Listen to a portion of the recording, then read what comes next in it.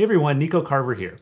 This past July, I put out a call to send me your images for another astrophotography critique, and the response was incredible.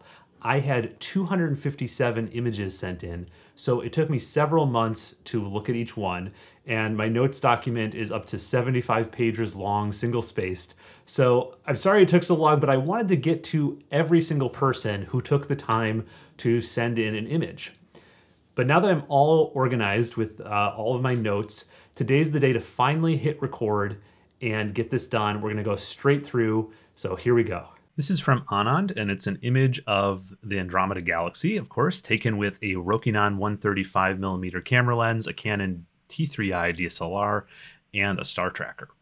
And it's a bit under an hour's worth of integration from a Bortle 6 Sky.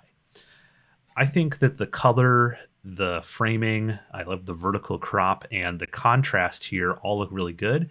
I don't see really any issues with the final edit but Aanand did send in the raw stacked uh, data. So let's take a look at that. And actually, I already did a. Okay, so here's just the raw uh, picture uh, after stacking, and you can see there's a light pollution gradient. The the light pollution dome is over here on the left hand side.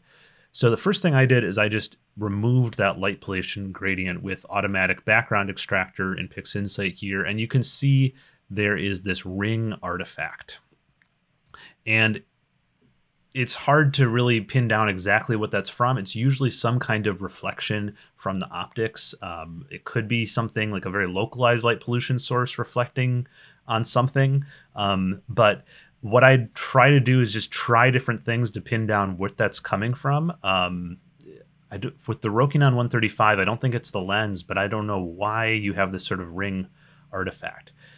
The other thing to really try is just play around with your flats technique because maybe this is a, an overcorrection of the flat or something like that. Um, so play around with different kinds of flats and because uh, this is really difficult, this kind of ring artifact to completely get rid of in post processing. So it's something you want to address uh, in the acquisition stage. Um, for this image, of course, it didn't really matter too much since Andromeda was in the middle and you could just sort of crop it away. But in a field where you had like nebulosity across the field, this would be a bigger issue. So work on flat fielding. Otherwise, good job, Aanand. Aaron sent in this image of the Rho Ophiuchi cloud complex done with uh, without a tracker, uh, just a Sony a6000 and a Sigma 16 millimeter lens on a tripod.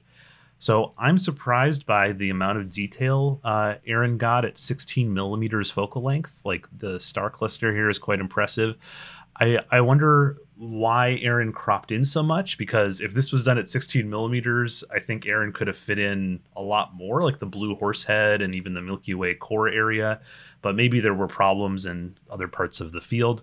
Um, so, other than that, I think this is very well done. Personally, uh, I would have shot probably wide open rather than stopping down, um, as that's my preference when shooting without a tracker. I'd rather get more signal and just uh, you know sacrifice the star quality a little bit. Um, but that's that's me. Other people are more sticklers about about uh, tight stars. Abecka 18 captured Cygnus region with a Canon EOS RA, a Rokinon 135 lens, and an Ioptron Skyguider Pro. Abecka 18 mentioned splotchiness from uh, combining in the starless image, especially in the Canada section here of the North America Nebula. And um, that's a common problem, especially, uh, you know, with starnet artifacts and if you if you change the if you do star reduction too much then that's going to leave uh, those artifacts exposed when you add the stars back. So my way of dealing with that, um, and I'll just show sort of my version here, is to just leave the stars alone. Don't try to reduce them.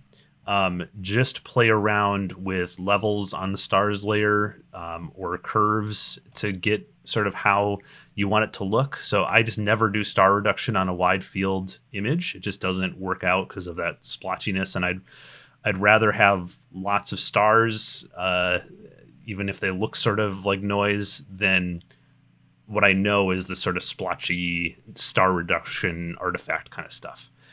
Um, my one other note about this image is I think that the color balance got a little bit too red. Um, I'd prefer a little bit more of a, a balance with the O3 uh, signal. Um, so I just did a quick version here, and you can see I got a little bit more color variety, brought out blues a little bit more, um, and reduced uh, sort of the red's impact. Um, so, and the, the other thing I'll say about color contrasts is I think that it also helps with detail. So when you have a color contrast, like the Cygnus wall here is in red against uh, this more neutral uh, background, it really makes it helps it pop out, and it looks like you've captured more detail, but it's all through manipulating color.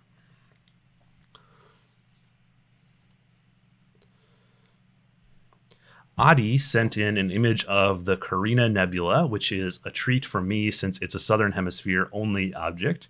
And this was shot with a Nikon D750 and a Nikkor 105 millimeter lens, untracked on a tripod from Bortle 4.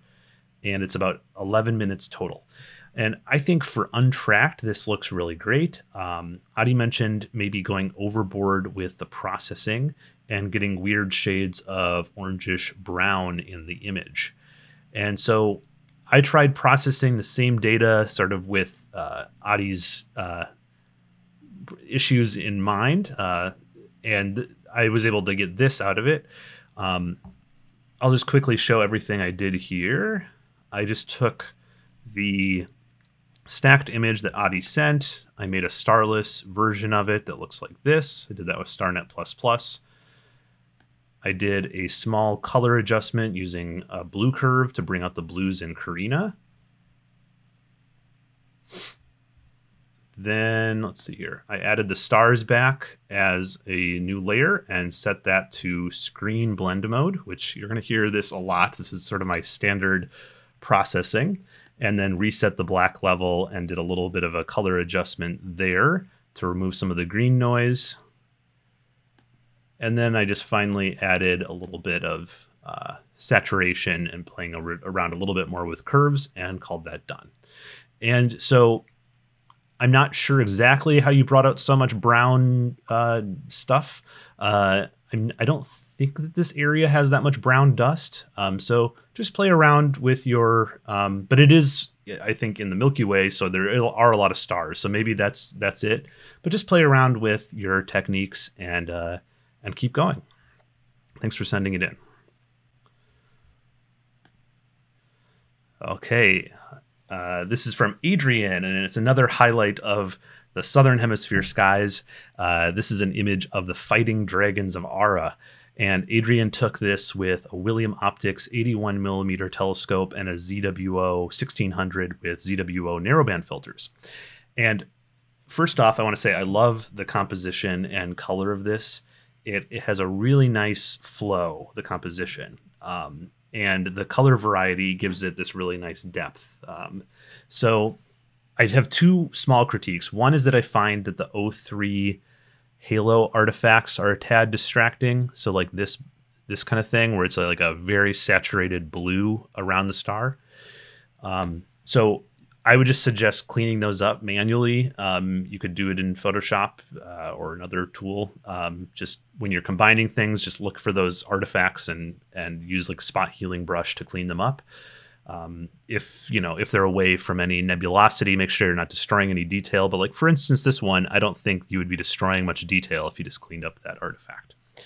And my second critique is with uh, the Topaz Denoise AI. Um, I'm not opposed to it as a rule, but I think it's uh, very easy to go a little bit overboard with the sharpening aspect of it. And this feels to me just a bit overdone with the sharpening in Topaz. Um, but that's that's really a personal taste thing. Again, the color work and the flow of this composition are just superb. So other than the O3 artifacts, um, I think that the stars look great too. Um, you know, the the size of them uh, their impact in the image and their their color saturation all look really good. So thanks for sending this in. All right, Ahmed sent an image of the North America and Pelican Nebula taken with a Nikon D850, an Optolong L enhanced filter, and a RedCat 51 telescope, all on the Ioptron Skyguider Pro star tracker. Ahmed asked about the balance of the photo, and how to balance the image when the stars are so unevenly distributed. So Cygnus, uh, I mean, uh, yeah, Cygnus is smack dab in the middle of the Milky Way. So of course there are a lot of stars, and um, then in this photo it's interesting because on this side you have the northern Coalsack Nebula, which is a huge dark nebula. So my critique of Ahmed's processing here is that I think the crop is a bit too aggressive. And I'll talk about balance more when we look at what I did. But I think the problem with balance here is that Ahmed didn't like all the stars on the left side of the image, so cropped them off. And that centers the pelican. Um, but then it makes sense that the left side of the photo is too heavy um, since there's nothing over here to balance out the North America Nebula. My other small issue with the processing is that, like many people do, I think that the reds are too saturated here, um, which makes the image feel sort of not as detailed because of lack of uh, the color variety that you could bring out. Okay, so here's what I did with the image. And what I tried to do is keep as much color variety in the image as possible. I added no extra saturation saturation because I really liked that, you know, uh, how it looked uh, with this sort of original framing. And uh, there's uh, interesting stuff in each corner um, that I think balances it out well, creating a nice X pattern uh, with the nebula, the big nebulae in the middle. And um, when you start looking at it, uh, I think that the the huge star cloud over here to the left of North America and the Coalsack over here on the right, they provide sort of a nice yin yang kind of balance to the photo all on their own. So so to answer your original question, how do you balance when the stars are very different? I think you just accept that's how this scene is and uh, and and try to embrace it uh, in your crop and in your processing.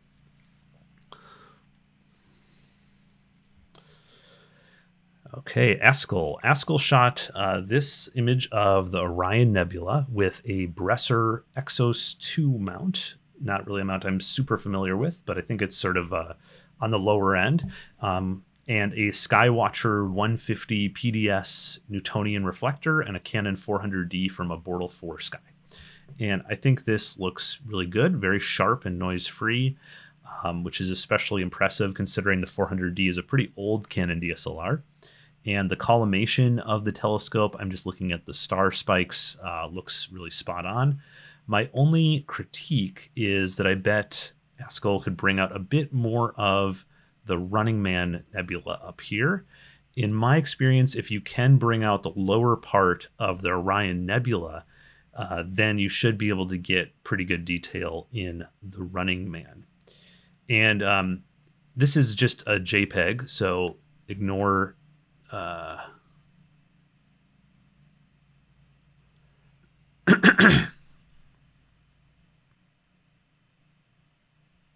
So this is just a JPEG that was sent to me. So ignore what I'm sure. I mean, I'm sure I'm going to bring out a lot of noise, but just to show you that there is more stuff up here in the Running Man, uh, I'm just going to bring up the levels a lot, and you can see that we can see more of the shape of the Running Man if I really bring up the levels like that.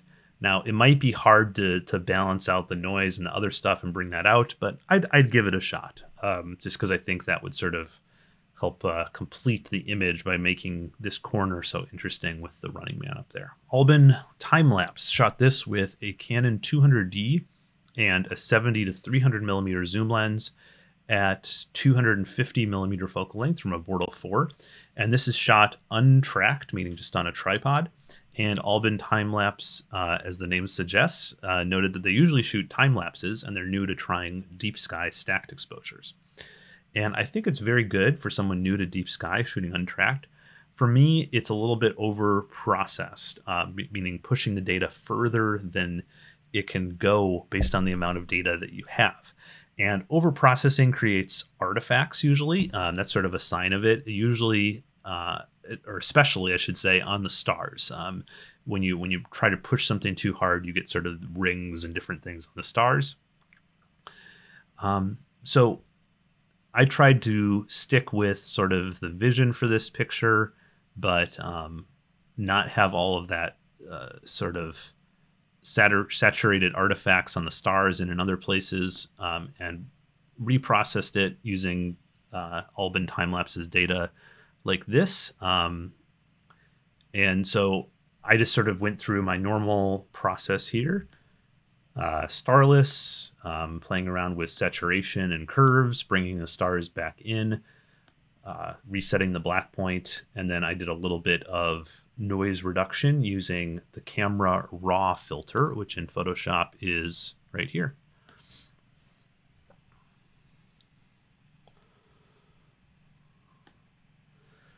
Alec sent in, Alec sent in an image of the Carina Nebula and the Southern Beehive Cluster, shot without a tracker using a Nikon DSLR and a Nifty 50 lens. Alec was looking for tips on bringing out the Milky Way and nebular detail. Um, so it's definitely a challenge with untracked stuff. Uh, what's the right amount of detail to bring out or hide? Uh, we had an earlier picture of the Carina Nebula that was sort of going through this exact same thought process. Um, but in any case, uh, here's what I came up with.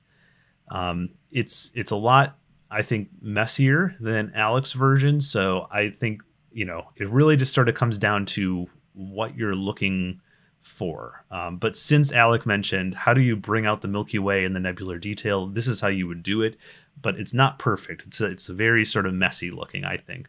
Um, so it's a trade off. And maybe you'd want to go somewhere in between where I went here. This is sort of maximalist editing versus where uh, Alec went, which I would call more minimalist editing. But, anyways, I'll explain my process here, but it's pretty similar to what I'm going to explain many times, I'm sure, in this video. I went starless with StarNet++. I did some curves work. I probably went a little bit too far there, but oh well. Um, brought the stars back in just did a little bit of cleanup, um, a glow in that lower right corner there. Um, reset the black point, increase saturation, and a final color correction curve.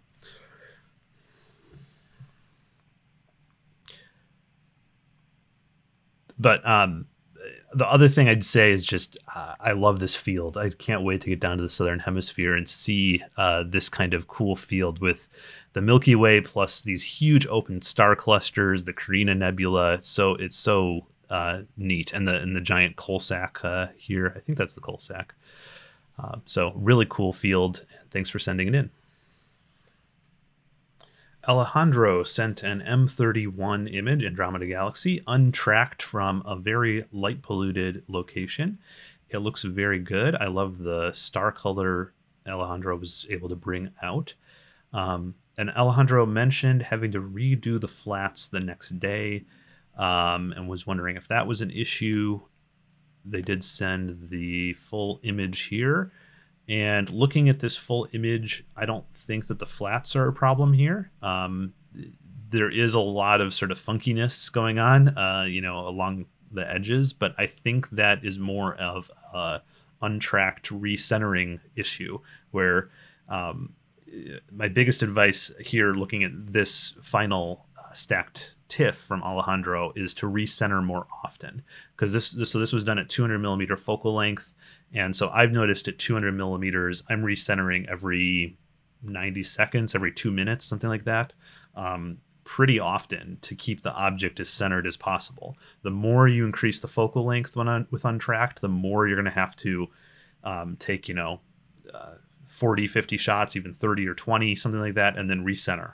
Um, and so it's it's a little bit more intensive with with untracked at high focal lengths, but it can be worth it because you can pick up more detail, of course.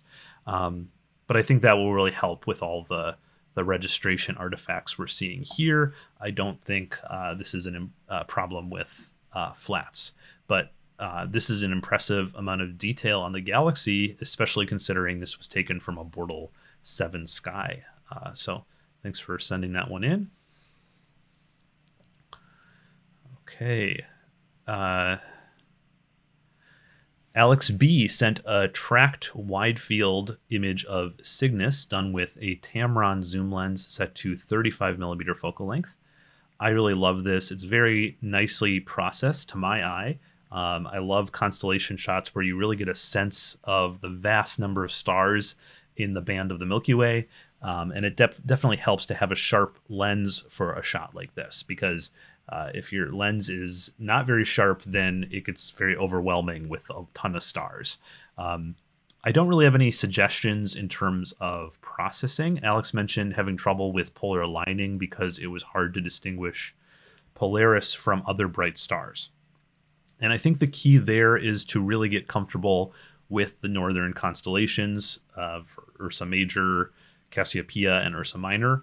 Um, because of course all three can help really confirm that you're pointed at the right spot. Uh, if you sort of look at a, a, star chart on your phone and see how Cassiopeia um, or Ursa Major, depending on the season, should be pointed, um, you can really pretty quickly, even with lots of stars, I think, point in on where Polaris should be, and then you just get down and sort of line up your star tracker and make sure it's it's pointed right. The other thing is use your latitude adjustment on the equatorial wedge to really dial in your latitude as closely as possible before starting with any of this because then you know you're at least correct up down and you just have to get it uh, correct sort of left right which again you can do sort of looking at the constellations. So hope that helps.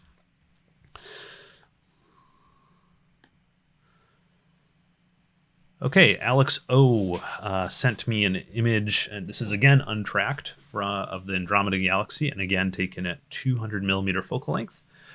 I love the colors. Uh, it looks really good. The blues and the sort of neutral uh, whitish brown, and the star color looks good.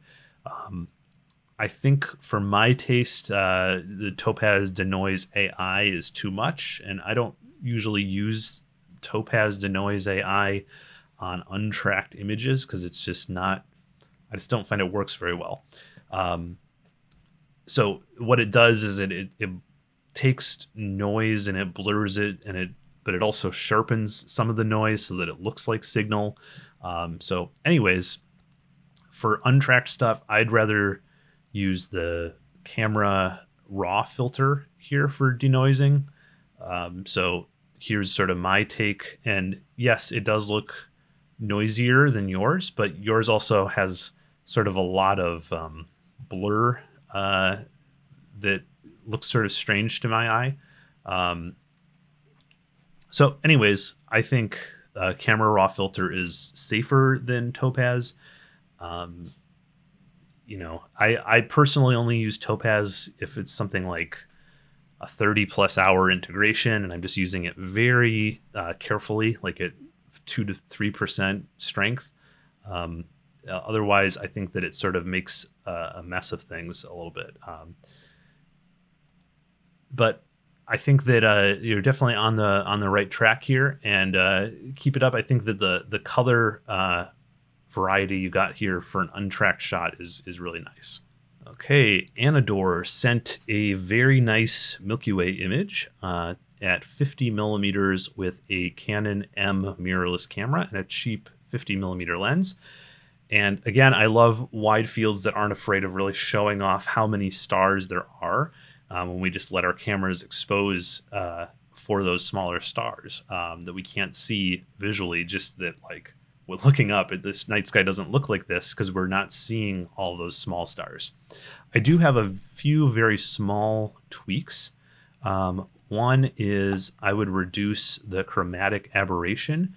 And this is, again, with just a bit of that camera raw filter. I can open it up here to show you what it looks like. One sec. And so the chromatic aberration fixer is called defringe. It's under optics, and you just play around with these sliders um, to fix it.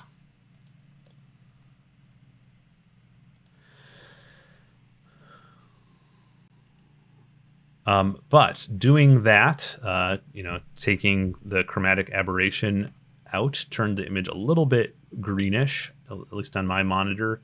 So I uh, fixed the color balance And then I just brought down the overall brightness of the image just a little bit with curves like that.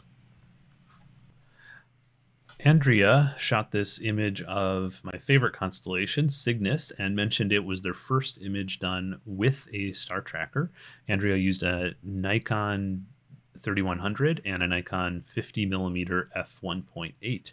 Uh, I think that's the Nikon version of the Nifty 50, and was wondering about the stars being misshapen um, away from center. And yes, this is a very common thing with almost all lenses, but especially wider angle lenses. So 50 millimeters and wider, you're going to see more distortion uh, as you get away from center. Um, generally, uh, so, you know, we can say that certain lenses are better or worse. It's not that all lenses perform the exact same way. Um, so sometimes even very expensive lenses that are great for normal photography are really bad under the stars in terms of star distortion. Um, but now that you have the star tracker, I'd probably look into something like the Samyang 135 f2 lens. It's a very good lens for astrophotography with really minimal distortion. Uh, considering the price of that lens, it's like uh, around five hundred dollars or even four fifty. Um, and so there are better lenses out there but a lot of times you know the really good lenses for astrophotography like the sigma art series are over a thousand dollars. So the samyang 135 is really very good considering its price. Um, and, and and once you start getting into like trying to get to perfection you're just going to be going at higher and higher prices to eke out just a little bit better star performance. Um, but I should say that I think that this looks better actually than the Canon Nifty 50, and it's a very nice image uh, with really uh, nice color and uh, restrained processing. So thanks for sending it in. Okay, and Andres uh, M, or first Andres. Um, this Okay, Andres, uh, this is a really cool photo, very inspiring to me because it's something that I'd like to try myself. This is the trapezium region of Orion. So just that really bright core of Orion that most of us usually blow out to just pure white. Um, but you can see it's a really interesting color, the green, greenish color of nebulosity. That's the true color of it. Um, this was shot using an 8 inch reflector telescope without tracking uh, from the middle of a city, a white zone in terms of light pollution, and it's 50 photos at one second each at ISO 200. And so this should give you an idea of how uh, the trapezium is pretty unique and how bright it is for a deep sky object. So it's really the perfect target to try um, untracked with a telescope, so high focal length. Um, and I don't really have any critique. I love this. It's a perfect uh, natural color shot. The trapezium should be this uh, sort of sea green um, with a little bit of the red uh, hydrogen alpha coming through. And then the goal when you're shooting the trapezium is to split these four stars uh, in the trapezium cluster. Um, and they're clearly separated here. So great job. Okay, another Andres sent me an Andromeda done with a zoom lens set to 135 millimeter focal length and using a Celestron CG3 mount with uh, motors added to it. And this was done from a Bortle 5 sky. And Andres mentioned maybe having overdone the star reduction. Um, so maybe, but I, have definitely seen uh, star reduction um, done sort of way too much where you're seeing artifacts or just looks very unnatural. And this doesn't look that unnatural to me. So i think it's pretty tasteful especially for this high contrast uh, look that you're going for. And my one critique actually has to do with the saturation in the galaxy. Um, i think that the saturation boost to the galaxy worked out pretty well um, to the outer uh, arms and things like that um, because the hot blue stars uh, out here um, really need uh, sort of a saturation boost. Um, but as we go in towards the core, some of these colors are starting to look a little bit um, unnatural, like an unnatural orange that shouldn't isn't quite right. Um, and this is sort of nitpicking, but it's just happened to me many times, so that's why I recognize it. So a quick fix would be just to select the part of the galaxy where it feels like a little bit too much saturation and bring it down a little bit. Um, but other than that, very nice job.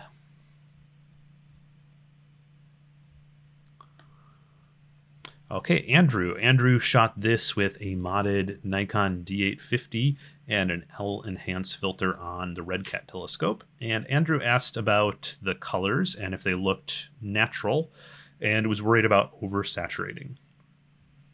And I mean, no, the colors don't look natural in that the HA emissions are gold uh, when they should be red. Um, but or a slight pinkish, I guess, because there's so much O3 in this region.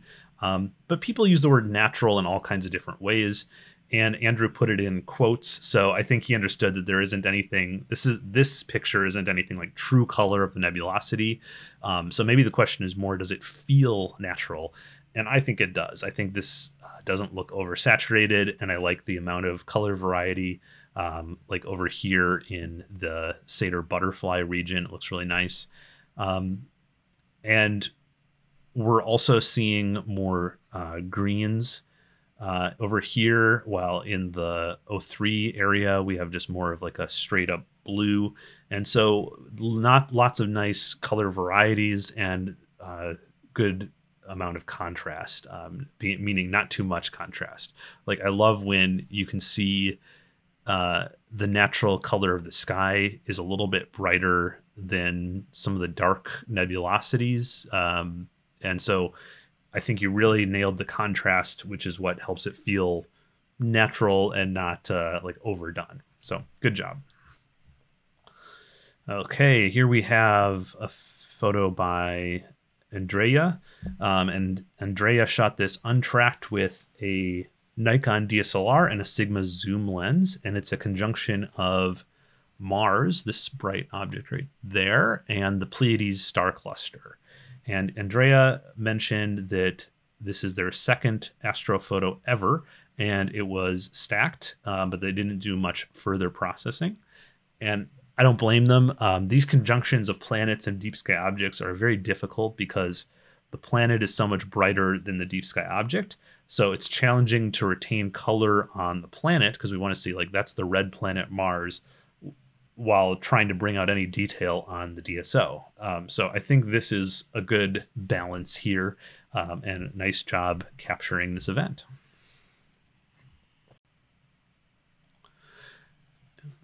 Andy Ben did a bunch of 10 second exposures tracked with a Skywatcher HEQ5 and a Skywatcher 80 millimeter refractor and Sony mirrorless camera. And I think the processing is very good. Um, I did look at the raw data and I can see that the reason the background is as dark as it is is because you're trying to hide walking noise. And walking noise is very annoying. It's this diagonal uh, noise, and the only really effective way to get rid of it is to dither. Um, or to really nail polar alignment, I suppose. Which, but dithering is only practical once you've added auto guiding. But as soon as you do add a guide scope and guide camera to your kit, then you should immediately work on figuring out dithering because it would really help eliminate uh, walking noise. Um, I also suspect that taking longer than 10 second exposures would help with walking noise uh, because then you're burying the noise in more signal. So even without guiding, I think that would help.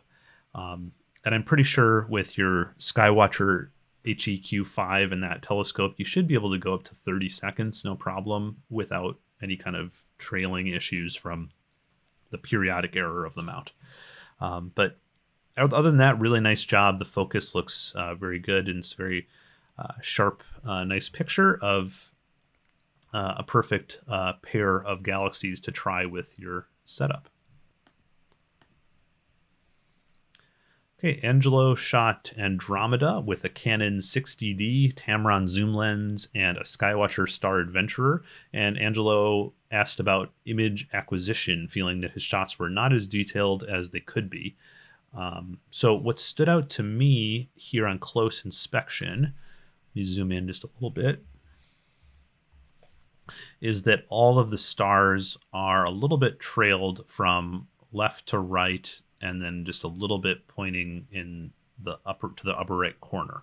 And when all the stars are trailed in the same direction like this, um, that is that means that there's some issue with tracking. So it could be polar alignment. It could just be that the the mount can't handle uh, sub exposures as long as you're doing. Angelo mentioned they were doing 90 second sub exposures. So my first advice is to try 60 seconds or even 30 seconds, and then um, you know you're you're shooting at f2.8 if you want to try to match uh, exposure with the shorter exposures then you can just bump iso um, and uh, that that method of just using shorter exposures um, is i think the best way to avoid this kind of trailing um, other than just really practicing polar alignment making sure you have good balance nothing is loose or dragging on the tracker um, and I think that's um, uh, an important one. You know, loose loose things could be like the wedge could be loose. Uh, just make sure everything is really tight, nail polar alignment, and then take some test exposure. See if you can maybe get up to 90 seconds. But if you zoom in and you see any trailing, then back it off to 60 seconds or 30 seconds. And that will help with uh, detail too. If you're if you're not trailing, it's not just that the stars will be rounder, but you'll see more detail in the objects. Okay, Ankur uh, shot the Markarian chain of galaxies, and Ankur mentioned after going full spectrum modification, meaning taking out some filters out of the camera, um, they noticed these artifacts. I think they mean like this here and this here. I'm not sure what this is about, but I don't think that's what they mean giving these little like white smudges um, on their photos. Um, so I suspect these little uh, smudges have something to do with some physical thing on the sensor, maybe. Um, I mean, dust is usually dark, so I'm not sure why they're bright, but maybe maybe they were dark and then with flats the flats overcorrected and they became bright but anyways, that's my best guess is that there's something physically uh, going on with the sensor dust or something like that. Um, to test that theory, try a manual air blower. Never use compressed air, but just like a manual rocket blower. Hold the camera upside down so that the dust can fall out, and then take a long exposure, blow the air manually onto the sensor, um, and see if you can dislodge any dust.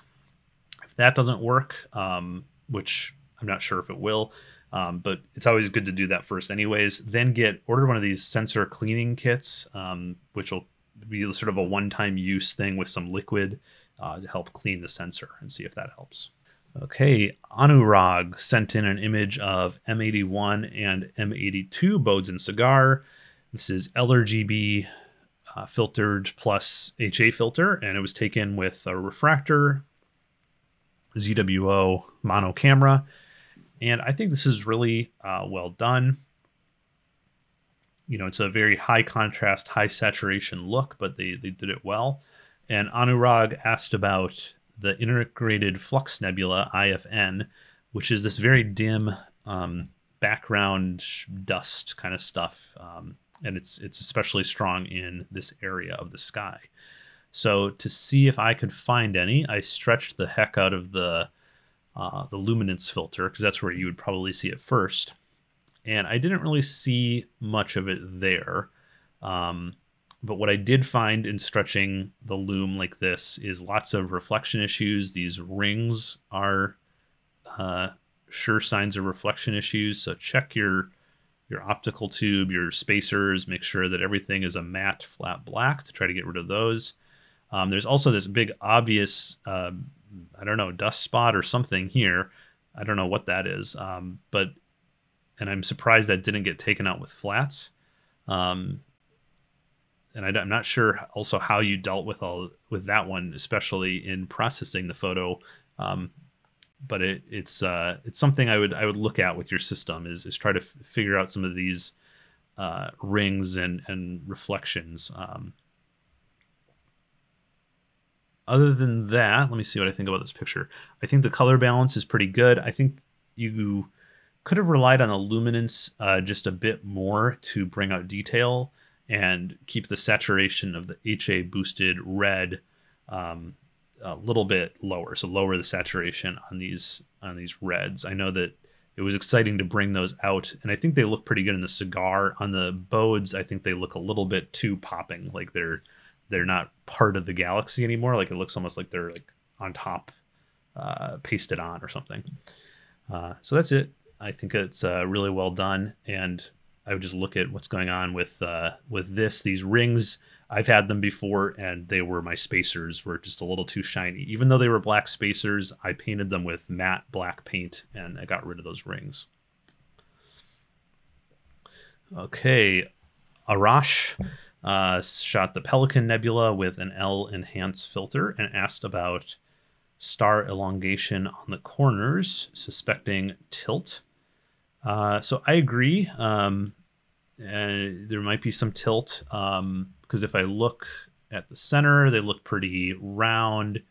If I look in the corners,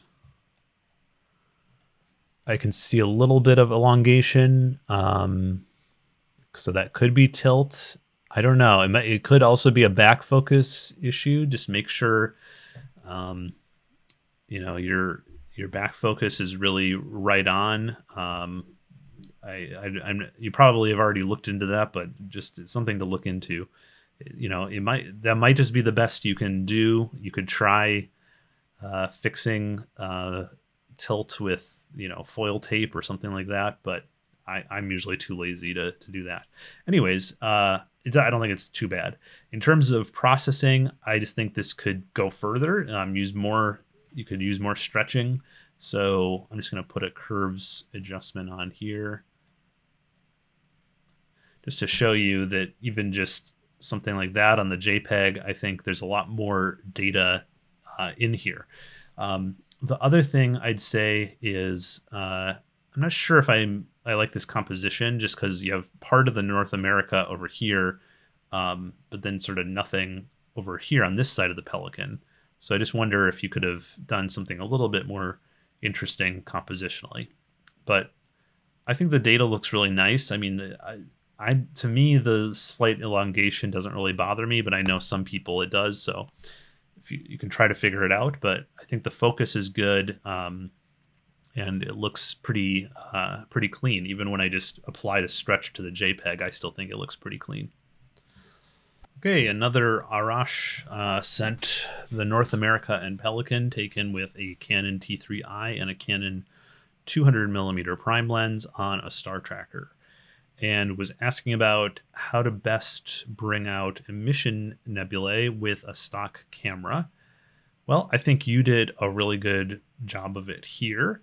Um, the only thing is, I think we just need to finesse the processing a little bit to get rid of the green uh, noise and the the chromatic aberration that's really common with this uh, lens. The sort of see the sort of like orangish red around a lot of the stars, and so I just did that here just to show you what it looks like. Um, and it's really great data. So I would just keep working on processing it because you've captured a lot of nice sort of O3 signal, uh, the and the HA signal, um, which is common uh, with a stock camera, and I think can make a really beautiful photo of this uh, region as you have done here. Um, so I just used my normal processing technique where I took the photo, I made a starless version with StarNet++. I increased uh, color with curves and saturation. I added the stars back in. And on this stars layer, I screen blended it and also applied the defringing with camera raw filter. And then I did a final uh, reset of the black point.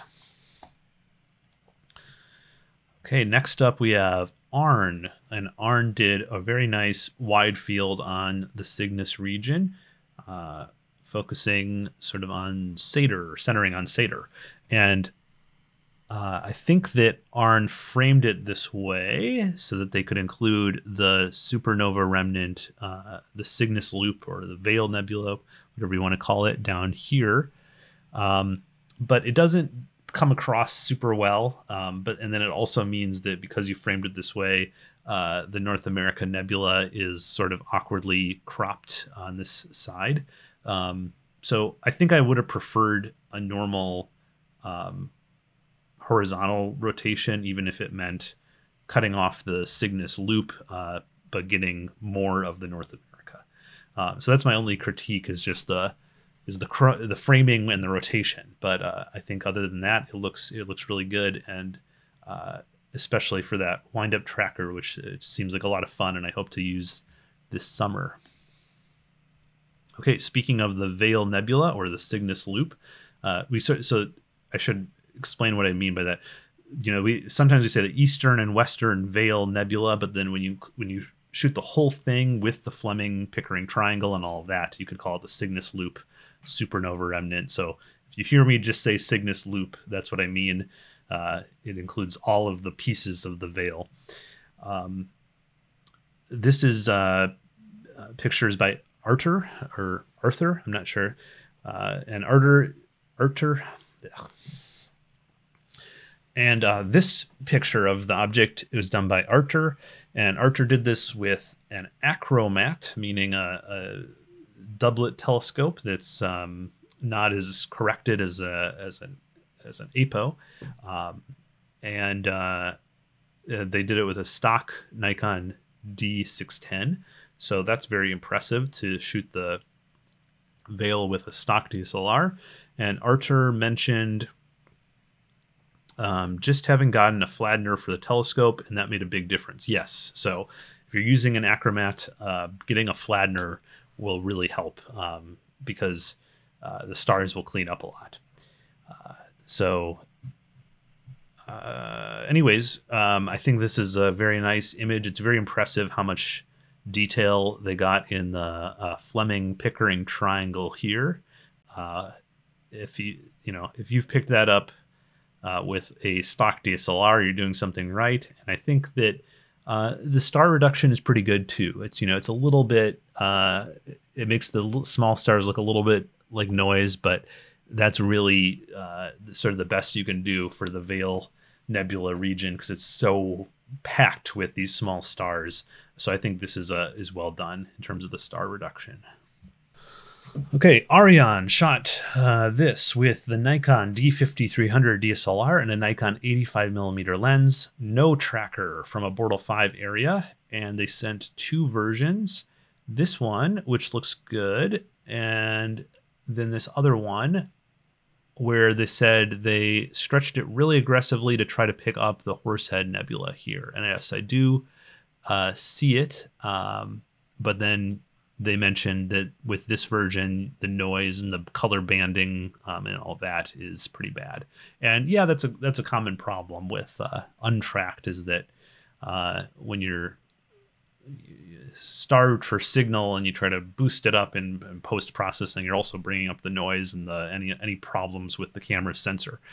Anyways, Aryan said they shot this at ISO 800. So I'd suggest trying a higher ISO. Might not help, but it's worth a shot. And of course, if you can get anywhere even darker than Bortle 5, that can also help with noise issues I've found.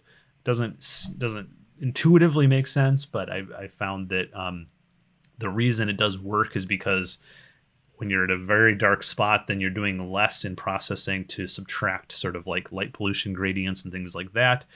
And uh, then the light pollution itself is a signal that comes with its own noise. So going to a darker place can help with uh, noise in your image as well. Uh, but I agree with you that this one, where you got the flame, but the horse head is pretty much invisible, is still a nicer uh, process uh, overall. Okay, and then we have Asa, and Asa sent this uh, Milky Way image over a rock formation and said the rock was lit up by cars and by a town below. And I like it, especially the natural green air glow down here that was not processed out. I think that looks really cool. Um, the the overall brightness of the image makes me feel like it's not very naturalistic. Um, so, you know, this is just a JPEG, but let me just try taking down the brightness here. Something like that, I think, is where I would put it. So, you know, this is all about taste, but I, you know, and, and personal preference. But I, I like a sort of darker, moodier Milky Way image, and I think that by bringing down the brightness a lot like that, it also actually makes the the rock formation look more dramatic and make it even though I know it was lit up by cars and towns and everything, it makes it look more like night. You know, um, with it at full brightness like this, it almost feels like a Milky Way uh, afternoon or something. So I, I like to have some some dark blacks in my night shots. Astro shot this untracked with a stock DSLR and kit lens, and it's definitely a difficult object to do with a kit lens and an unmodified stock DSLR. So it's great that we're seeing some structure here in the North America Nebula. I did take a look at the raw frame, and I think this is good processing for what you had. My only suggestions are one, to take more flats. Uh, I mean, to take more lights if you can. Uh, this was 202 lights or sub exposures, and going up to 500, I think, would make a big difference, um, or even more if you can. And then my other suggestion is if you haven't tried the Orion Nebula yet, that's a winter object. Well, this is a summer object. So maybe uh, since this video is coming out in the winter, it'd be a good option for you right now it's much much brighter than the North America Nebula, so it'll be much easier to bring out untracked compared to North America. But otherwise, uh, nice job. It looks uh, pretty well focused and, uh, and, and pretty good for a for a kit lens. So Astrobrick sent an image of Andromeda shot from a very light polluted sky, and this is 400 lights at three seconds each at f2 on a Star Adventurer with a Sony camera and a zoom lens. And um, they had a bunch of questions about sort of the, the performance of this lens. What I'd really recommend with a lens like this is, and here's just a more sort of neutral um, uh, stretch that I did just to show uh, the, massive distortion. Um, is to stop down the lens because at, at f2 i'm guessing that's pretty probably wide open or close to wide open. So try stopping it down to like f5 and um, take longer exposures. So uh, if it, three seconds ISO 800, if you stop down to f5 or f5.6 or something like that, um, and then exposing longer, I think you might get a lot better performance out of it. Um, and not see so much, you know, weird stars, especially away from center. Um, and that would also help with noise to because three seconds is pretty short. Um, if you did like 30 seconds, you know, that might be a combination of bringing down the ISO and the, the aperture. But uh, I think that would be worth trying before you uh, feel like you need another lens. Okay, Astro Abood 7 took this image of the Lagoon and Trifid nebulae. And my main suggestion is um, just to do a little bit less with the processing here. Um, and, and specifically doing less with star reduction and noise reduction. So uh, if you were at like, let's say 80% on those things, star reduction and noise reduction, uh, if you're at 80%, try 30%.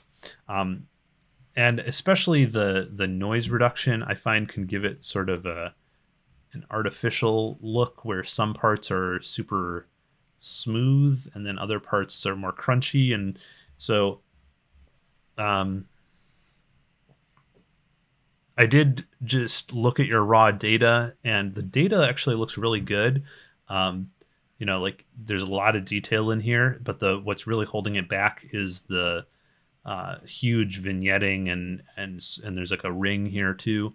So I think what you could what would really help is flat fielding. So if you can figure out how to get a really good flat uh, master flat frame to calibrate your lights with, uh, that would really help um, uh, get cleaner cleaner data. So keep trying, try figure try to figure out flats and and make them uh, work better, uh, and uh, and go from there. Okay, Astro Amateur 1 captured Central Cygnus with a stock Canon T3i and a Canon Nifty 50 on a Skywatcher Star Adventure, and they asked why their colors seemed unusual. Um, I think it's it's normal not to get a lot of red with a stock camera, um, although you could just boost the red channel a bit in processing to bring it out.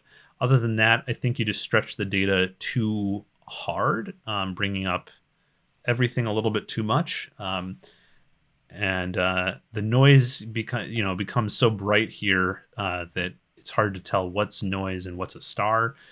Um, uh, so, anyways, I I did it. Here's my take on your data. I didn't really bring out the reds too much, but maybe a little bit more than you have them here. They look a little bit more orange in yours. And then the main thing I focused on is just um, a different uh, stretch.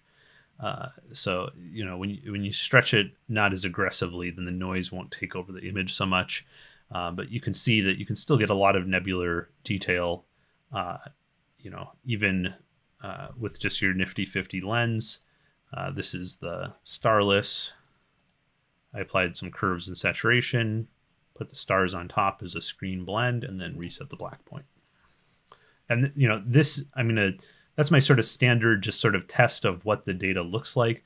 You know i might do more in processing but just to show people uh, who are shooting wide field like this sort of what they have i find that this is a good way to do it. Just go starless apply a little saturation to the starless screen blend the stars on and and reset the black point. You can really get an idea of what's what's in the field that way.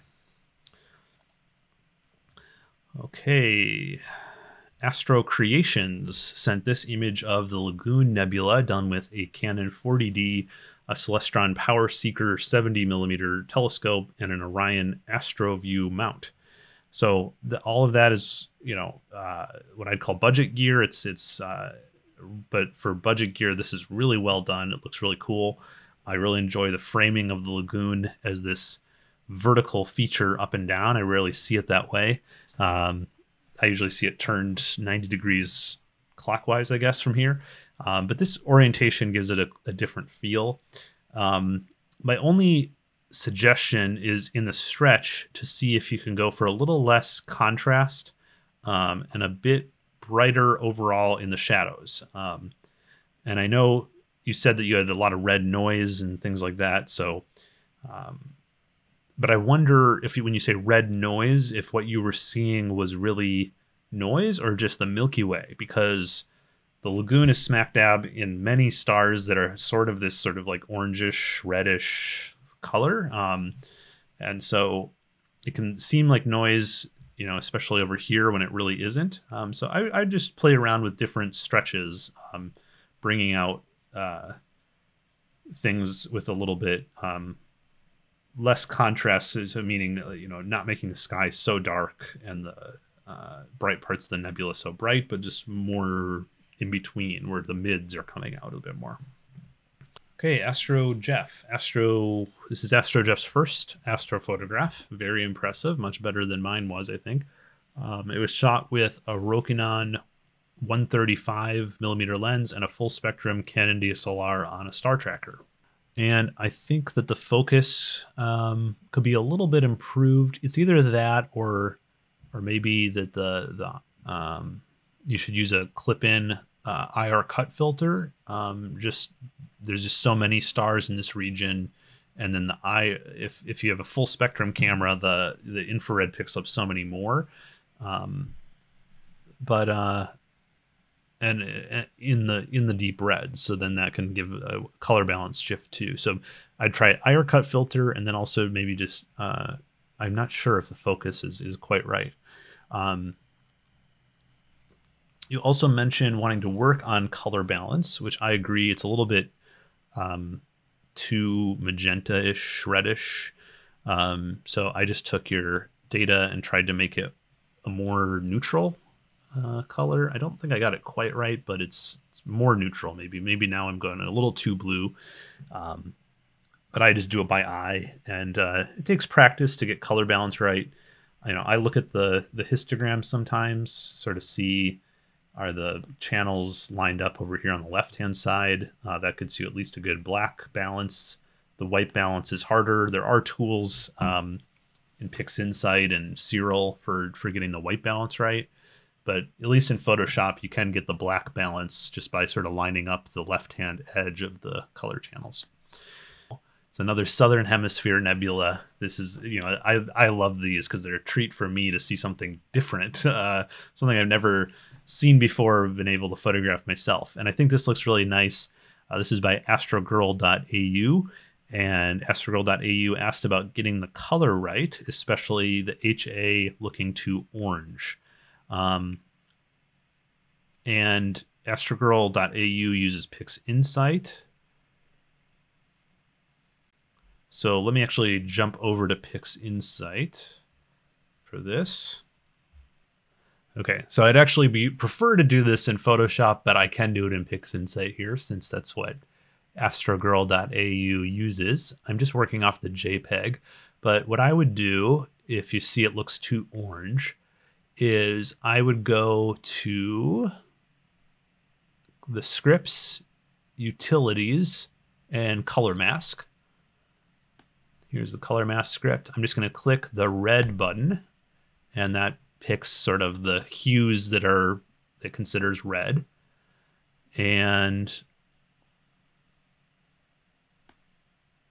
click OK. It's going to make a mask. Okay, there's our mask of everything in the image that is red. And then I'm just going to apply that to this image just by dragging it over here like this. And then let's go into the mask menu and nope, click on this image, turn go into the mask menu, click off show mask so we can see what we're doing.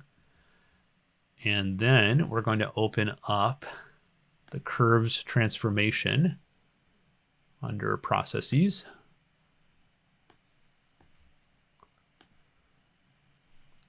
And then I'm going to click into the blue curve. Let's open up a preview so we can see what we're doing. Nope, not on that. On this one. There we go. And now with this blue curve, I'm going to just start adding blue to the reds. And remember, we've masked it so that white is what's what it's being applied to. Black is not being applied to, so it's not going to change the color balance in anything but the reds.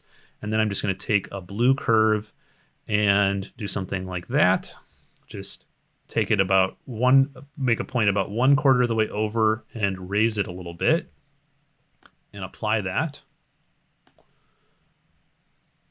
Okay, and then let's see the before and after. So here's before, too much orange, adding blue just to the reds, and it looks like that. And that's, I think, a much closer to a, a natural HA response, including the H beta part of the spectrum um, and the reason you're I'm adding blue if you see too much orange is that blue is opposite on the color wheel to orange. So by adding blue to red, we're basically uh, taking away orange uh, or making it less orange. And it, it, it, gets to this more sort of pinkish uh, red, which, as I mentioned, I think uh, could be the O3 if there isn't any O3 in this object, or it could be the H beta. But in any case, I think it looks the bluish red uh, can look better than the orangish red, but it depends on the photo. But I think in this one, uh, it does help. So hopefully that uh, made sense. I'm less experienced with showing how things work in PixInsight. Even though I do know the program pretty well, uh, I, I feel like sometimes I'm bumbling around a little bit. So thanks for sending this in, astrogirl.au. Okay, next up we have Astrohio. Astrohio sent in an image of the pelican and the Cygnus wall, and I really like this uh, framing and orientation. This vertical crop with the it's sort of like it shows the Cygnus wall and the pel- this bright part of the pelican how they sort of mirror each other, uh, which I've never really seen exactly like this, uh, but it looks really cool. Um, I think for me, the the star reduction and especially the contrast have gone too far. Um, so with the star reduction, it feels like uh, maybe you felt you needed to push it because the focus wasn't so good. I'm not because uh, if I zoom in on the stars here, I feel like I can sort of see their donuts. Um, so my guess is maybe you um, you did a lot of star reduction, but uh, I I, sh- I, should say I really like the color palette. I just think that uh, if it was a little bit uh, less contrast, it might look even better. But I, I do like the the sort of unusual uh, color palette. Okay, uh, Astro Hunting Ed took this image of Orion with a stock Canon T7, an ultra high contrast filter, and a nifty 50 lens on Star Adventure. And uh, definitely pulled out some nice detail. I think. Zoom in to make sure. Yeah, definitely. Okay, so there's definitely a bug in your processing here where you use the wrong um, de-Bayer pattern, or it's not necessarily that you use the wrong de-Bayer pattern, but the program you were using used the wrong one. And the way that I know that is because when you see sort of the grid here in certain places, like the grid of pixels, and then when you look at the colors of the the nebulae when they're sort of reversed. So this should be red, the horse head, but it's green. That means that the wrong de Bayer pattern was chosen, and the pixels that should have been coded as red were coded as green, and so forth. Anyways, um, I think you mentioned use Siril. So if Siril did this automatically, you're going to have to find the setting in Siril to manually override the debayer pattern. So instead of putting it in auto, um, you should for the T7 put it on RGGB. Um, uh, but if that doesn't work, depending on which version of libraw you use, I'm just reading this online, uh, you might need to apply the GBRG. Um, anyways, just just try it out uh, on a few samples, and once you figure it out, uh, then the Barnard's loop uh, you know you have here you've caught here and the and the horse head and stuff like that should appear more uh, red than green, and that will be your your sign that you've you've found the right p- Bayer pattern. Okay, Astro Lux brings us a photo done with the telephoto lens on a Huawei phone like the one I have here, piggybacking it on an equatorial mount. And I think this is a very cool idea and one that I want to try. I've only tried the normal wide angle lens on my Huawei phone on, on the Milky Way. This is with the telephoto lens, which is more like a 50 millimeter equivalent. And for anyone that doesn't recognize this object, this is the Rho Ophiuchi Cloud Complex. You can sort of see the dark streamers there. And uh, this is the Ophiuchus uh, Reflection Nebula, the blue reflection nebula there. Um, and I think this is a really beautifully vibrant star field for a cell phone. I would not expect to get these kinds of colors out of the stars from a cell phone.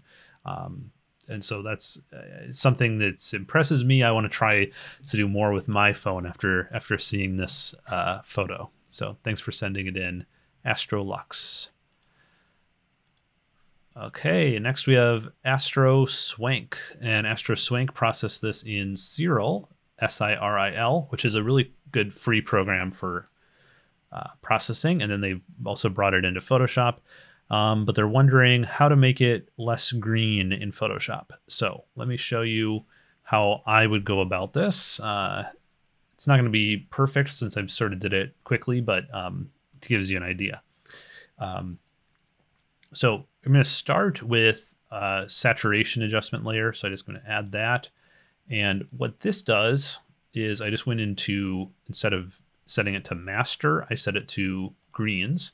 And then I'm just going, I just played around with the hue of the greens. So you can see, you can sort of make them any color. And I'm just going to make them uh, sort of golden yellow. Now you can see there's a lot of green left still in when you do this, but uh, it gets us uh, somewhere, a better starting point than it being just completely green like that. Then I just applied a curve, uh, both the RGB and the green curve, just bringing them both over so that the sky is darker and more neutral. Okay, and then next I'm going to add a selective color, and this is where it gets really fun. So we're going to go into greens. So we're going to take out all the yellow, uh, make it and add 100% cyan. So just to show you what that does.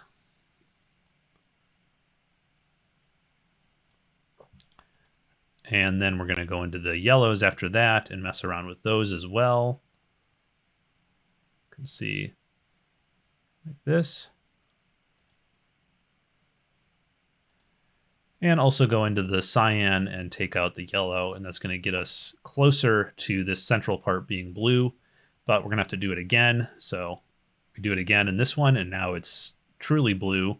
We do the same kind of thing with uh, yellows. We keep adding magenta to yellows to get it closer to this sort of golden orange.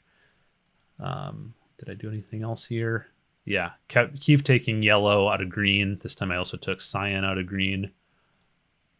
And we're at this point getting to a pretty good, uh, cool, like SHO look. And so then I'm going to add saturation. Ooh, I think that's a bit too much. Let me add a little bit less. There we go. And finally, a final uh, reset curve to the black point. And actually, I'm going to take out a little bit more green yet again.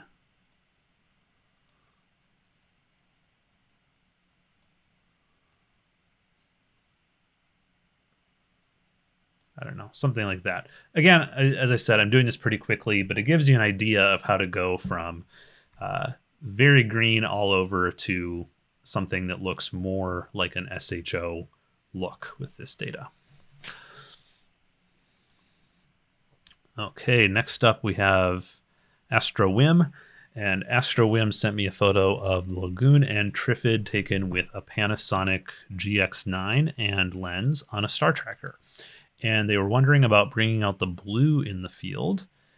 Um, well, Astrowiem definitely has some here. I see the the blue reflection part of the Trifid there. Um, but Astrowiem did send me their data, so let's see what I could do with it. Here we go. Um, And I didn't do much here. I just did my first sort of step in processing, which is trying to get the color balance right when stretching um, and uh, getting rid of major gradients, uh, but just applying a stretch to see what was there. So this is just looking at the data in a more raw state than uh, this finished one. Um, but you can see that there is a lot of blue uh, reflection all around and there's also some blue in the lagoon um, and in the stars and things like that. Uh, so you could process it here uh, to your liking, um, but uh, it's really just about looking and trying to preserve data as you as you stretch and and not crush anything. Uh, so just being careful with your your black level because I mean this is a finished picture, but your black level is pretty black. So uh, just uh, trying to be sort of neutral and and just keep looking at these. Um, ooh, I can see actually I have too much uh, green in the background there. So let's see what happens if I adjust the green a little bit.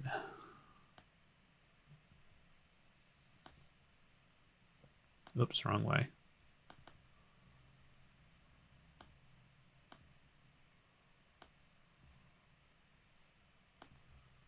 Yeah, cut that part out.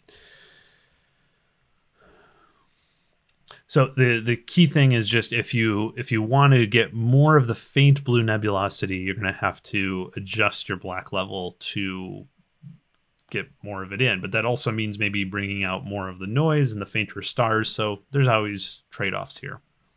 Okay, AT Astrophotography processed a single four minute shot that I had taken and previously shared in a video called Single Shot Challenge. And I like this take on the processing. It's very creative. I like that they went with a, a vertical framing and added these star spikes on all the bright stars. Uh, especially works well, I think, on these belt stars to give the uh, picture an interesting focus at the top there. To give you an idea of how different this is from the processing I shared, this is my processing. It looks very different because I brought out a lot of this uh, tried to bring out a lot of this brown dust. Uh, so these are processed from the sing- same single four minute shot, just to show you how big of a difference processing can make in astrophotography to get different kinds of presentations. All right, Augie uh, is pretty new to astrophotography and did this with a stock DSLR and lens on a star tracker. And this framing with the the leading line uh, here, this dark nebula up into North America, and then the dark nebula sort of continues out there into the that upper corner. I think is ingenious. I haven't seen it too much, and it looks really good. Um, overall, I'd say this photo looks too bright. Um, I, I, usually like brighter versus darker because then I can see what's really there.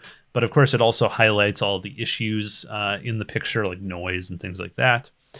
Augie did send their data, and I took a stab at it.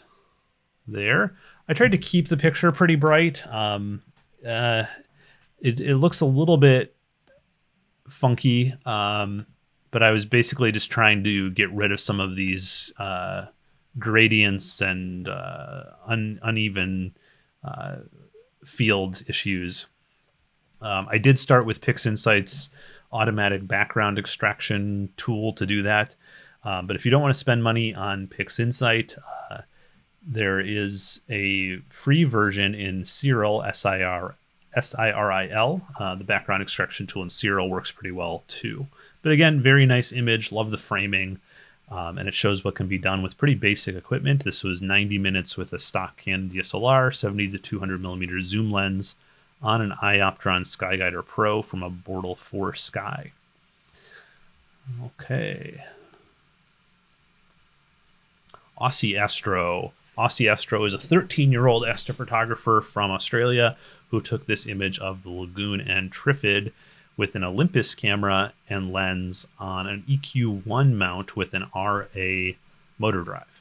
And they were wondering about making this image better and sharper. So let's zoom in just a bit. Okay. And um, so what stands out in terms of uh, sharpness is that the all the stars are trailed just a little bit left to right. Um, meaning there's a tracking issue. Either tracking or polar alignment, one of the two probably, um, or maybe a combination of both. Um, and trailing, besides just making the stars a little bit out of round, um, will also hurt image sharpness because uh, the small details that you're going to get in the nebula and stuff like that are, uh, can also get a little bit blurred out left to right. Um, uh, Aussie Astro said this was 60 images at 30 seconds each at 150 millimeter focal length. Uh, so I think that, uh, you know, I'm not sure if the EQ one is capable of that. It probably should be, but um, so may- maybe just work on your polar alignment. Uh, I know that's harder in the southern hemisphere, uh, you know, from Australia. So maybe that maybe that's the issue. Uh, but when you think you have polar alignment down, my next tip is um, if, if is when you're shooting, try different exposure lengths. So try 30 seconds, try to zoom in on the camera, make sure that the stars are round zoomed all the way in. If they're not, then then bump it down. Try 20 seconds, try 15 seconds. And because it's going to get you a better image overall to shoot shorter sub exposures with round stars versus longer sub exposures with uh, with trailed stars keep it up and uh, looking forward to seeing more from you. Barni sent this image of Andromeda. Uh, Barni said they are new to astrophotography and they have an EQ5 mount and don't have a polar alignment scope yet, so they're limited to shorter exposures. This is 30 minutes total from a red zone with a Canon DSLR and a zoom lens. And they're wondering about how to get more detail into that into this shot. Well, uh, there are a few different ways. Uh, the main thing is the more light pollution have, the more you should focus on just getting lots and lots of total time on the object. So 30 minutes from a red zone is just barely enough, I'd say, to you know uh, be passable. Like you know, this image is definitely getting some detail, um, but uh, you know, extending that to one hour, two hours, ten hours, whatever uh, is always going to help. Um, the other thing I'd say is uh, be careful with uh, noise reduction because that's going to blur detail, and I think that uh, you went a little too far with the blurring uh, effects here, uh, which hurts hurts detail. Okay. Bear Bear sent this image of Orion and the Running Man nebulae and asked if the reason uh, the flats correction didn't work well is because they didn't use enough flats. Uh, uh, they used 20 flats. No, I don't think that's the issue. It's much more likely that the way that you're taking the flats needs to be tweaked in some way. So uh, let's see if I really stretch the JPEG here. Let me do this. Okay, um, you can see it's it's darker in the center uh, and then a little brighter along the corners. Uh, so that means the flats are overcorrecting uh, for one reason or another. And the the first thing I'd try if your you know flats are overcorrecting is just uh, decreasing the exposure time on the flats. So if you were at half a second, try a quarter of a second. If you're using like a flats wizard in a in a program, you know, if you can see the ADU value, try having that. Um, uh, you know, an- another thing to try is just stack your lights without any calibration frames and see if you have this issue of the bright corners because it's probably flats, but maybe it's not. Uh, so stack with just darks, check add darks and bias and flats check this kind of thing this is what I, I, tend to tell people to do for calibration issues is try to try to needle it down to what actually is is causing the problem.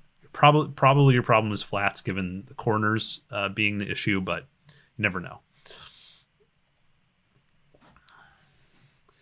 Okay, Ben uh, took this image of the Andromeda Galaxy with a Samyang 135 millimeter f2 lens on a star tracker, and this looks really cool. I think. Um, Ben saw this meteor strike uh, right here, which is a really nice green meteor, in one of his frames, and then added that back in after stacking. Um, Ben did send in a stack with flats and one without flats, and then the stack with flats got messed up and removed a lot of the stars. I don't know why that would have happened, um, but I think it demonstrates something important, which is if you think you have good photos, you know, if you're looking through your individual lights, your individual sub exposures, and they all look good, and then after stacking, something very strange happens, then, like I said in the past critique, the thing to do is try eliminating calibration frames and seeing if you can find where the problem is. Um, uh, so the and then you try to fix the calibration frame. So the lesson isn't don't ever take flats. It's that you know you have to work on figuring out why uh, something wrong happened, um, and that, that that's just a lot of trial and error. I can't I can't usually tell someone exactly what to do next, but they, they just have to try out different things. Uh, and uh, if I was there with you, maybe I could figure it out. But uh, otherwise, I just tell people just to experiment and it, you'll get there eventually.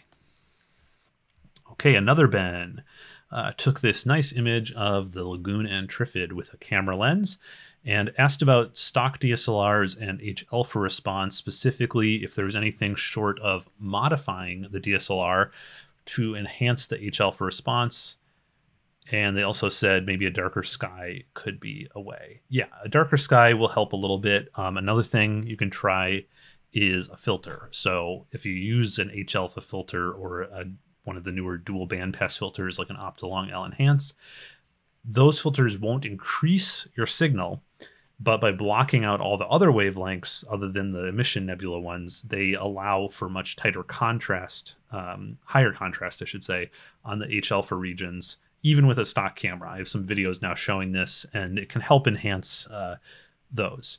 Now, they will also, though, block out a lot of this um, natural blue color, like in reflection nebulae.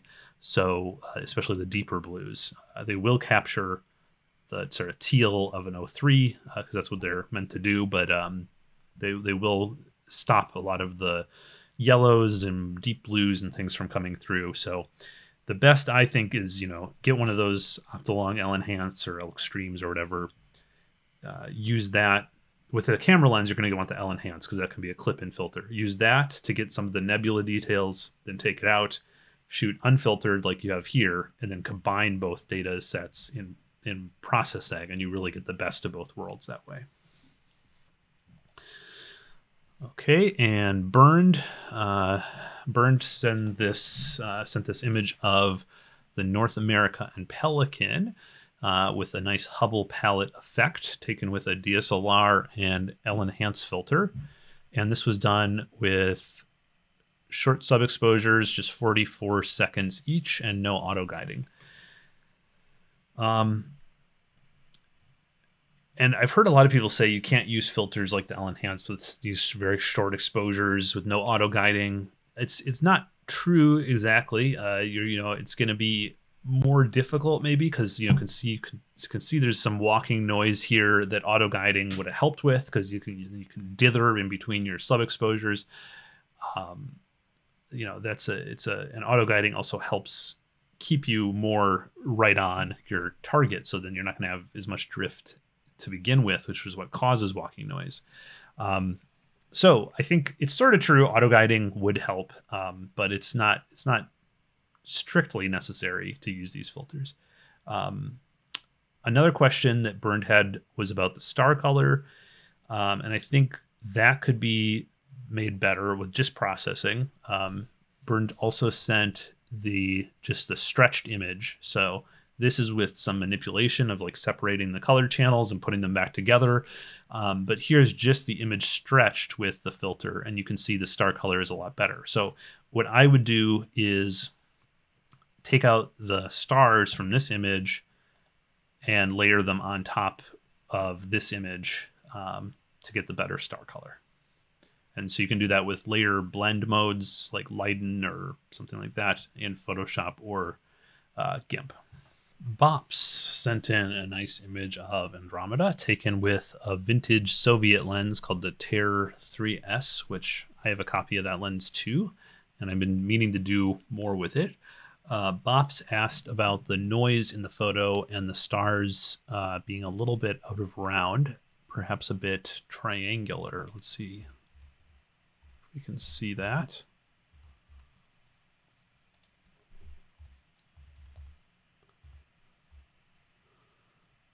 Uh, maybe a little bit.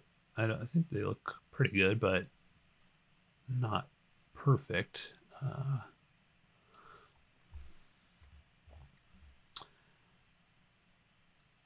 and I think I think that's probably just the limit of the optics of the lens you have. You know, the lens copy and everything. It's just you know chromatic aberration. Not much you can do about that.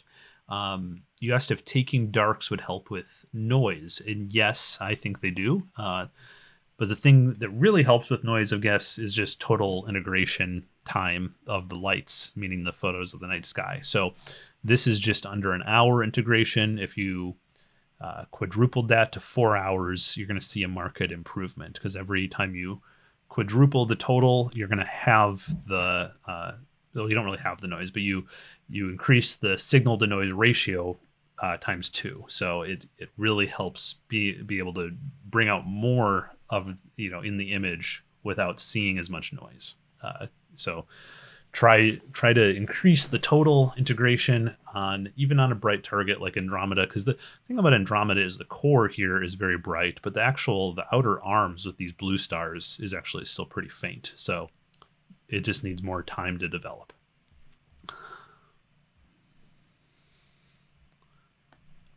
Big Nose 13. Big Nose 13 sent me this image of North America and Pelican nebulae taken in Cygnus, taken with an old 135 millimeter focal length lens, a modified Canon 600D, and an EQ5 with the motor kit attached. And Big Nose 13 wanted me to address the colors in the image and did send me the stack TIFF file to take a look at. So my first thought with the colors is that the red and magenta color overall has has taken over the image a bit too much. Um, I'll show my processing here. So you can see in my processing of the image, there's a lot there's more variety of colors in the scene. Um, you know, there's more variety in the star colors, but also in the nebulae, I think we see more of a, a pale blue uh, into red. Um, color is tricky because it's not just about saturation, but also contrast. Uh, so when you when you up the contrast uh, or saturation too much in an astrophoto, both of those tend to uh, destroy color variety or flatten the total number of colors in the image. So a couple things I did here in my uh, processing is a careful background extraction. You can do that in PixInsight or Siril. Um, Siril's free. Then, you know, removing the stars, separating out the stars and the nebula, the stars back, playing around with saturation, and then a final color balance. So you can see here, I think uh, this is sort of, to me, looks a little bit too yellow.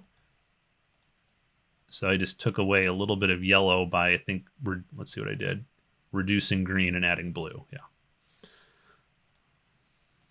So it's definitely somewhat about, you know, uh, developing an eye for color, um, but there's also things you can do like just being careful with with contrast uh, that are just good general things that you can learn in, to, in processing to to maintain color variety.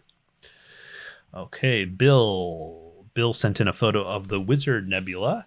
Somehow the Wizard is one I still haven't shot myself, but it's on my bucket list to try. Bill was wondering about printing and images coming out too dark. And yes, that's a very common problem. There are two solutions I've found if you're talking about home printing. One way is sort of a trial and error method. You make a small test print, um, and then you make some adjustments, uh, and uh, then you can sort of you know go back and forth between uh, your computer and the printer until you figure out what kinds of adjustments are needed for your printer, and then uh, you have those. You can save them in a Photoshop file and, and, bring them back up next time, and basically just apply those adjustments uh, for other astrophotos. Um, the other way is to use a calibrated monitor. Um, there's little calibration devices, and then you can load up the the calibration file for your printer uh, and paper and use soft proofing options in Photoshop, and that works pretty well too. Um, uh, and if, for a critique of this image in general, I think um, it would be better if you lifted the shadows up uh, here.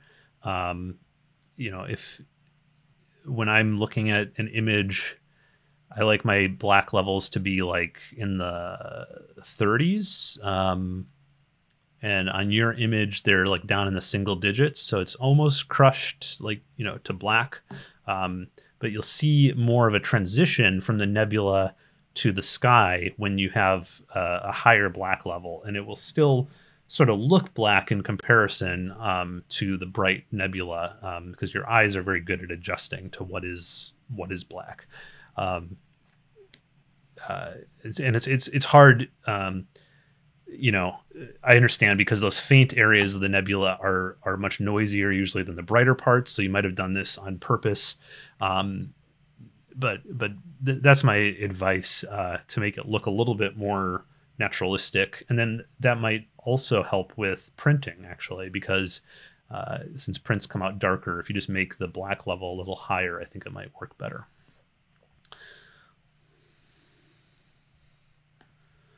Okay, Borja. Borja says this is their first tracked astrophoto. And for the first attempt, I think it's very impressive. It looks uh, like you got perfect focus, nice and sharp across the field, um, and shows what's possible with a Nifty 50 lens stopped down. I really need to stop down when I shoot with my Nifty 50 because uh, this looks so much better than what I usually get wide open. Uh, they stopped down to f2.8 uh, from f1.8. Uh, Borja did have a few questions. One about the corners not looking as good as the center. That's just the reality of using basically any wide angle lens, even really expensive ones. Wide angles, you're not going to have perfect stars in the corner. To do corners, to do that, you have to go up to a higher focal length.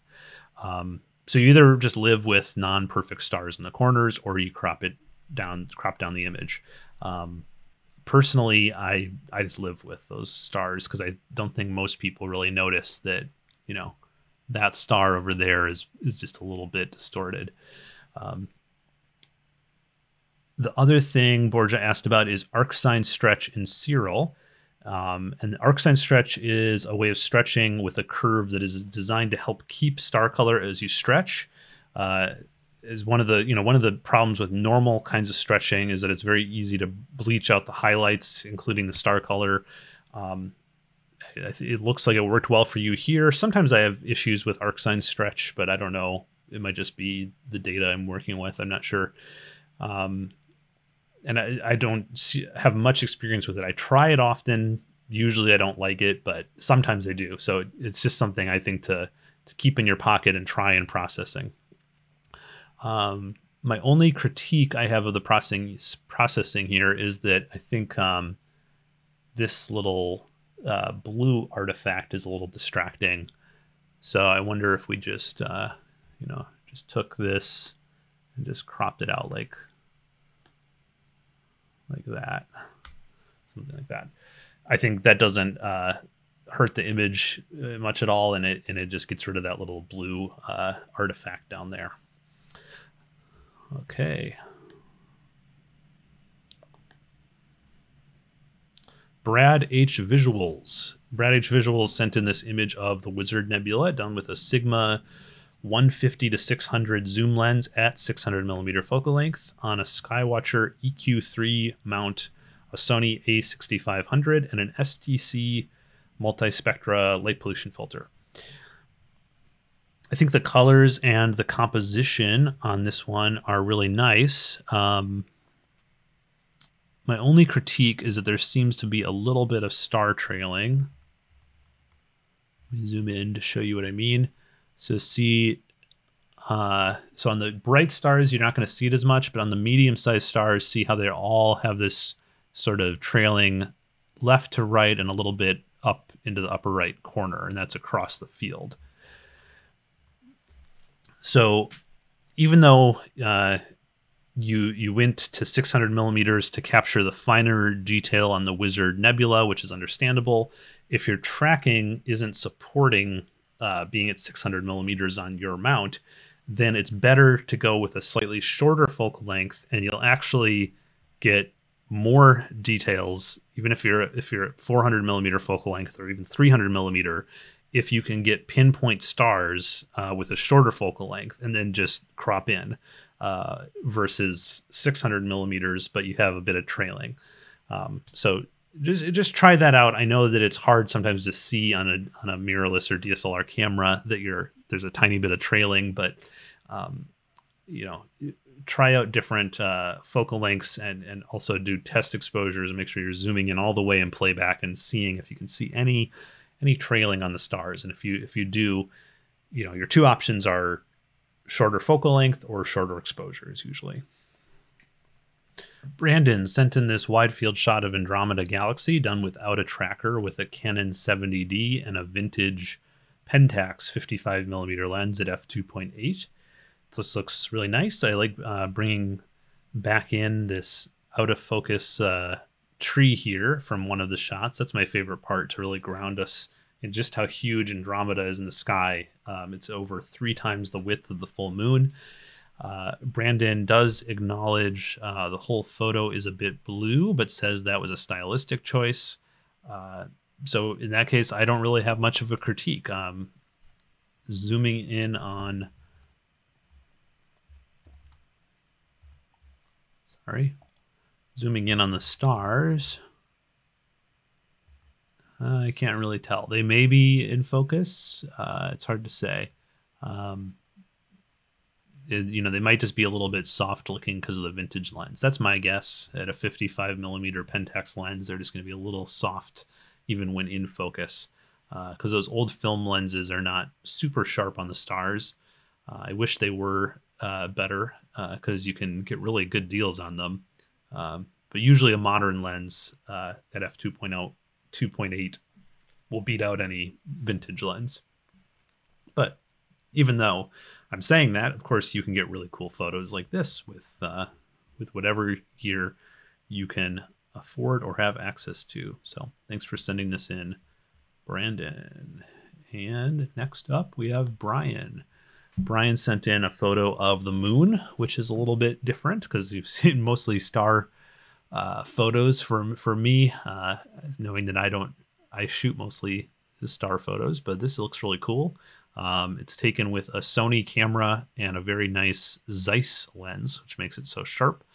And this is 200 photos stacked and processed with PIPP, AutoStakkert, and a bit of finishing in Photoshop. And Brian mentioned they skipped doing wavelets in Registax because it already looked sharped, but they did do a little bit of sharpening in Photoshop. Um, and I, I wonder if it even needed any sharpening because I do see a little bit of the typical sign of a sharpening artifact on something like the moon or uh, a planet, which is a pretty crisp white line all around the edge. It's not too bad. I'm not, you know, it's not, it's barely noticeable, but it's just if you're looking for it, you can sort of see a little bit of a sharpening artifact there along the edge. Um, I didn't notice it zoomed out, but uh, if I zoom in here,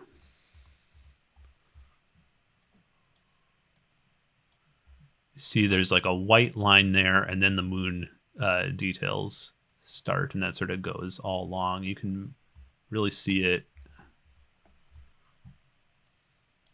there. See the white line. Um, so I don't th- I don't think it's uh, it's it's always going to be a trade off between sharpening uh, and and getting these artifacts and trying to control them.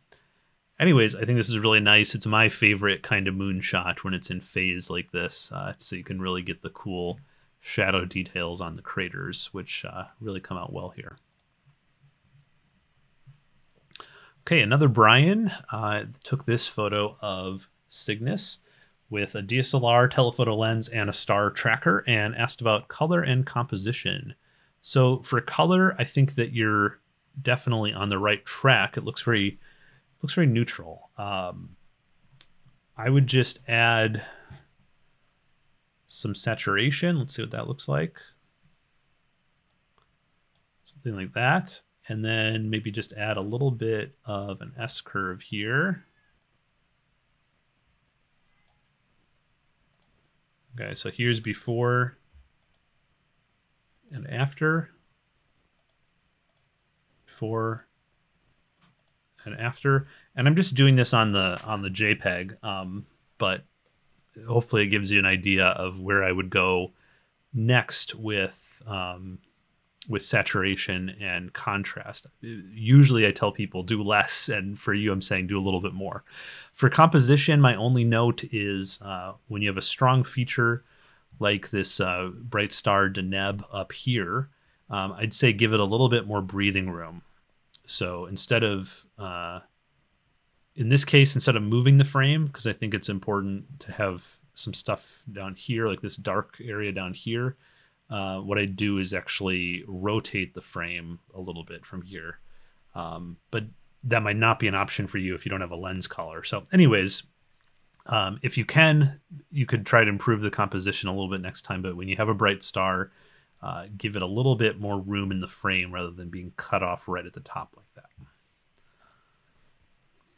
Okay, Brody shot this image of Andromeda with a Nikon D3200 DSLR and a zoom lens without a tracker. I like it, the color and the detail look good, but I think I'd be interested in seeing the original crop. Um, this crop is interesting because it's like it's it's sharp in the center and then it's sharper on the left here than it is on the right. The right is so um, distorted. It looks sort of strange. Um, so I don't know. Maybe maybe a different crop would be better. Um, I'm not sure. Maybe maybe this is more. Maybe this is pretty interesting too. So uh, I would just see what works compositionally. Um, other thing I see is there's a lot of a lot of green noise. I wonder if we can bump that down at all with a curve. Let's see here. Well, we're starting to eat into the detail, but this is on the JPEG. I would just I just play around, see if you can on the, if if you're working with the TIFF, if you can bump down the green noise without uh, hurting detail on the image. Okay, Bryce. Bryce shot this image of the Milky Way core area with a Nikon D3100 DSLR and a 50 millimeter lens, stopped down to f3.5, no tracker. So I think it looks nice and detailed. It's not over processed at all. Um, there's some field unevenness. Uh, I'm not sure exactly where that's coming from, though.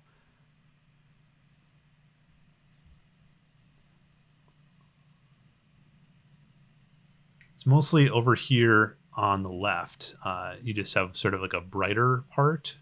So if you couldn't fix that in processing, I would probably just crop uh, some of that off, uh, just so it's not distracting. Um, but other than that, looks really good.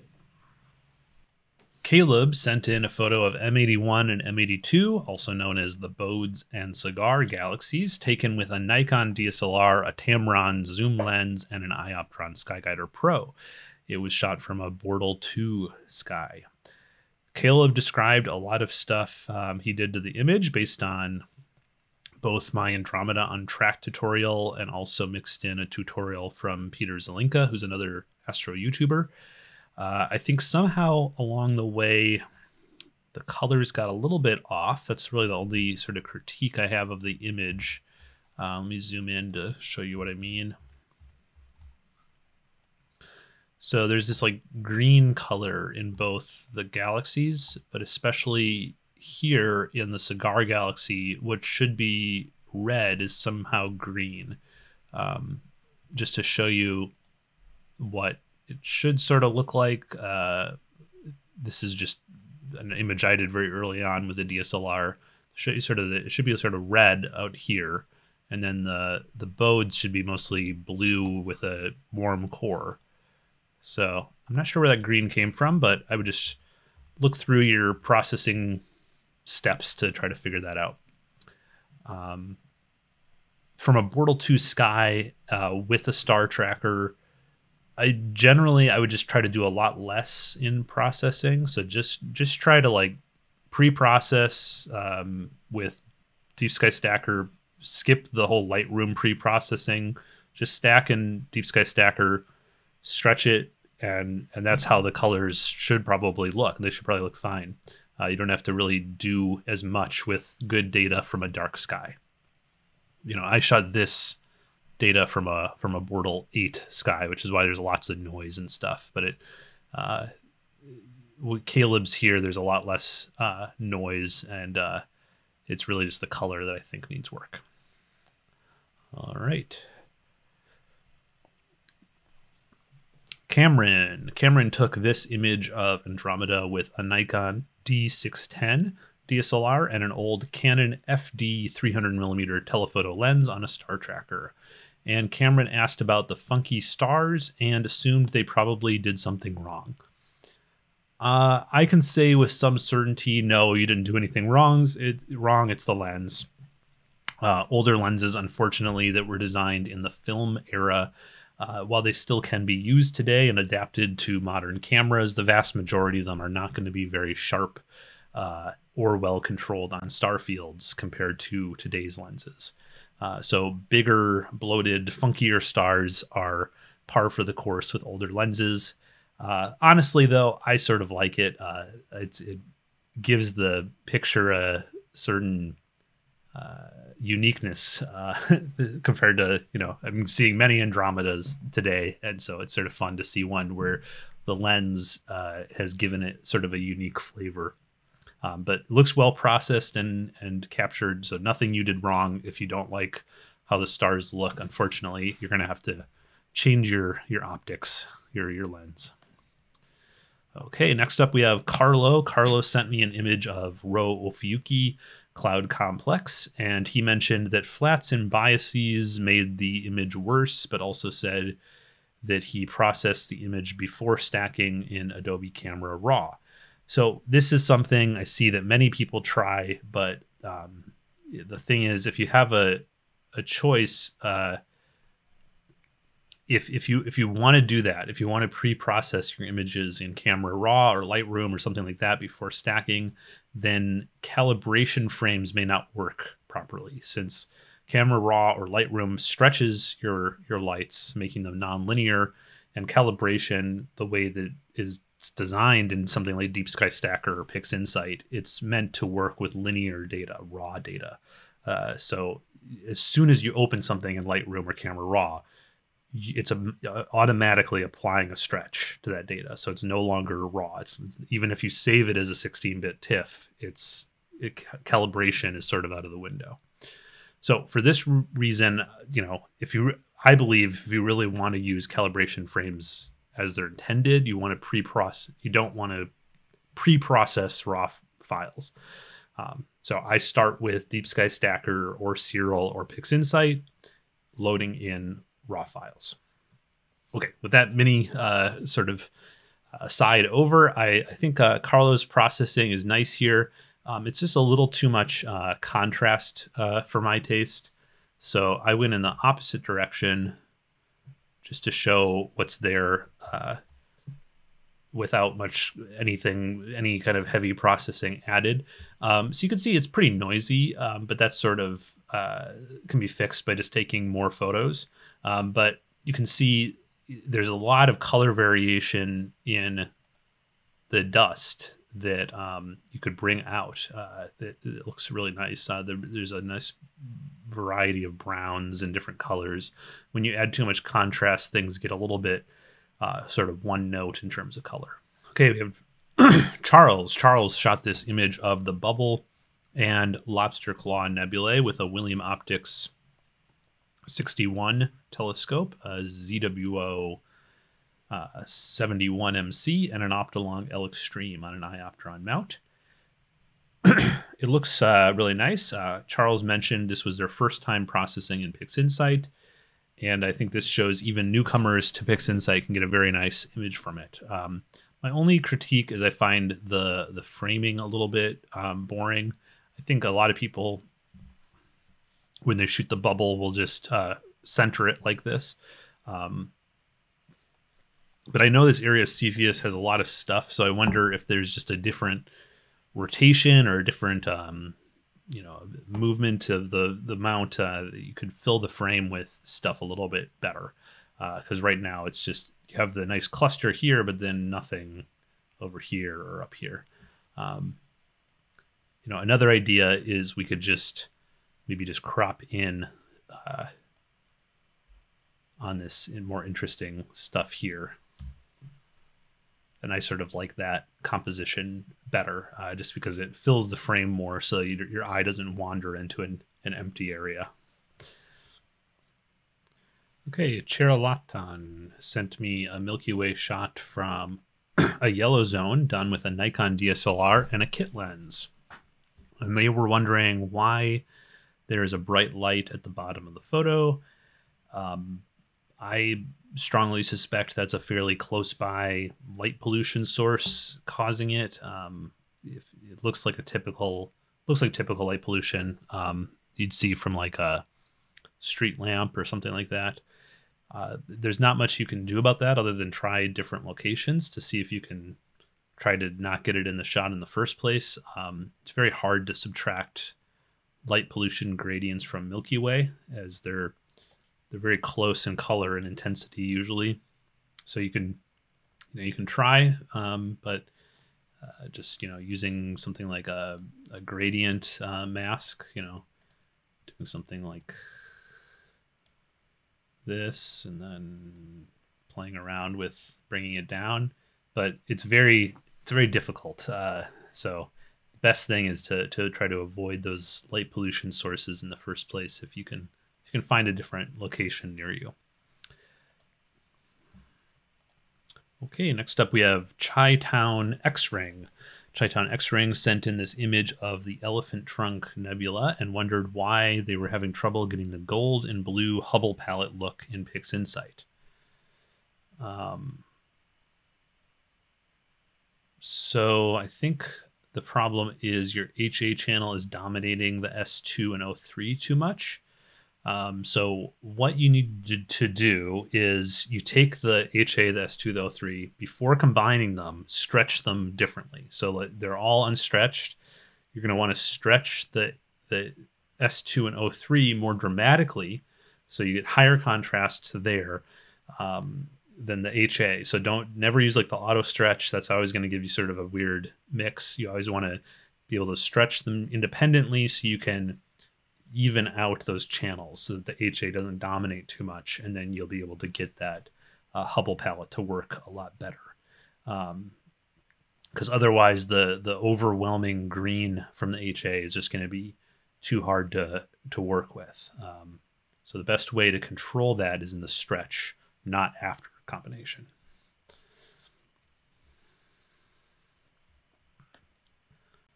Okay, Chris O sent in an image of the Crescent Nebula, and this is actually a perfect follow up to the last one because Chris said that they tried to process this as HOO with H alpha in the red channel, but they couldn't get it to look right because the red dominated the image too much. And the answer is my same answer I gave from the last one. You need to control the H alpha brightness in the stretch, so don't stretch it as much. Um, you intentionally make it dimmer than it could be um, so that you can go to town when you stretch the O3 and then when you combine them it looks more correct. Um, now this is easier to do in my experience when you make each channel starless uh, with something like StarNet++ Plus or StarXTerminator first. Um, and you may also need to do some noise reduction on O3 since O3 is already a weaker signal. That's why you're stretching it more, but then you're also bringing up the noise. So I usually just clip the noise in the O3 basically to black uh, before combining with the HA channel. And that works uh, pretty well in, in most cases. Okay, another Chris uh, sent in this image of the Elephant Trunk Nebula. This was taken with a modified DSLR and a mix of L Pro data and H alpha data. Uh, Chris says that they can't get much on these emission nebulae without the H alpha filter, but they find when combining HA data with RGB data that it's a very red image. So that all makes perfect sense since uh, uh, you know HA RGB is very red unless there's some reflection nebula or dust to break up the image. Uh, Chris wonders if getting a dedicated astronomy camera would help with this if you're talking about a color camera, um, that won't help with this issue exactly. What might help though, or would help, I actually I could say it pretty clearly, at least on deep sky objects uh, that have you know a strong O3 emission, is to get a dual narrowband filter like the Optolong L Enhance, L Extreme, or the Antlia ALPT. I did a video comparing those. You can check them out. Um, but those paths, both the HA line in the red on the red pixels and the O3 line in the, both the green and the blue pixels, and um, then you can make uh, the O3 whatever color you want in processing. I usually make it a nice blue. And what that O3 signal really lets you do is add some more dynamics to these emission nebulae. And you could do it with the elephant trunk or or any one that has some some strong O3 data. Um, so then you come, you instead of doing uh, L Pro and H Alpha, do L Pro and L Enhance, and then mix them the same way you did here, sort of. But you would you'd want to do a little bit more of a premix with the L Enhance data to bring out the blues, and you can get a bit more of a dynamic uh, shot that way. So I don't think switching cameras is going to be your best bet. I think switching uh, filters from HA to L Enhance or L Extreme or something like that would be your best uh, bet here. Okay, Clip Wat sent me a photo of Andromeda. They asked about the core and if I thought that it looked okay or too blown out.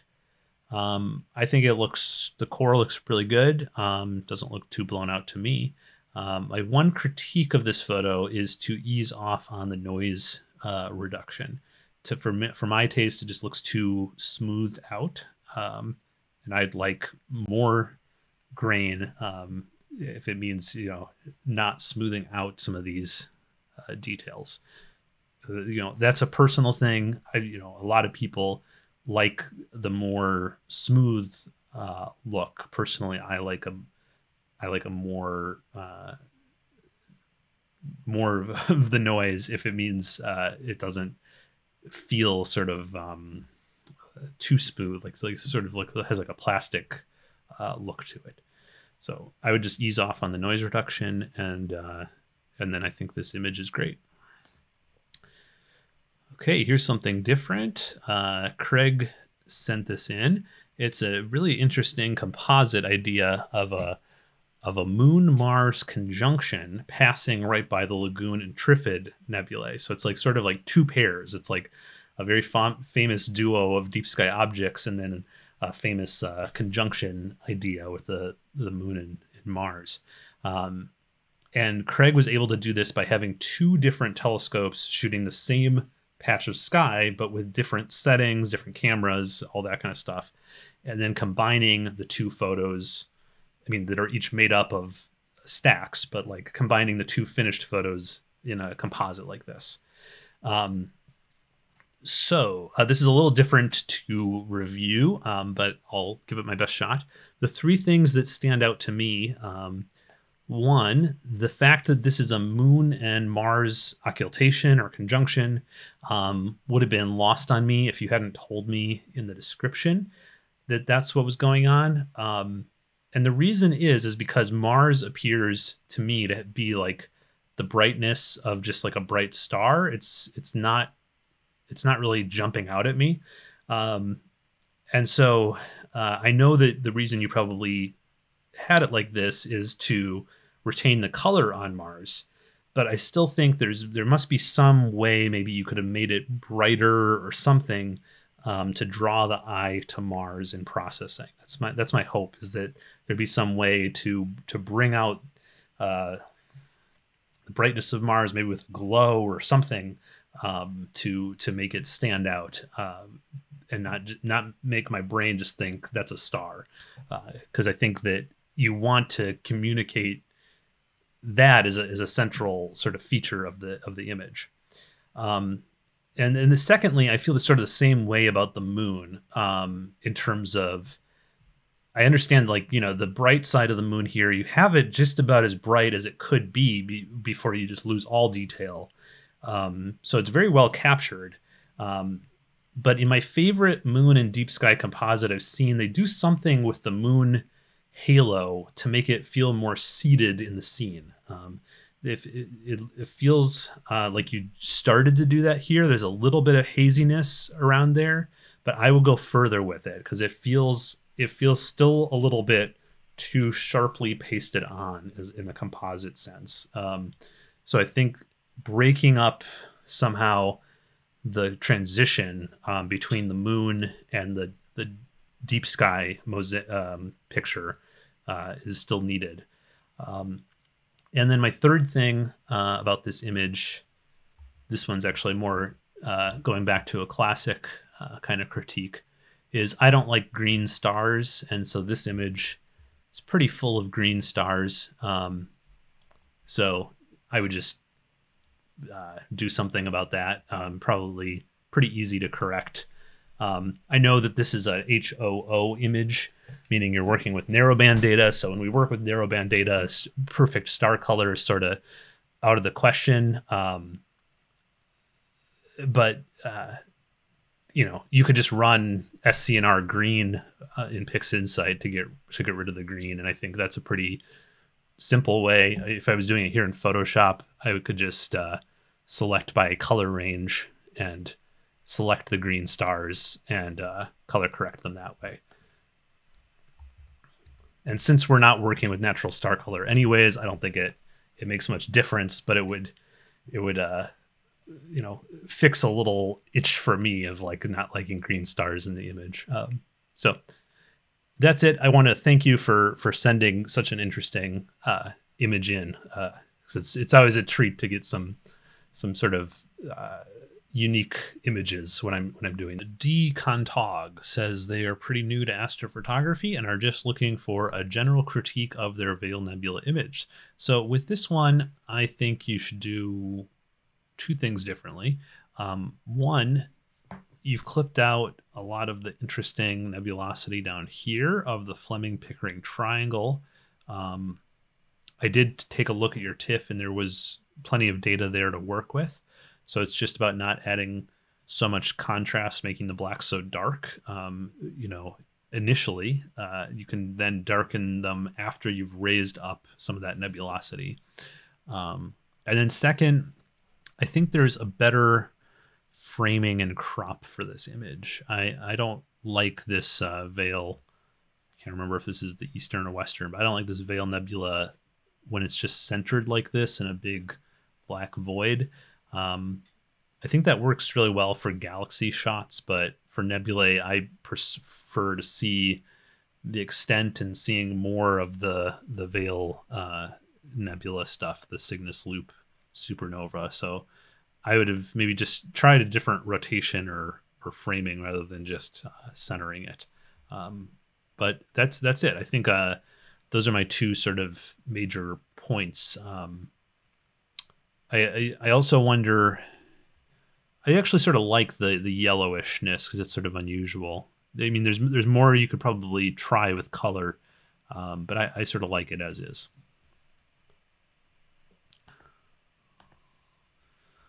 Okay, Dan sent a nice Milky Way composite image. Uh, it's it's two images, one for the foreground and then a tracked uh, image for the sky, but that's also a single exposure. And uh, Dan was asking about noise and what they could do to minimize it, and mentioned that they hadn't learned uh, stacking techniques yet. So I've done a fair amount of stacked nightscape stuff. I think it is worth learning. I've typically done it um, it's sort of a deep sky style, meaning I use programs like Deep Sky Stacker or PixInsight. Um, but what's more common is to use a free program called Sequator, like Equator with S on the front.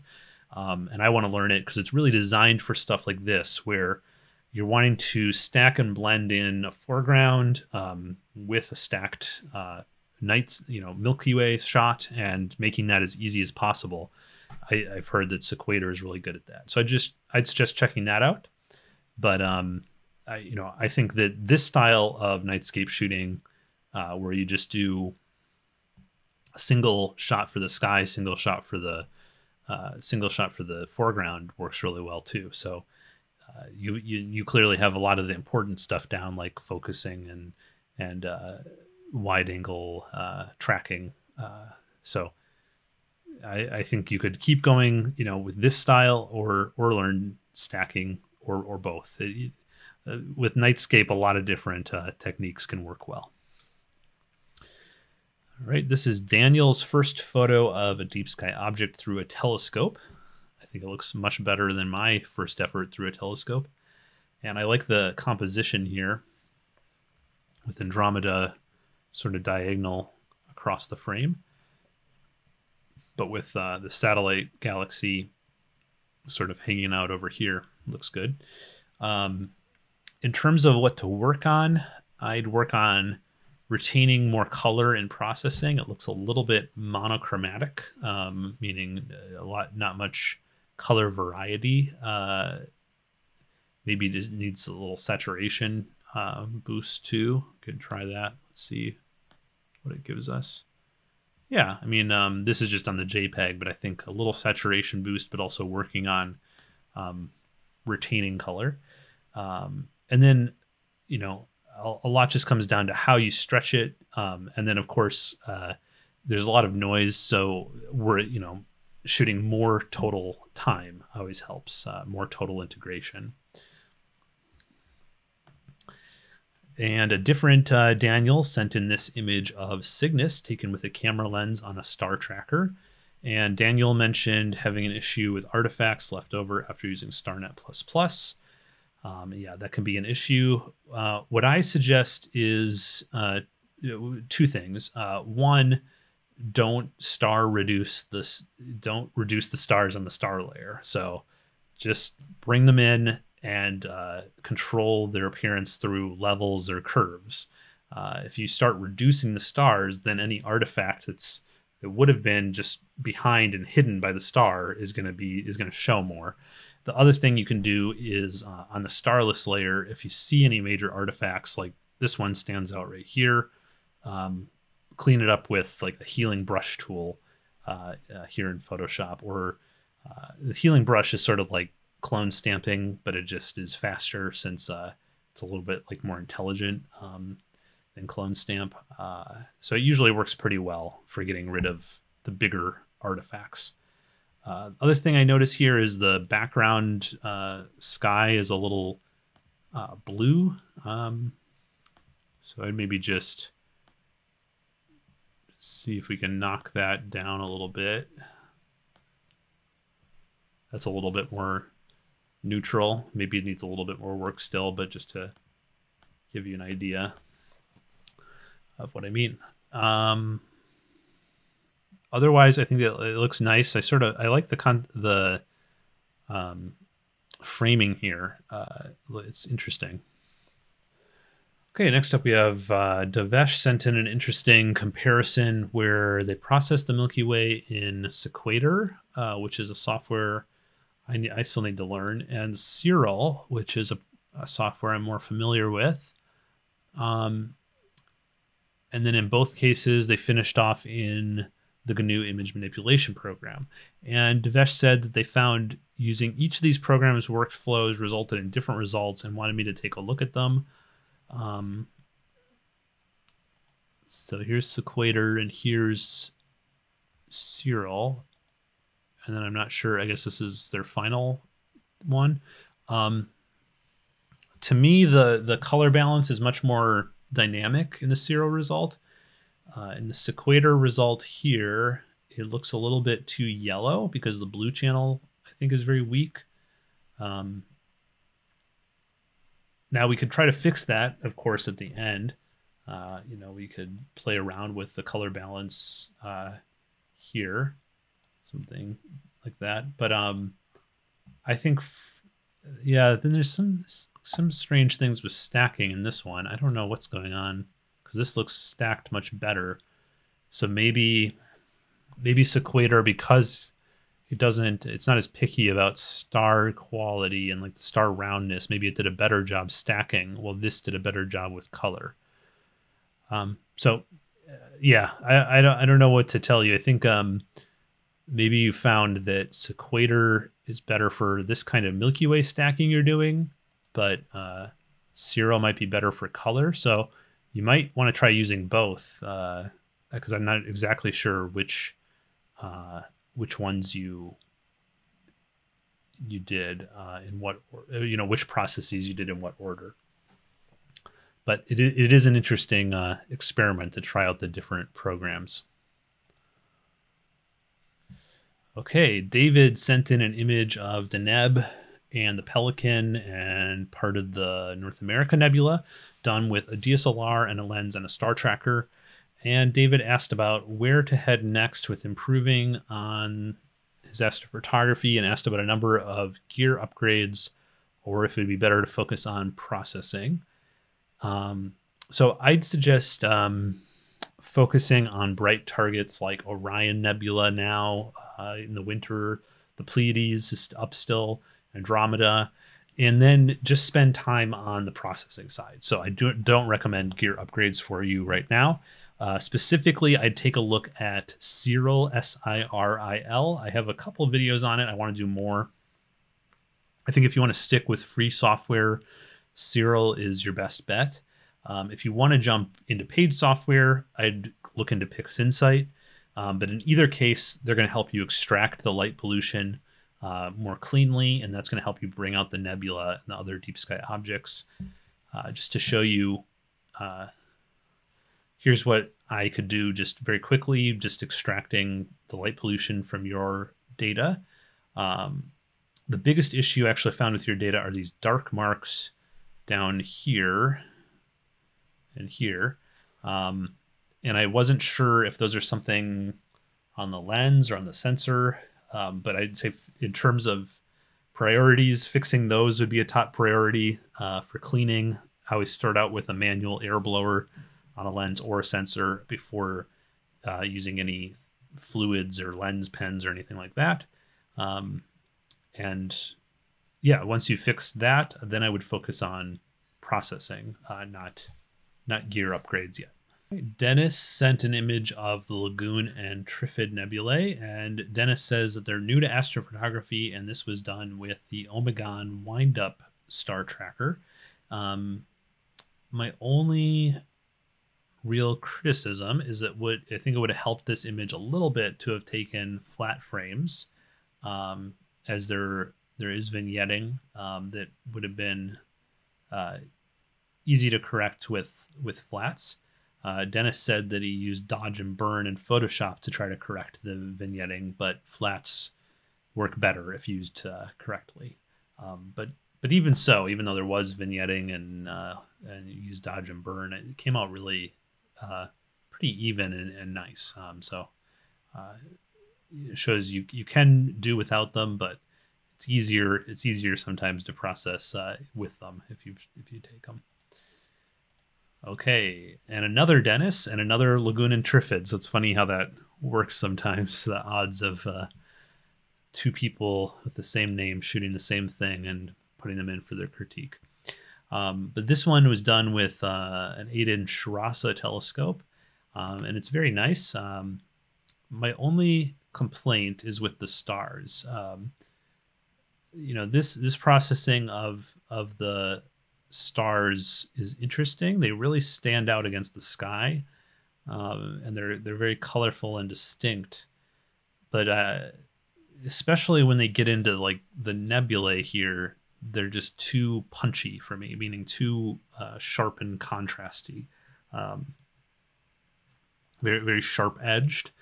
Well, I prefer a sort of softer star profile, um, especially when it comes to uh, the being with the the the soft nebulae, I think that the the hard stars looks sort of strange.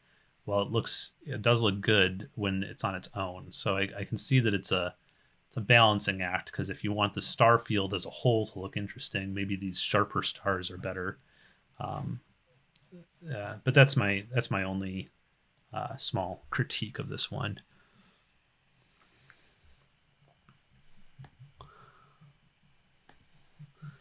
All right, Deon sent in an untracked image of the Veil Nebula uh, complex, the Cygnus Loop, with a stock Canon DSLR and a kit zoom lens.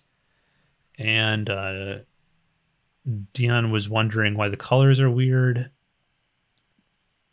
I actually don't think the colors are that weird. Um, this was just a very ambitious idea to shoot the Veil untracked because the whole thing is super dim um, and it's in a very busy star field. Um, if you want to try it untracked again, I would maybe go wider than this. Um, but I'm impressed that you got some pretty nice O3 signal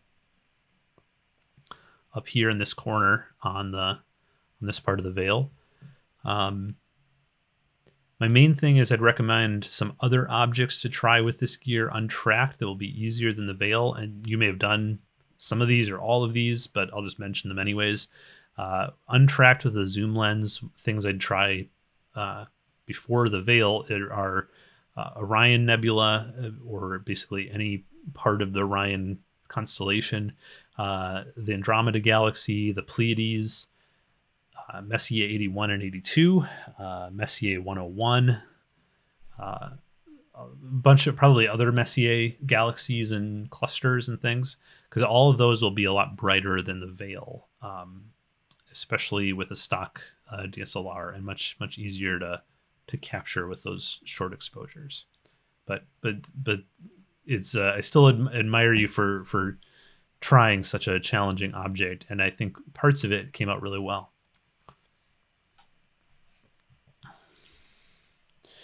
Derek sent in this image of the Eastern Veil Nebula. Okay, that's uh, that's what it is, the Eastern Veil. I always get them mixed up.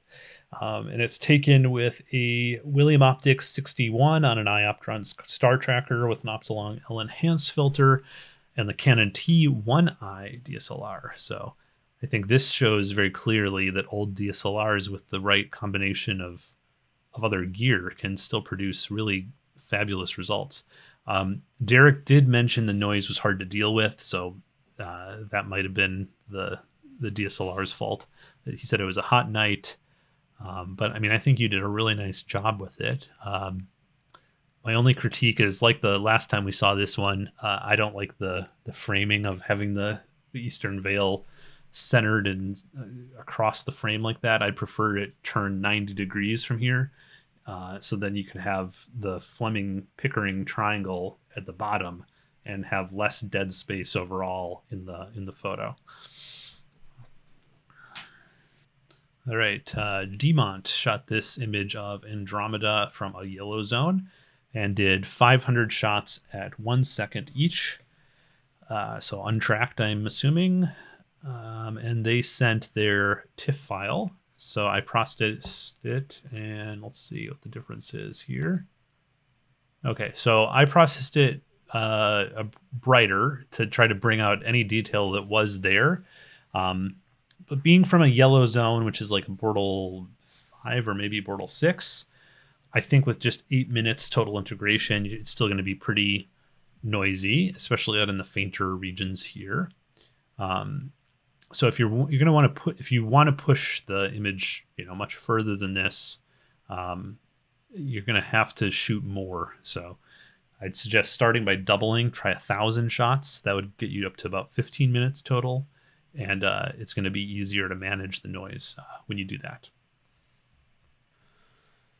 Dimitris sent in an image of the Rho Ophiuchi cloud complex, uh, t- taken with a classic combo of the Canon DSLR Samyang 135 f2 lens and a Skywatcher Star Adventurer. This is a combination that I use often. And there's lots of nice details in here. Um, my one criticism of this uh, image is the color still needs a little bit of work. There's some green hues in here, and then there's a very strong purplish blue cast from about right there up in the image. I'm not sure where that's uh, coming from, but it's not a it's not a natural phenomenon to have such a strong blue. Um, so I'll just show a quick way to deal with something like that in Photoshop. Um, I could just grab a curves adjustment. I'm going to take a gradient uh, tool and draw a quick gradient on there. Something like that. Maybe like, mm, like this. Okay, so here's what the mask looks like. Eh, not quite right yet. Let's try this. Yeah, that might be right. Okay, so anyways, they draw the, the gradient on the mask, and then we're going to take the blue channel and just try to fix this here. So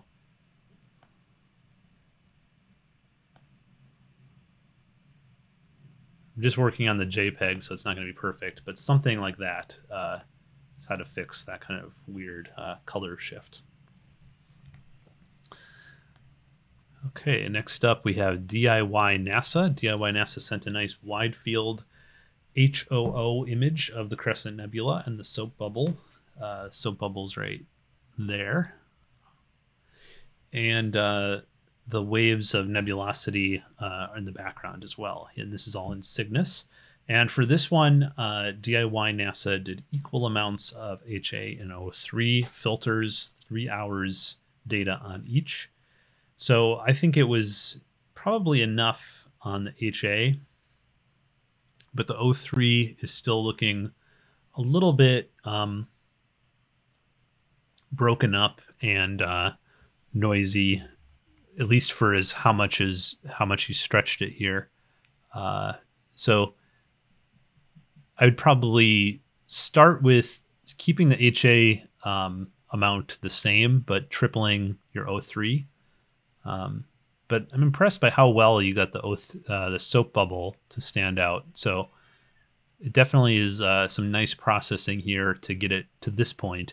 But if you want it to look even better in terms of uh, the sort of the noise performance, I would just uh, keep pushing uh, with the O3, keep uh, keep doubling or tripling or quadrupling your your total integration there, and it will look even cleaner. But nice job. All right, this one is from Duarte. Duarte's third astrophoto, and it's very impressive how uh, good people are right out of the gate these days. I uh, I like the colorful star field. It's very distinctive. It's not a uh, I usually don't go for this the super colorful star fields in wide field like this, but it, it works really well here. I, I like it, um, and I see some nice uh, detail um, in the nebulae. My one suggestion is maybe just to see if if the horsehead and flame can come out a little bit more. I feel like that they're getting a little bit lost in the in how dim they are uh, compared to everything else. Uh, so I, I, wish they were just a little bit brighter to draw the eye eye over there as well.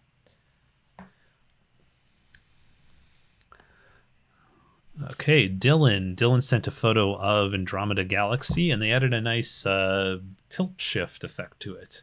So that's pretty cool. Um, I, I, wonder. Uh, there must be a. I wonder if that's a filter on its own, or if they that's a process that you go through to do that. Um, I do have a suggestion, and that's to see if you can bring out a bit more of the blue outer arms of Andromeda here. Because um, I see that you have lots of nice blue stars outside of the galaxy. So I thought maybe it's possible to bring out the blue um, in the galaxy a bit more. Dylan also asked about good landscape astrophotography spots in New England. Um, so, in terms of getting good uh, landscape features, I'm still working on that myself. Um, there's you know there's the lighthouses in Cape Cod and in Maine and along the whole coast, um, uh, and then there's the White Mountains in New Hampshire. Um, trying to think of other things I've heard about. Think there's a lot of spots in Maine that might be good um, if you want to go that far north. But but the the, the top things I'm thinking of are, are probably uh, you know, going to the coast is going to be your best bet for getting cool landscapes with with astrophotography in New England. Okay, Ed Holt Astro sent me this nice photo of the Flaming Star Nebula in Auriga and said that his particular telescope setup gives him some trouble with halos on bright stars. That's pretty common with certain filters and telescopes and things. Um, so, uh, looking for a method to deal with those. And I'm glad you use Photoshop, Ed, because that's my preferred way to deal with star halos like this. And this will be a little bit involved for a critique, but I'll just show the whole process because I don't know how I'd explain it without showing it. So we're going to start with uh, the elliptical marquee tool. You have to get comfortable using that. Start with it in its normal new selection mode and um, you can leave these other things basically alone. Um, I might turn down the feathering just a little bit. I'm going to turn it down to five pixels. Okay, then we're going to zoom in on a star with a very noticeable halo. So this is the one that jumped out to me. And you're going to want to put your cursor right in the middle of that star halo and then click and start dragging out. And you'll notice that it drags out in the direction that you drag out. So that's not really what quite what we want. But if you hold down the option key, look what happens. It now is uh, dragging out in every direction um, using where you started as the central point. So that's looking much better, right? Now, the other thing we can do is if you drag out like this, you can see it can make all kinds of different ellipses. But if you hold down Option and then also add Shift, then it's going to be constrained to a perfect circle. So I'm going to do something like this, and I'm going to make it slightly bigger than the actual halo. So, okay, we're going to do that. And then I'll just center it up a little bit better. I'm just using my arrow keys to nudge this. Okay, then the next thing we're going to do here is we want to get rid of the halo, but we don't want to affect the um, the central star here and its natural halo, which extends out to about there. So let's subtract that from the selection. We're still using the elliptical marquee tool, but we're going to change it to subtract from selection mode. And then we're going to center up on that central star there. We're going to start dragging. We're going to hold down Option, Shift, drag out, let go. Okay, so now our selection is just selecting the halo. Let's make it a little fuzzier by feathering it. So we're to do select, modify, feather. Let's feather it by two more pixels. Okay, if I press Q for a quick mask, we can look at the selection here. That looks pretty good. Okay, now I'm going to add a adjustment layer. And when you've selected something in the image and then you add an adjustment layer, it automatically adds that as your mask for that selection layer. So it's only working on that part of the image. And so then what we can do is we can just desaturate and uh, darken that part of the image and maybe also change its hue a little bit.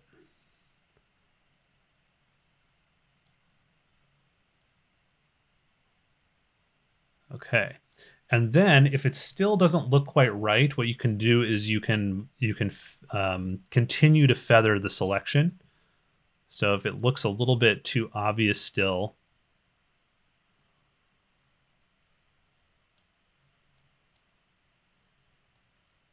you can feather it a little bit more. Okay, so yeah, maybe you can still see it, um, you know, zoomed in like this, but let's zoom back out. And I think that's much better. We can maybe go even a little bit further with darkening it.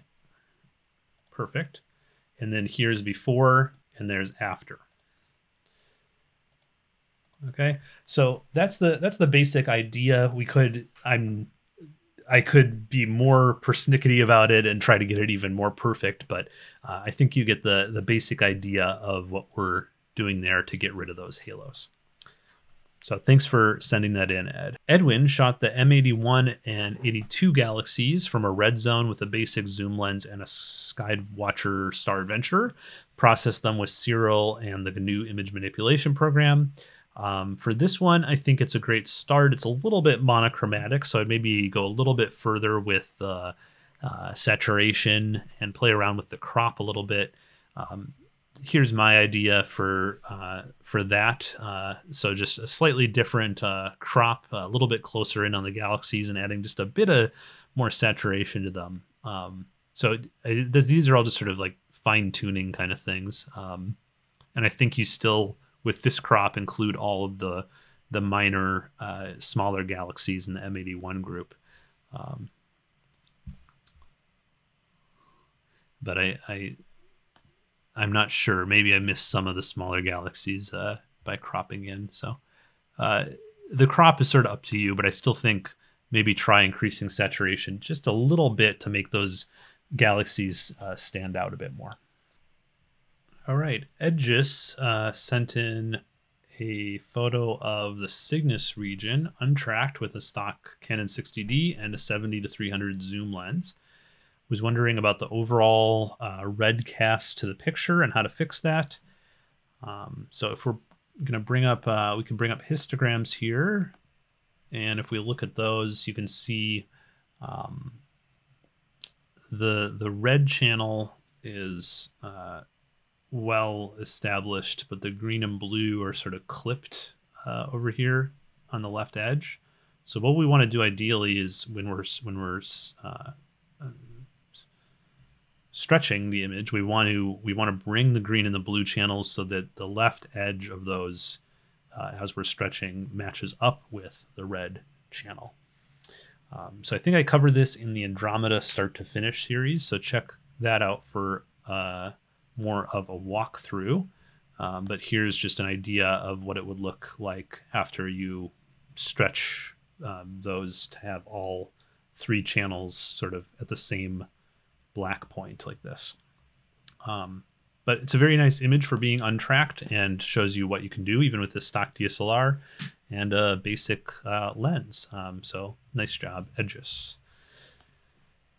Okay, here's Eliot. Eliot sent in an image of the core of the Milky Way area done with an old manual 55 millimeter lens on a Star Adventure. Um, and the problem with these old lenses, as I think I mentioned a few times now, is the chromatic aberration. Some of the star distortion doesn't look as good. Um, but since you mentioned you have Photoshop, Eliot, let me show you a cool way to get rid of some of that. Um, you're just going to go here into Filter, Camera Raw Filter, and go down to Optics. And then under Optics, there's this defringe. And since most of the chromatic aberration in this image has turned out sort of orange, just take the purple hue slider thing here and extend it so that it's including all orange. And then just uh, drag this over until you see it basically disappear in the image and click OK. And there you go. I think that's much better. Um, it really helps put that finishing touch on the photo. So here's before and there's after. Now, in this case, it did, I think, eat into the nebulae a little bit, um, especially right there. So uh, what you might want to do in that case is just make a copy. So I'm going to go back and make a copy and then apply this uh, trick to the copy and then just apply a layer mask and paint in black on the parts where you don't want it to apply. And then it will show back through to this background layer. So uh, if you if you do see it eating into something that isn't a star uh, that's an easy way to fix that okay elisha sent in an image of the beehive cluster taken with a nikon d3300 dslr and a zoom lens and this was taken at 55 millimeter f4 on a tripod. And I think this came out really well. Um, when I processed it, I got a very similar result. Uh, so I, I think uh, this is um, what you can expect from this data. Elisha asked about the image um, looking dark after stacking. That's very normal. Uh, if you stack with like something like Deep Sky Stacker or one of those, if you if you just take the TIFF file out of there, it's still in a in a very raw um, state um, where you have to stretch it out to to, to bring the, the picture out, so it doesn't come out uh, pre-stretched like you would normally out of a like a raw converter. Um, so that's normal. That's what you want to see. Uh, my only suggestion is on star clusters like this. Um, it could look cool if you want to try this to to tape some fishing line or some thread onto the front of your lens and that will create these diffraction spikes and um, it just allows you to see the star cl- color in the stars a little bit better and makes them stand out because it's you'll see the diffraction spikes clearer on the brighter stars and so then the star cluster will really pop out from the scene a bit more um, and i did a, a, quick video on that if you're if you're curious uh, it's it's pretty easy to do. Okay, Eren. Eren sent in an image of the Milky Way taken with a Nikon DSLR and kit lens at 55 millimeter focal length. It's Bortle 4 sky, and Eren mentioned the Milky Way core, though, was in the same direction as a city light pollution dome. So yeah, we're seeing some um, color gradients in here that can be worked on a bit. Um, the image looks a little bit magenta in over here in this corner and then a little bit green in this corner. Um, so, uh, and then a little bit blue on top. So, you, you know, we can work on those with, um, uh, you know, gradient masks. Like you can draw in a, put in a curve here, draw in a uh, gradient. So let's say I want to work on this corner. Let's draw in a gradient like this. And you can see on the mask here, it's just applying to that corner. And then we go into the red channel and correct it a little bit. Um, and then you can just keep going like that. Um, it takes some patience to get to get that right. Um, but that's one of the challenges in in astrophoto processing is is fixing gradients. Uh, so it, it's worth uh, playing around with. But I think this looks really nice. I love how the the star cloud came out up here. All right, next up we have Eric. Eric sent in an image of the Elephant Trunk Nebula taken with a color astronomy camera, an Optolong L enhanced filter, and a small uh, refractor, a William Optics refractor. And I think this looks very good. Eric said um, he had trouble with keeping the stars round after reducing them. Huh.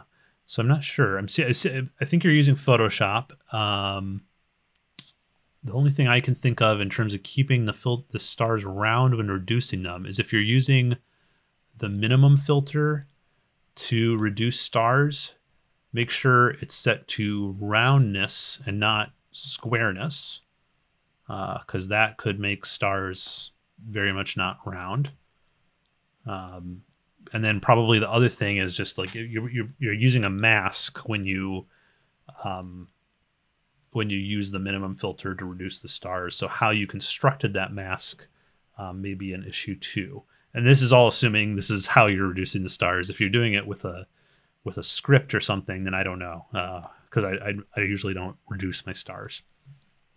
Um, anyways, my my only other critique is uh, the transition from the nebula um, to the sky. Uh, I think looks good on the right side, but then on the left side looks like a little too dramatic. Um, well, actually, the, on the right side in this corner too, it looks a little too dramatic. Just the this sky in these corners looks almost clipped. Um, so just be careful not to clip the blacks, and then you'll have a nice softer transition for your nebula. Fabian captured the integrated flux nebula around Polaris and Fabian asked about the color of the dust and had seen others' images where it was more brown, while in his it turned out more gray. Um, so I think that just comes down to processing. Um, uh, you know, I've seen it. I've seen it more colorless, and I've seen it more brown. Um, I'm not convinced. Uh, you, you mentioned you used luminance layering. I'm not convinced you need luminance layering uh, in general, I think it's hard to maintain natural color saturation with uh, the luminance uh, layering techniques. It's not impossible. I think it's just harder. Um, uh, so in general, I'd maybe try a simpler workflow and see if that works better for at least capture bringing out the color, and then maybe you could, you know, fine tune your workflow, do a mix. Um, just as an example, um, I did look at your data, and all I did was just an automatic background extraction, a stretch, histogram transformation, and StarNet, and this is what I got. And I mean, it's not very clean yet. I didn't do any noise reduction or anything like that, but it, it shows you that with just keeping it very simple, uh, the color balance is pretty brown, I would say, um, browner than yours here. Uh, so, but you know at the cost of it's it's noisier yours is a lot cleaner. So i don't know if i could just use some noise reduction to get to where you are but keeping it browner uh, maybe. Um, i'll let you try to figure that out but i would try just a simpler workflow just try background extraction and some you know stretching and and see where see where that lands you because i sort of agree with you that this might look better with a more brown IFN because I think that would look more natural with these very colorful stars. It almost looks like you have a monochromatic nebula uh, grayscale and then colorful stars on top. Okay, Fergus. Fergus took this image of the North America Nebula with a modded Canon T3i and a mix of unfiltered shots and shots with an H alpha filter. Uh, and Fergus said they liked how the image came out in terms of detail, but felt the image was a bit uniformly red. And uh, I agree with that assessment. The the trick with uh, with that is just color balancing as you work. You know, even with this JPEG, which has clipped blacks, I'm sure. If I just go here into the blue channel and just try to raise that up, you can see there is a lot of uh, O3 signal here in the nebula. Just ignore that it what it's doing to the black parts. Um, but even just that shows where your blue signal in the nebula is, uh, which is where I'd expect it to be. Um, and so you could you could just you know play around with color balancing. Um, you know, another thing you can do, and not to tell you to go buy another filter, is um, uh, with an L enhance uh, filter uh, instead of a, an HA filter, you would capture that O3 a little bit more strongly, and that can help separate them out in processing. But even just doing some color balancing with what you have, I think if you're not using the JPEG but your original TIFF file, um, just try to do something here. You know, I think you could get you could get a um, a little bit more uh, dynamics in color uh, in the nebula. Okay, and then Finley. Finley took a nice photo here of the Whirlpool Galaxy from a Bortle 6 sky with a zoom lens set to 600 millimeters, focal length at f9. And Finley said their issue was little color in the stars in the galaxy. Um, so I'm, I'm guessing that's mostly a processing issue. Um, you know, you'll want to work with masks so that you're only boosting saturation where you want it boosted. You can you can just make a copy of this image, turn it black and white, and use that as a mask, as a luminance mask. Um, uh, but there there is probably nice uh, color in there. You just need to boost the saturation of it selectively. Um, I'd also suggest taking flats as it'll help with the uniformity of the field. And you can see these rings out here. It's like lighter blue than green than dark. That it, flats will really help with that. Um, so with flat fielding and then boosting the saturation, I think you'll um, you'll be much happier with it. Just to show you, even in the JPEG, that there's color here that you're uh, sort of unrealized. Even if I just hu- hugely boost the saturation, you can see the natural colors of that galaxy in there. It looks right to me. You know, the yellow, yellowish gold in the core and out here, and the blue and pink arms. Um, you know, it's mixed in with some noise, of course, but this is a wide field image. So back out here, if I wasn't also boosting these uh, rings, I think that would look pretty good um, to boost the the galaxy and the stars uh, with a saturation boost. Okay, and then we have Fixie Rider. Fixie Rider sent in an image of the Cygnus Loop supernova remnant taken with a Canon RP camera and a Radian Raptor telescope uh, the RP was oh the Canon RP was a stock camera and no additional filters were used. So that's really cool Um because um, this is a difficult shot without any kind of filters or a modified camera Um because um, the whole uh, supernova remnant is coming through. I think really clearly despite this very busy star field. So that's nice. Um, so I did do my own take on this just because I thought it was an interesting shot.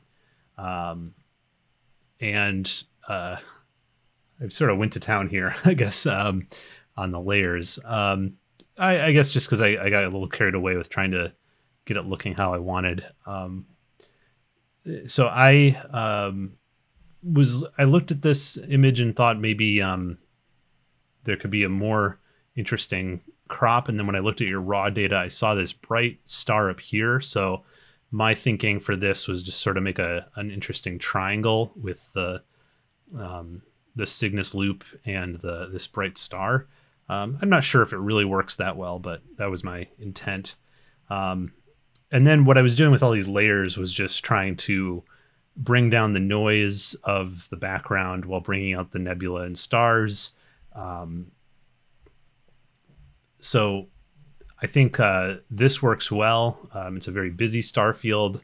I was just seeing if I could maybe make uh, the nebula pop a little bit more by, um, you know, bringing down the uh, the background uh, and the and the noise.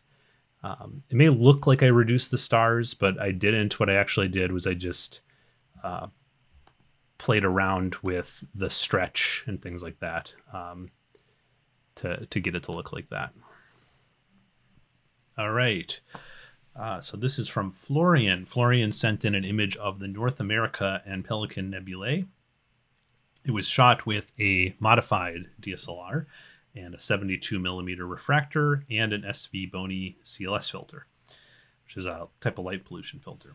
It was processed in Affinity Photo, uh, which is a program I haven't gotten around to learning, unfortunately. I want to, though. And Florian mentioned that the stars uh, maybe weren't the best. And I, I agree. I think that's one of the biggest um, things that stands out about this image that I uh, would critique is um, this is a type of star reduction where I think the you know you have the really big stars look not reduced, um, but then all the other stars in the image sort of end up the same size, and I think that just makes it them sort of look like noise rather than stars. Um, so to avoid that, I I don't reduce I don't do star reduction in a typical way. I either do it the Adam Block de-emphasis method, um, which is sort of complicated in PixInsight, or the way I do it even more commonly is I just use StarNet++ to separate the stars and the nebula, and then I blend the star layer in with a screen blend and adjust the stretch of the star layer just with levels or curves to sort of get the intensity of them right compared to the rest of the picture, but they don't. It doesn't change their size, um, which is what I like. Um, the other thing that Florian mentioned is over here um, on this bright star. I can't remember what it's called. Let me go to it. There's a, this offset halo. That's from the the CLS filter. It's very common with all kinds of uh, interference filters. Um, I already showed sort of how to how I reduce these in uh, the Ed Holt critique. So I just go back to that to look at it. But it's basically you just um, make a oops, make a selection here. And then if you want to get fancy, you can subtract uh, the star out of the selection. And then you reduce the intensity of the halo like that. Um, so I think it, it works pretty well if if uh, for a quick uh, way to do it. And uh, let me just show off and on. So you can definitely see it, and then it sort of disappears in the wide view. If you wanted to make it look perfect, you might have to do a little bit more than that. But uh, that's a that's just a quick way to show getting rid of those halos. Okay, now we have Frank. Frank sent an image of Central Cygnus here, and Frank was wondering if there was anything wrong with their technique with capturing or taking calibration frames. Um, from everything you sent in and what I can do, no, I don't. I think you're doing everything right. Um, the thing is with these diffuse emission nebula and Cygnus, Cygnus they're very dim, and um, doubly so without modifying your camera. So uh, you know what happens when you when you stretch aggressively is you get bring up more noise as well as more signal um, but the cool thing about astrophotography is that we can change the signal to noise ratio just by collecting more data overall and so that's what i'd look at doing is capturing more data even if that means multiple nights um, under the night sky um, and that actually leads me into the next picture, which is by another Frank, and it's of the same uh, thing. So this actually is a good uh, uh, twosome. Um, so this is, uh, this, you know, also Cygnus with a stock Nikon DSLR, so not modified. Um, but Frank says he took this with a small Meade telescope from a Bortle 8 Sky. Um, so this is probably you know tracked and everything. Um, uh, but it's from a light polluted sky. But he but he put seven and a half hours into the image by combining data from four different nights. And so when you do that, when you put a lot of data into the image, you can bring more out of it without uh, the noise sort of taking over too much. Um, And Frank was wondering about all the variations in color and if the blues were real. Uh, yeah, the blues are definitely real. They, they you don't see them as much um, outside of narrowband imaging because uh, when you modify the camera, it throws off the color balance so much that the HA dominates, so you don't see the O3 signal as much. Um, but with a stock DSLR, it does uh, it actually helps getting this nice color variety on this scene. Um, the one thing I'd work on here, though, is getting the sky background a bit more even in color, and maybe you don't, you're not sure where to do that. But like for instance, over here, it looks a little weird to me with like too much color. Um, and down here. So just look at some other people's pictures, and I think uh, you'll you'll see where to try to sort of work on the background neutralization a bit. But other than that, I think that looks good. And then we have Gabe. Gabe sent in an astonishingly good photo. I'm jealous of this one of Comet Neowise and natural air glow, which is um, you only see it usually from dark locations. It's sort of like a aurora in a way. Um, it's it's it's it's a natural phenomenon in our atmosphere. Um, uh, so this is really cool. This is from a Bortle One sky in Canada, and so you're seeing these streaks of natural red and green air glow, and then uh, they they contrast very well uh, with the the vertical feature of Comet Neowise. Um, you know, I think this is a photo that will definitely impress other astrophotographers who know what they're seeing. Uh, I'm not, uh, you know, I'm not, I, not to say that it wouldn't impress other people. I'm just not sure if, uh, you know, non-astrophotographers would know what this is.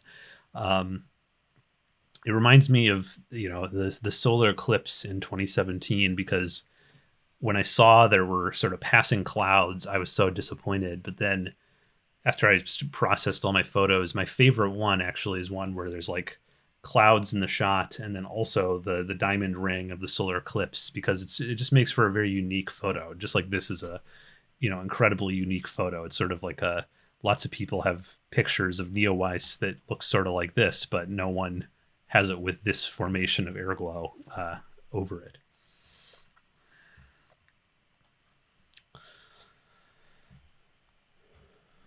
Okay, uh, Garunix Reborn uh, captured the Carina Nebula in a wide field shot with a kit lens at 55 millimeter focal length on a Nikon DSLR. And I think, uh, given the limitations of a kit lens, um, this looks very good. Uh, Garunix Reborn processed mostly in Siril, S I R I L, um, which is a very good free software. Um, Something I don't know though how to do in Siril is quickly reduce star bloating from chromatic aberrations. In in Photoshop, uh, we have you know this camera raw filter, which just makes it so quick to just go in here, go down to defringe, pick up the colors that you want to uh, defringe, and then just you know do a slider, and uh, just like that, you've killed a lot of that uh, fringing on the stars, and it's pretty it's pretty seamless. And so the, so a lot of the more affordable lenses and kit lenses are going to have that sort of color. Um, so then if you try to increase saturation um, overall on the scene, the, the the chromatic aberration really takes over. But if you take it away and then you increase saturation, um, that works a lot better uh, for getting sort of a nice uh, star field, uh, nice colorful star field. All right, and then we have George. George sent in an image of the North America and Pelican Nebulae taken with a Canon RA and a Radian Triad Ultra filter and a small Meade refractor.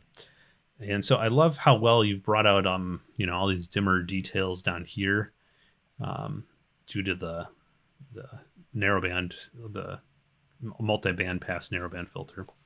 Um, two things I'd probably look at differently in processing. One is with with those multi-band pass filters, um, like you have with the the radian, um, you should be able to separate out the red, green, and blue channels and then process them separately to boost the O3 signal and then recombine them. And then you'll get a bit more color variety that way um, than you have here. It'll look more like mapped narrowband data. So just to sort of show you what I mean really quickly, if I just uh, select and copy the blue channel and uh, paste that on here, and I'll set that to screen. And then I'm going to turn it blue. Just I'll just colorize it here.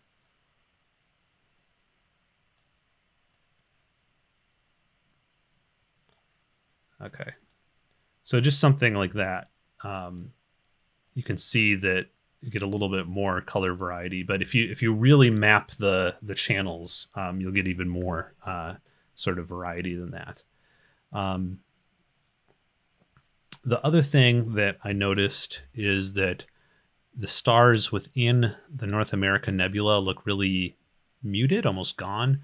And I'm not sure why they're not as bright as other stars in the image. Um, but I've I've found that when stars look too de-emphasized, um, they start looking like noise, and so I just pay attention to that to see if you under know how in your process that that happened.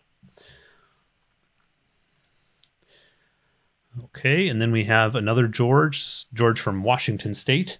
And George from Washington State did a narrowband image of the Veil Nebula Complex, also known as the Cygnus Loop supernova remnant, and did it with narrowband filters and a full spectrum Nikon DSLR.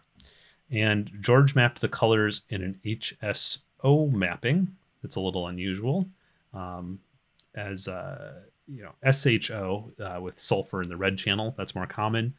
Um, uh, I examined the the raw data you sent in, George, and uh, one thing I found was that the O3 data was really sharp, perfectly focused, and the HA and S2 in comparison were a little bit out of focus. So um, just just keep that in mind. Um, you know, make sure you're.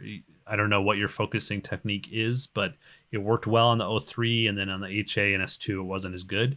So, um, and that that might have been an over the night kind of thing. I don't know if you refocused the the filters, but you're going to want to refocus for each uh, filter uh, as you change them. Great. Uh, Guipard sent in an image of the North America Nebula, shot with a very interesting combination of gear. The Tair 3S Soviet lens, just a manual lens. I own a copy too, and I like it. Uh, Canon 500 DSLR 500D DSLR, and uh, the cool part, the Open Astro Tracker, which is a very cool 3D printed open source tracker system that I really want to try sometime. Um, either buy one or make one myself. Is it's a very interesting looking star tracker and uh, looks, you know, I think also looks like it does a pretty good job. Uh, Gepard asked about getting a natural color. And I think this is not too bad in terms of natural color. I think the blue needs to be a little bit stronger. Let me just sort of try that out on the JPEG here. Yeah, I think the blue should be a little bit stronger. And then um, personally, I like a little bit more saturation than this. So just something like that. And then maybe a little less magenta. Um, this, the, I don't know if the, the less magenta is really a uh, you know, well, if we do less magenta, then maybe we would want to do less cyan and the reds. This is getting complicated. Okay. But I don't know. Something like that I think is pretty close to natural color. Maybe it's the magenta and the reds that I don't, I mean, in the blacks that I don't like. Uh, let's see here.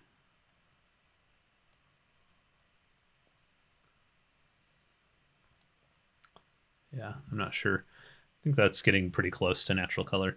Um, the other thing, uh, just to say about this uh, quickly, which is something you probably already noticed, is uh, compositionally, I'm not sure if this is the best to have Deneb sort of like cropped off like this, just a giant halo coming through. Um, so I feel like this is sort of a compromise where you wanted uh, Deneb in there maybe, or and then but then the Cygnus wall gets so low uh, in the shot. So I don't know. I, I would just try out a different comp- composition next time. Um, you know, even if it takes a little bit longer to to find the right composition, I think it's worth it. Um, because this one just feels a little bit uh, off. Okay. Guesser 000 has captured the Carina Nebula untracked with a Canon T2i and a kit lens, a 75 to 300 zoom, just on a fixed tripod, 500 lights at 2 seconds each, ISO 6400, and processed in Siril and Photoshop. And I really don't have much of a critique for this image. It's presented in a nice uh, neutral color where the blue of the Carina nebula is preserved. The stars look nice. Um, and it's it's really quite impressive for an untracked shot with a an older DSLR and a zoom lens. The only thing I might change is uh, the composition.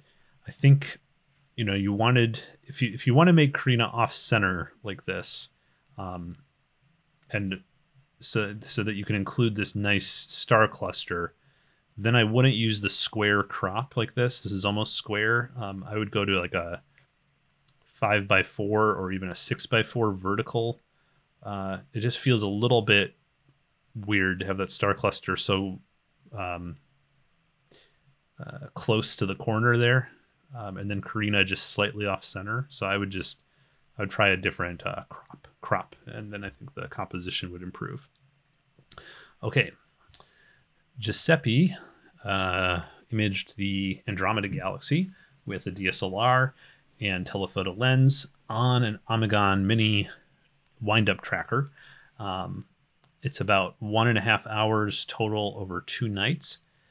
And my main comment here is on the color of the galaxy. So with a spiral galaxy like this, um, Andromeda, you have the um, the outer arms of the galaxy are sort of um, more bluish, with the blue, hot blue stars are out here, the cores are sort of a warmish white. They're like they're not white, they're not pure white. They're more of uh, orangish yellow. Um, but in general, your color balance is just too red here, and this is like sort of a fiery orange in the middle. Um, but then the red is also making the outer arms go a little bit purple.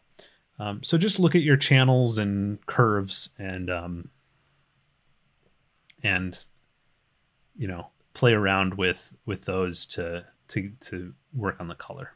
Uh, that's it. Okay, and then Gordon. Gordon has a nice image of the Carina Nebula here. Um, the Carina Nebula, of course, is one of the jewels of the southern hemisphere skies, and this was taken with a stock Canon DSLR and a Sigma zoom lens on a Star Adventurer. Uh, Gordon did mention he just took delivery of an HEQ5 mount, which is a very nice mount, uh, and you can do guiding and dithering with that, which will help out with walking noise. Um, and I do see a little bit of walking noise here, but it's not too noticeable. Um, walking noise is just when noise streaks into a pattern. It's usually diagonal lines, but it could be in any direction really. It's just about drift of the system. Um, my my only other critique of this image is the stars are a bit bright and sharp for my taste. Um, you know, they're they're they're um, they feel almost all white, and then they just all have very like sharp edges, like they're blown out. Um, so since I see you use PixInsight, a couple things to maybe try are one, trying to use StarNet++ Plus in your workflow. That allows you to work on the nebula and the stars separately. Um, and then, or two, another thing you could try is just in the stretch, um, trying instead of a histogram stretch, try masked stretch or arc arcsine stretch. And both of those are stretching methods that tend to um, preserve star color a little bit better. Greg sent in an image of the North America and Pelican Nebulae taken with a Radian Raptor telescope and a QHY 268C camera. And um, looks like very nice data. Um, it's a, the processing I think looks a little bit too uh, sharp and um, you know sharp and contrasty. That's what that's what I'm looking for uh, for my taste. Um, so I would just maybe ease off on both of those, but I know that's sort of a, a personal uh, preference kind of thing. Um, and the stars, I don't know, look a little um, bright, maybe. Um, so I'd maybe just make the stars a little dimmer. But um, other than that, I think it looks really good. There's there's a big halo on this star. Um, you can watch uh, my Ed Holt critique uh, earlier in the video to talk about reducing that if you're interested. Um, but other than that, looks looks good. All right.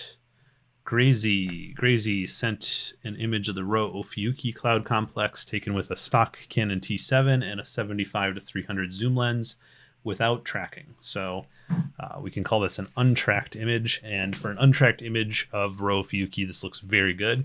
The only uh, thing I might do a little differently in the processing is just go a little darker. Um, can just put a curve on there now just to show you what I mean. So just something more like that. Um,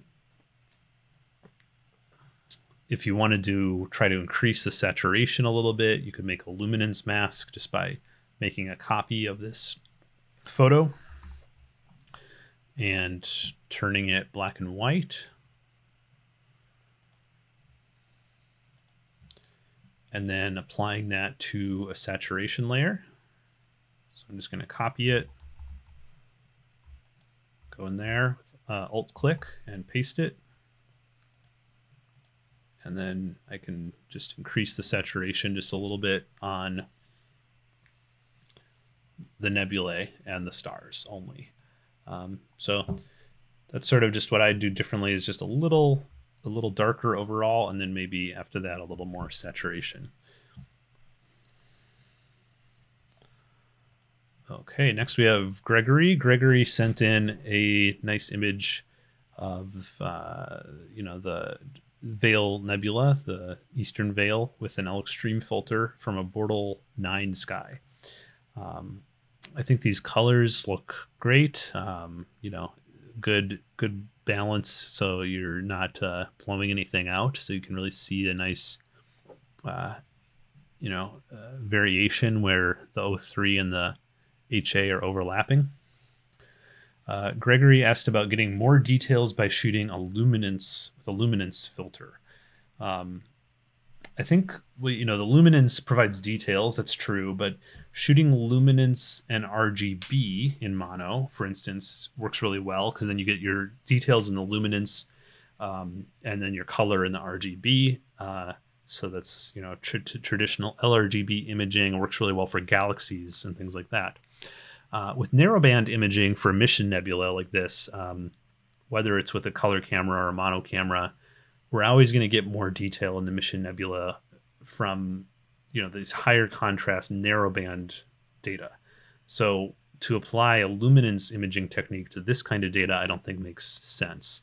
Um, what you can do is you can create a pseudo luminance, like uh, you know, just extract luminance information and then apply high pass filtering, deconvolution, sharpening, all of those kinds of techniques to your actual narrowband data um, while it's still mono, um, uh, but maybe the HA and O3 combined, so it's representing both, and then use luminance techniques on this. Um, but I don't think it makes sense to try to shoot with a luminance filter for this target especially from Bortle 9. That's not going to give do you any favors.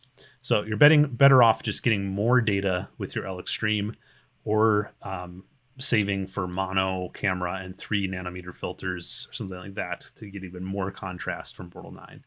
Um, the, the, my only other comment about this image is I wonder if uh, if you'd rotated the sensor in relation to the object, you know, uh, you know, the, or the whole image, the whole optical train in relation to the object, if you could have fit uh, it, the more of it in diagonally, um, it seems like maybe you could have, uh, rather than just having this little tip cut off over here, which looks a little awkward.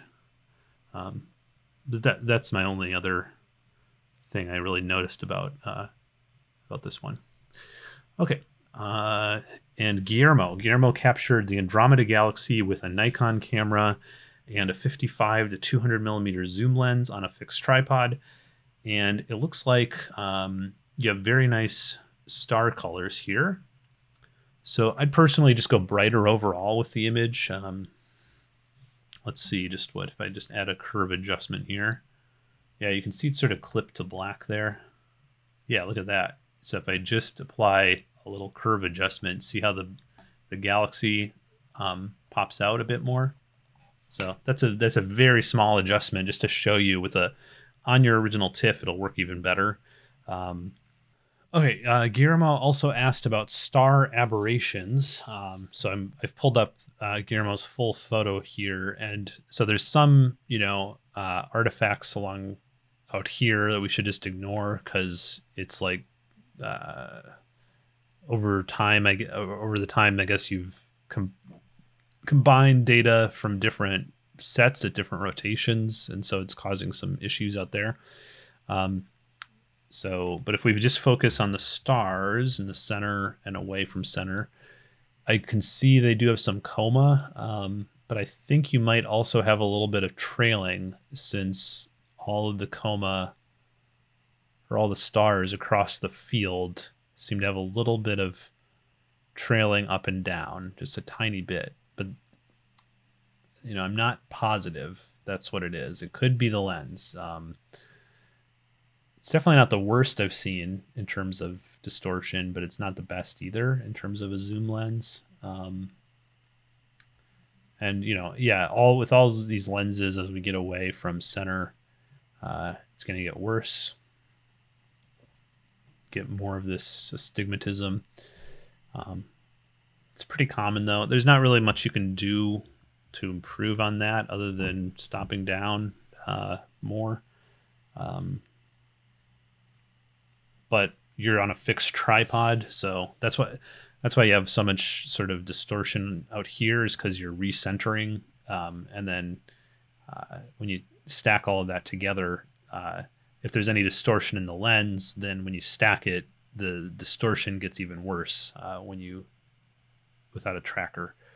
So I don't know. I, I think that if I were you, I wouldn't save for a new lens yet. I'd save for a star tracker, then stop down your current lens to like f5.6 and take longer exposures, and that would sort of fix a lot of things. Um, so that's that's where I would go uh, if you have some money to spend on the problem.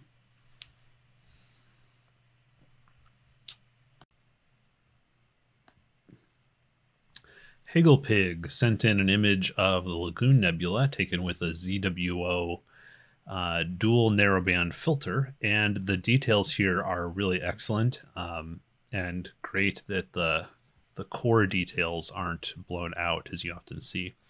Um, asked about how to bring out more of the O3 in the blue spectrum since it's a dual narrowband filter. So there are different techniques there.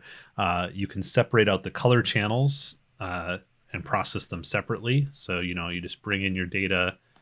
Uh, if you're in Photoshop here, you would just take the blue and the green, maybe combine those together, have the red, you know, take these things, uh, separate them out and, and process them and then recombine them. So that's what I usually do. Um, you know, short of that, even just boosting the blue channel uh, with an adjustment will work because the blue data is in there. So I'm just working off the the JPEG here. So let me do, bear with me.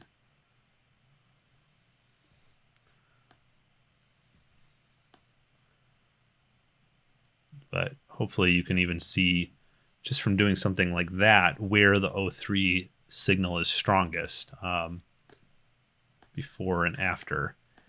Um, so it's it's a different look. Um, you know, it you may or may not like it, but it but play around with it. You can you can try just doing it on the you know a starless version, uh, playing around with curves, or you can again separate out the channels.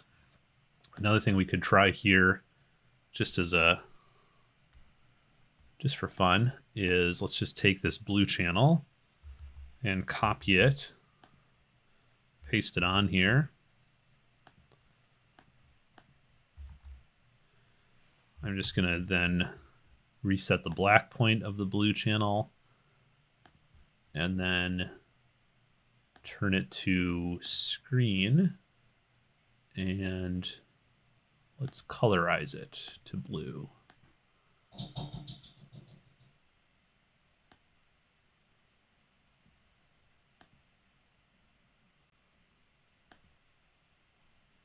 Oh, and we'd have to clip this to just there. Okay, and then I'll reset the black point again.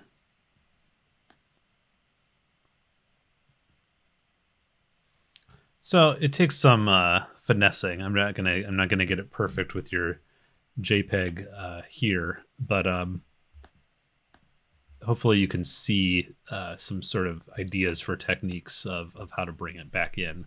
Um, but you, you'd have to you'd have to finesse it further uh, to to really make it look right. Okay, HiON. sent in two images from a Bortle 9 location in Vietnam. Wanted to show that untracked astrophotography is possible from a Bortle 9 location, and these were done on a fixed tripod, so no tracker. Modified Canon 80D, Canon 70 to 200 zoom lens, stopped down to f5.6. And one of the key things HiON did was not go to the maximum focal length of that 70 to 200 lens. These um, they shot this at uh, 70 millimeters and this one at 100 millimeters.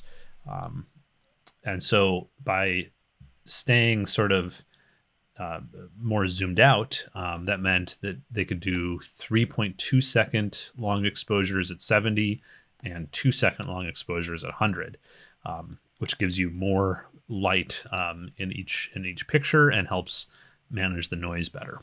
So great job, HiON. I, I hope this inspires others to try out techniques, even if uh, you know, even if someone like me says they're unadvisable uh, to shoot from shoot untracked from Bortle nine. But I, I think it's it's really cool that people try things like this and show that you can make it work.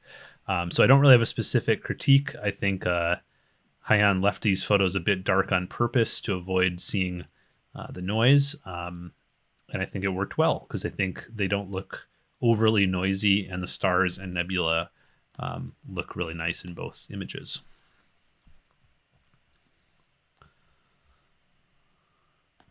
Right, Haken uh, submitted the Rosette Nebula, taken with a modded Canon 60D, a star tracker, and a RedCat uh, telescope from William Optics. Um, and this was also shot from a red zone, and but also with a nearly full moon out. So I think, given the gear and conditions, this looks pretty good.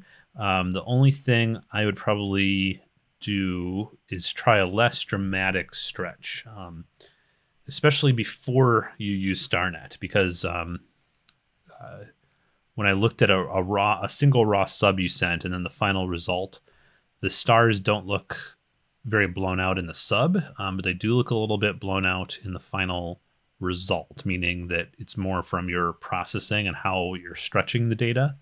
Um, I think generally you can just go a bit softer, and usually when I when I use that word softer, I mean less contrast, and when I mean when I say harder or sharper, that means you know more uh, contrast. So the the stars become whiter, the background becomes blacker.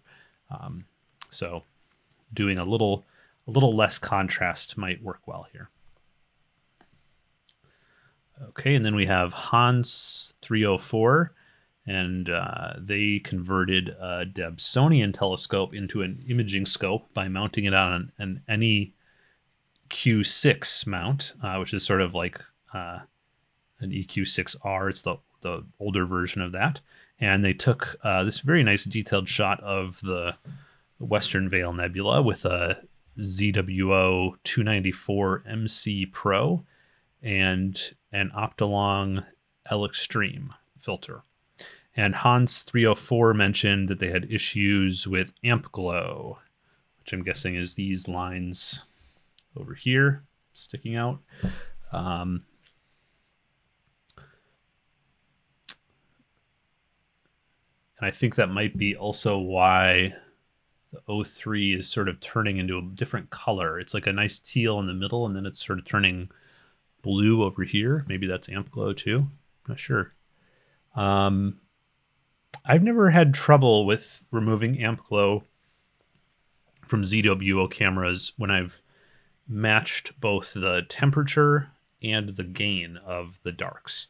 Um, but it, but it, it may be something else in how you're how you're calibrating. Um, but I would I would try just uh, something sim- a simple experiment might be just take a take a single light frame, um, and create a create a master dark uh, with those exact same conditions. Um, so same temperature, same gain, same offset, everything the same and try just doing a dark calibration with, with, with no other calibration frames, and it should completely remove the amp glow. If it doesn't, uh, then I don't know. Um, short of that, there are some manual fixes you could do uh, in Photoshop, but they'd be really workarounds, and especially with something like these um, these lines here, I think it would be difficult to get rid of those completely uh, other than just you know cropping. Um, but other than the the, the color shifts uh, and the the amp glow, uh, I think this looks really good. Uh, and you have really nice sharp details, and you can you can really see the details because uh, you've kept the the black level pretty pretty high. Um, okay, and then we have Hari two five nine seven. And Hari 2597 captured the Milky Way with a Sony mirrorless camera and a lens at 16 millimeter focal length from a Bortle 5. Um, and I think the the key thing suggest in processing here is um, not to go too heavy with the blacks um, and, the, and the shadows. Um, so I think there might be some data in the mids that we're missing out on here. Um, I'm not going to be able to recover it all since I just have the the JPEG, but just to just to go really crazy here, um, just to show you that you can see the whole dark horse there if we really um, push it. Well, you're sort of losing it when you really darken the image like that. Um, so I'd say it'd be worth, you know, and maybe the reason you did it the way you did it is because of these bright patches up here and down here that were hard to get rid of. But I'd say even if you cropped it just to the middle section right here, it would be worth cropping down and uh, pushing your data to get more, uh, in my opinion. Okay, here we have Harish who captured the Sadr butterfly with a ZWO mono camera, 12 nanometer narrowband filters, and an 8 inch RASA telescope. I think um, the top half of the picture for me is working pretty well. I like all the browns and then the pops of color with the stars, and then you have all the nice dark nebulae intersecting these golden tones. Um, it's really down here that I don't I don't like these blues. Um, I don't know. I think it, it's the O3 signal. It's just looking very broken up and too saturated uh, compared to the rest of the picture. Um, I looked through your workflow uh, that you sent in PixInsight, and I think you're you're overall doing too many steps with your data, and then some of them you're doing in the wrong order. So, for instance, the deconvolution and the denoising techniques you're using should be done before the stretch on each linear narrowband master channel. Um, so you, you do the decon and denoising if you want on on the HA, on the O3, on the S2 while they're still linear before you stretch them. Um, but you did them after combination and after the stretch. Um, I wouldn't really recommend doing it that way. So but I overall I would just try really simplifying your workflow. Um, so to give you an example, I would try just do just stack each uh, narrowband filter, and on each one do dynamic background extraction, uh, do a little bit of noise reduction. Um, you can do a little bit more on the O3 and S2, a little bit less on the HA. Then stretch each narrowband channel, make each one starless, combine them, do the color mask and curves to taste, and then blend back in the stars. Um, and that, that's it. I would I wouldn't uh, at this point f- focus on all the other stuff. Um, and and I think hopefully you'll see um, be keeping it less complicated. You might actually get a better uh, result. Um, but I mean, I, I, I think it's it's it's very nice, and you have great details. I just think that the processing um, uh, with the the color work here needs needs a little bit of finesse. Okay.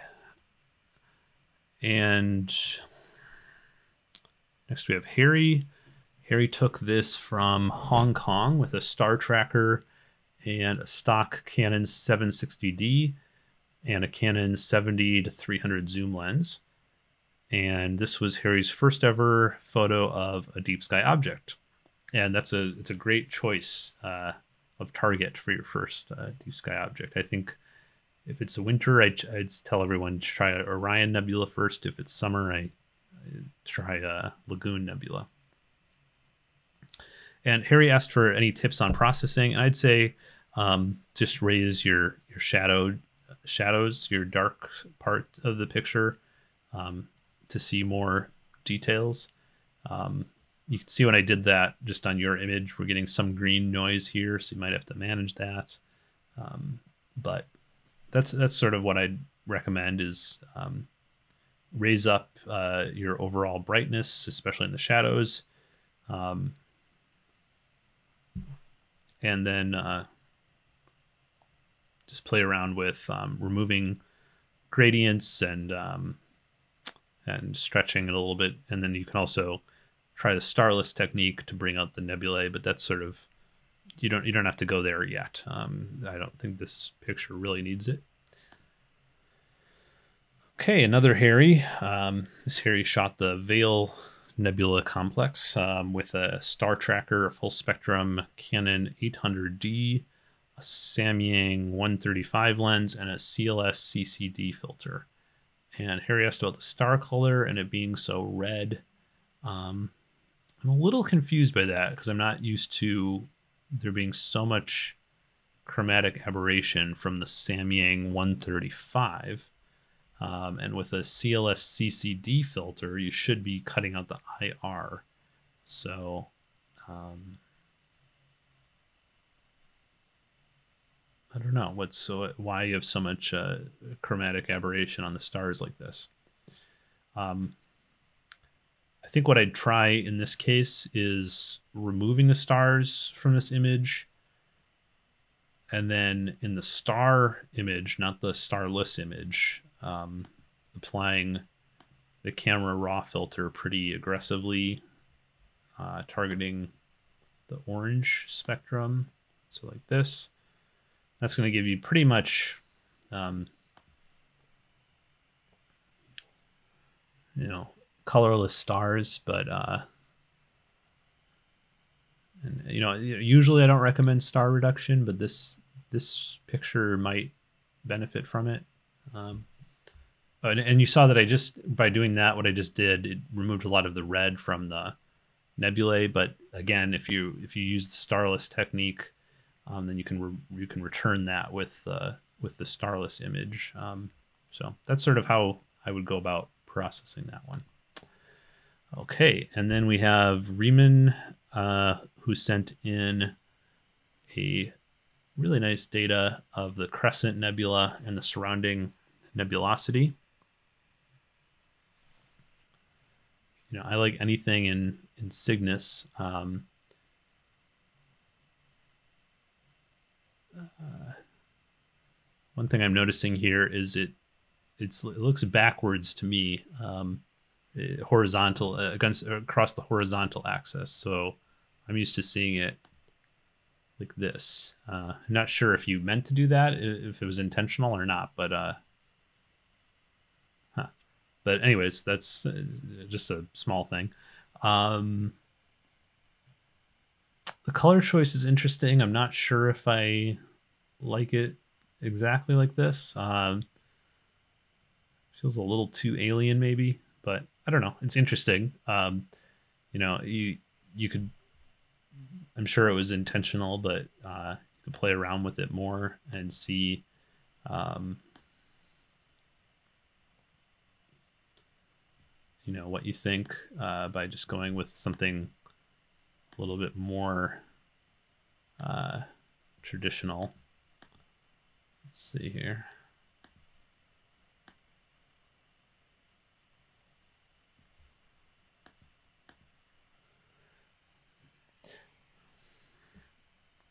Iggy mentioned he's been having a lot of fun with astrophotography since getting a 10 millimeter lens for his DSLR, so very wide lens, and mentioned that due to his eyesight, he likes the slightly out of focus shots just as much as the in focus ones, as it helps him see the natural star color. That's very true. You know, I try to do something similar to this with diffusion filters to make the star, the bright stars bloat, uh, but just making them out of focus uh, can work as well. Of course, the difference is uh, with the diffusion filter, the bright stars bloat, and you still get the smaller stars. When you go this out of focus, you just get the bright stars. So so that's the that's the main difference. Um, I really like this picture though. The, it looks neat. The glow over the mountain range, um, and then having the the tree come in, it just gives it all a nice perspective. And uh, I like the colors. So thanks for sending this, Iggy. I'm glad you're uh, having fun with with astrophotography again. All right, and then we have Aika. Aika took this photo of Andromeda with a Nikon D5300 DSLR, an old Tamron 135 millimeter telephoto lens without tracking. Uh, so I think it looks good, lots of good detail and nice processing. Um, my one suggestion is to look at the color balance of the black point. I think it just looks a little too blue It might be hard to do this with the JPEG. Um, let me just see here. If I use selective color, that might work. So I'm going to do it on my blacks. I'm going to bring down cyan a little bit and then bring up black. Yeah, I think that did it pretty well. So just an idea, um, just to bring down the blues and the in the blacks uh, a little bit. Um, uh,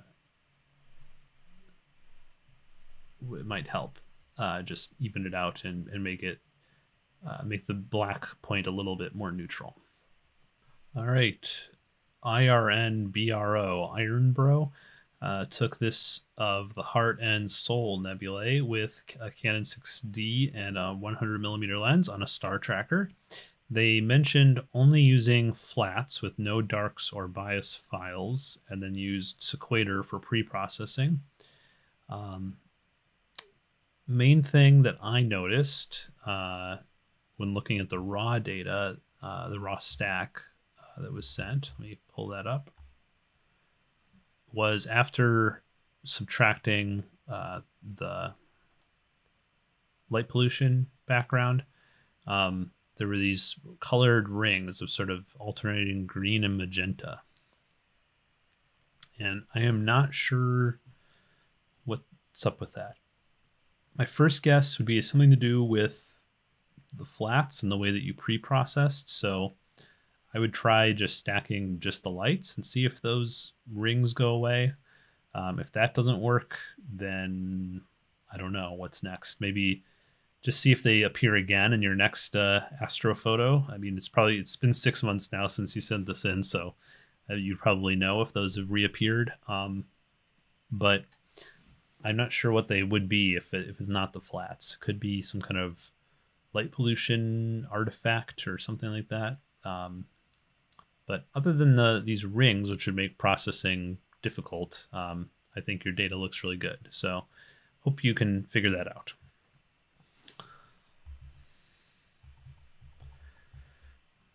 Okay, and then next we have Island Astro, and Island Astro captured the North America and Pelican Nebulae with a modified Canon DSLR and a 75 to 300 millimeter lens on a star tracker.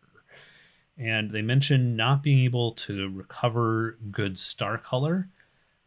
I think the issue there is one of color balancing, um, because even though the image is made up mostly of these red nebulae, um, the image overall looks like not particularly well color balanced. Uh, you can see the red channel is just like super dominant, um,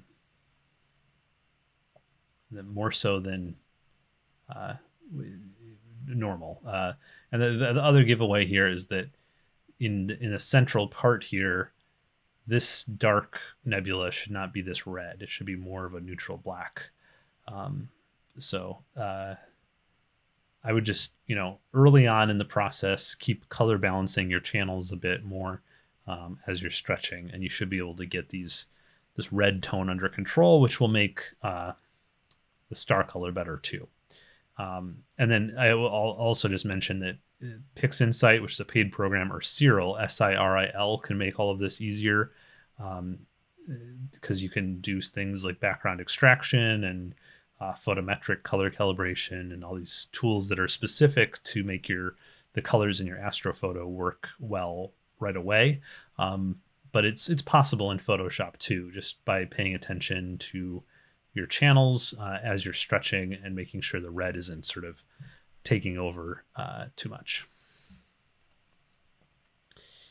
Okay, and then we have Ivan. Ivan sent in a photo of the Sadr region in Cygnus uh, taken with a full frame stock Nikon DSLR and a William Optics Z61 with flattener. And Ivan identified two issues. One that he felt he might not have had the right spacing on the field flattener.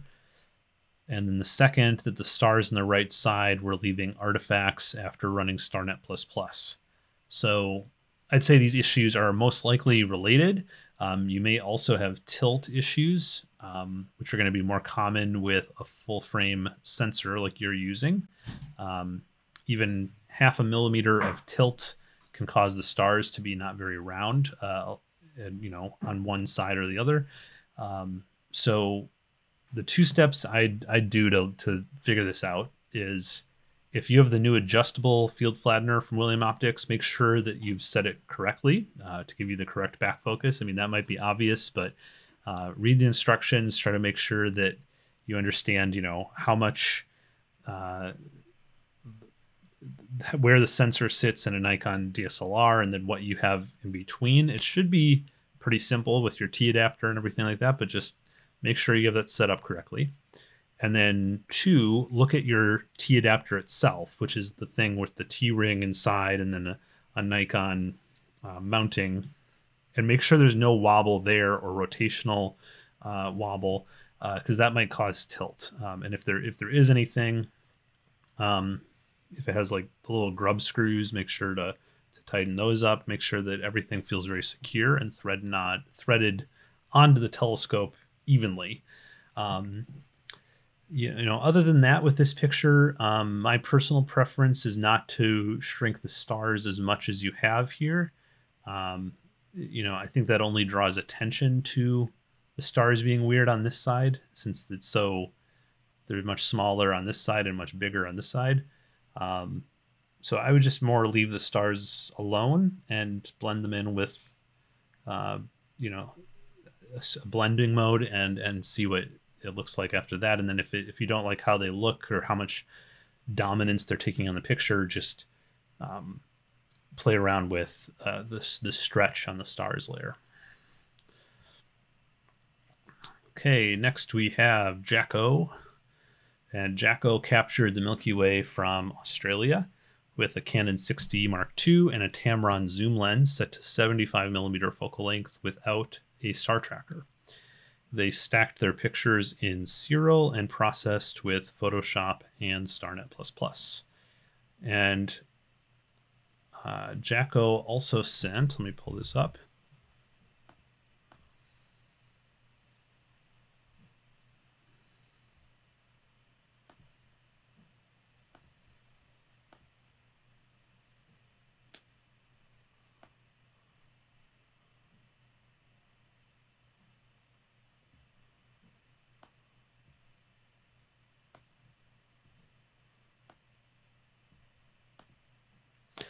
And Jacko also sent this nice summary of their image processing steps, which is very useful.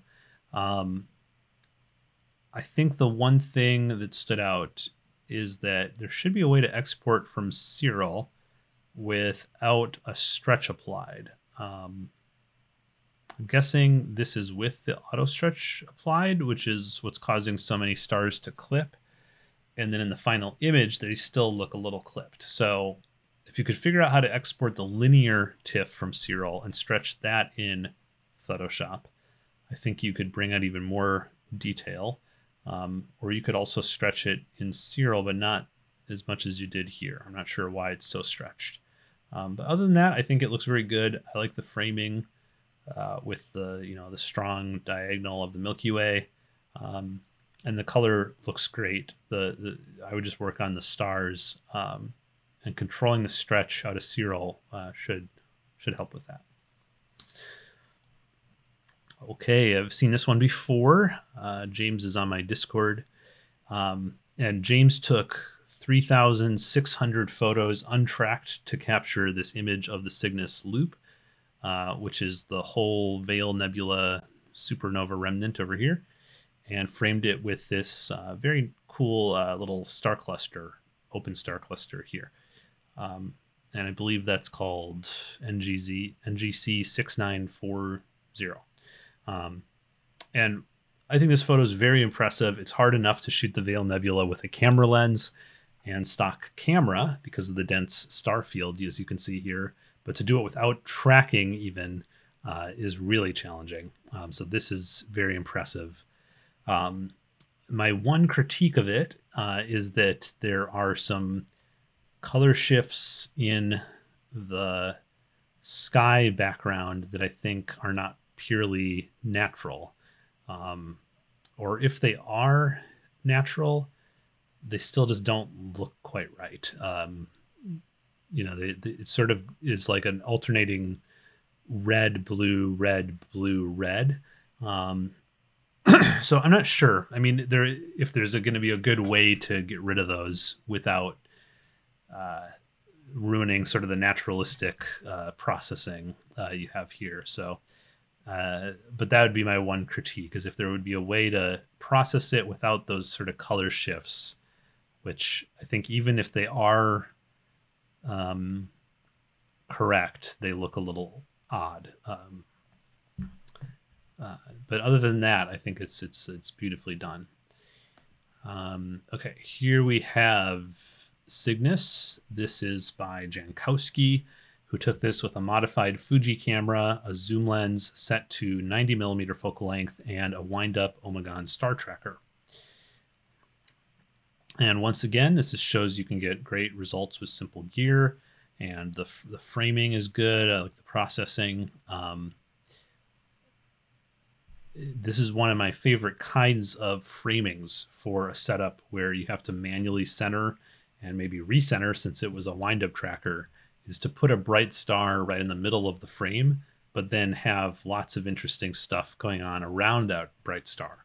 Uh, you know, there's not too many of these uh, options in the night sky, but but Cygnus offers this nice one at 90 millimeter focal length on an APS-C camera, I'm guessing. Um, so we have Deneb and then Sadr, uh, and there you got a nice color shift there. This is Deneb looks blue and and uh, Sadr is more yellowish white.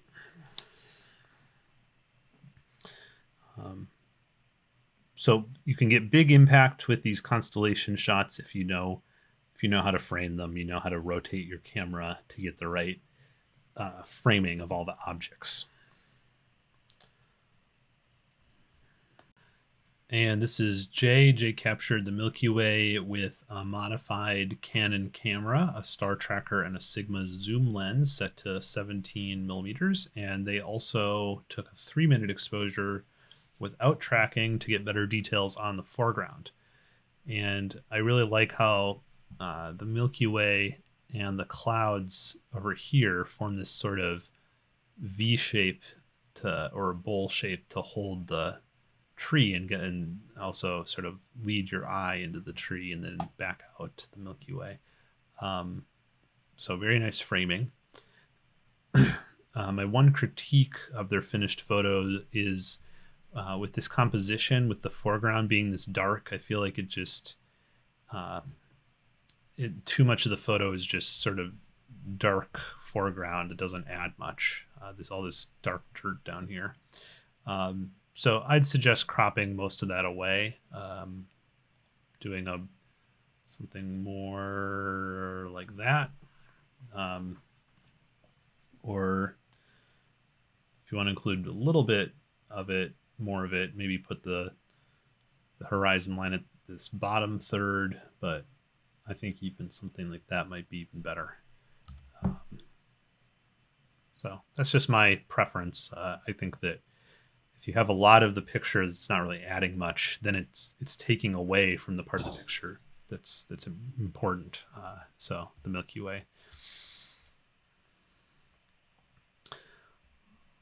Okay, another J uh, that uh, sent in a picture of the Andromeda Galaxy taken with a Sony camera and a Sony zoom lens on a Celestron Astromaster mount with an added DC motor. And Jay asked about bringing out the outer parts of Andromeda more. I think um, what helps me in these situations is to use the the StarNet plus plus process um, to, because it, it's really good at bringing out some of these fainter details in the shadows. Uh, when you then screen blend the star layer back on, it really makes those pop without bloating the stars. Um, it helps keep the stars sort of where they are now, but boosting the the shadow detail. Now, of course, that also boosts some noise, um, but then you can use curves to push that back down a little bit while keeping the galaxy brighter. So that's sort of what I'd recommend trying is the is the starless technique that I show in the in the Andromeda uh, start to finish video. Okay, and yet another J also sent in an image of Andromeda. This one is taken with an Omegon wind-up tracker, a Canon DSLR, and a 70 to 200 millimeter zoom lens. And Jay asked about getting more details in the galaxy and if it's just a matter of more total integration.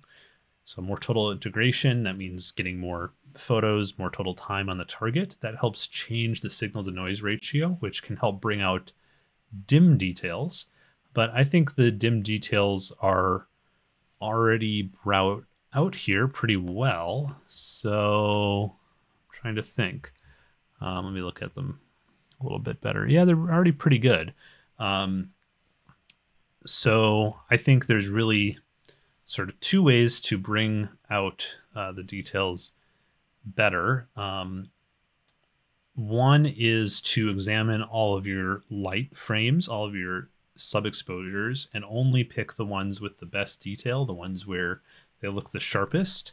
Um, so that's one idea. Um, the other thing would be to use a lens or a telescope with a higher focal length and more aperture. Um, but that might not work with your wind up tracker. Uh, so that, that might be a big gear upgrade to do that kind of thing. So, yeah, you might be sort of at the limit here of how much detail you're going to get with a wind up tracker and a, and a zoom lens on Andromeda. But um, if you're into nebulae, there's a lot of nebulae that don't really have uh, they have bigger details or or the details aren't as important as with a galaxy. So I would I would go after some of those with your wind up tracker, like in Cygnus or Orion or things like that. Um, and then if you want to get you know better at the galaxy stuff, it might eventually require a, a gear upgrade. Okay, and then we have Jeeve. Jeeve sent in an image of the Milky Way taken from a red zone. Wow, so very light polluted, untracked with a kit DSLR and kit lens at f3.5. So this is a very impressive image, actually. Um, uh, to, to use that equipment and get this much detail on the the dark uh, horse and the star cloud, uh, Sagittarius star cloud, that's really cool. Um, so we have some ring reflections here I'm guessing those are from, they're sort of all over the image, but they're most noticeable over here where there's not other stuff going on. And those are probably from light jumping into your lens at odd angles. And uh, you, you can see all this light stuff, local light pollution here. So my guess is that that's what's happening is you're you're getting all these small reflections inside the lens, uh, which causes these rings and weird stuff. Um, only way to eliminate those would be to like get some kind of blocking system uh, you know so that that light isn't coming into the lens at odd angles like uh, i've used trash bins and things like that before um, but it's a little annoying uh, but you could try that um, other than that the, it's a ni- nice job i think the eye is uh, like i said really drawn to the star cloud here uh, and it's it's interesting juxtaposing the night sky with uh, this bright building. Okay, and then uh, this is Jeff. Uh, Jeff captured the Elephant Trunk Nebula with an Apertura telescope, and Op- Optolong L Enhance filter, and the ZWO 533MC camera, which uh, has this square aspect ratio and uh, nice job bringing out the blues. It's sort of it's cool to see these uh, deep blues here. I'd suggest taming the saturation a bit, um, as the it's just it's a little bit um, one note, especially in the reds here. Um, and I just have the JPEG here, but uh, what I'd aim for saturation, let's see, something like like that. Um, will help bring out, I think, more uh, variations in the color.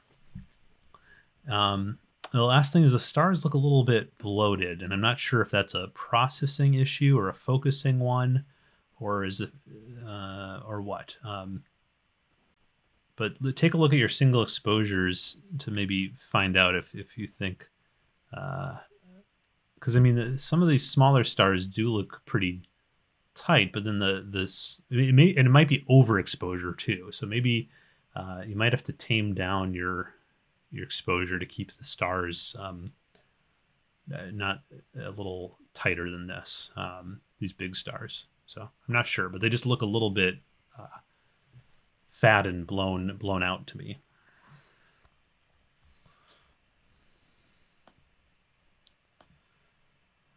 Okay.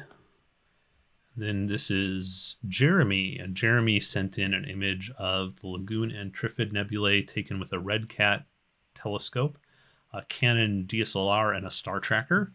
I think this looks good. I like the framing a lot. Um, you know, it's nice to see this the the lagoon extending into this uh, cool nebula up here, uh, and then this bright star. It has a really nice flow to it here.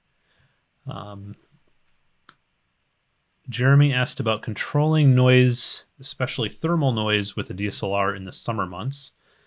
So I have two suggestions. Uh, one is to try manually dithering, dithering your Star Adventurer. Um, it's not something I've been particularly good about, but I know other people do it. So it has RA dithering, which can be automatic, but if you want to really get the best out of dithering, you'd also want to maybe manually dither in Dec uh, with the declination bracket. It's going to be too annoying to do it every frame, so or even every couple frames. I'd so I'd try every ten frames, um, but just you know move the RA a bit with the buttons or whatever, and then you can move the Dec with the bracket um, with the like the slow motion controls.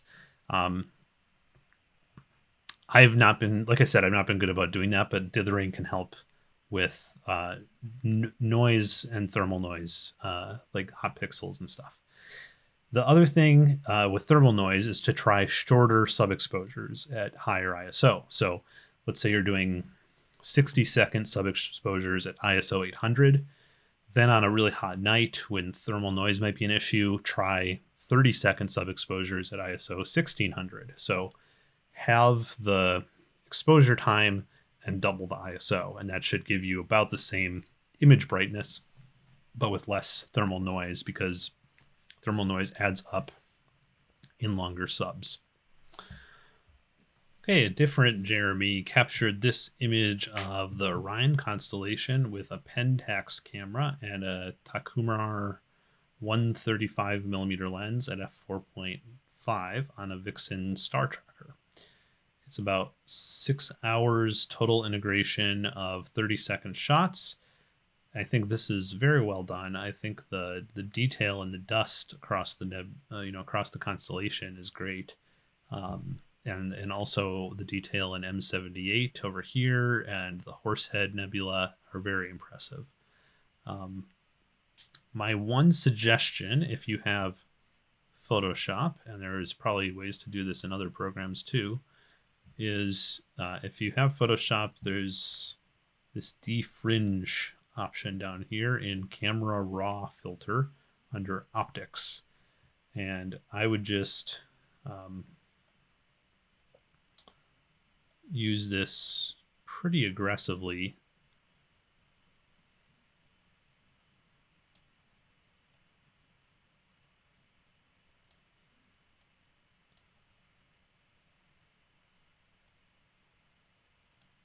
Something like that. Hmm.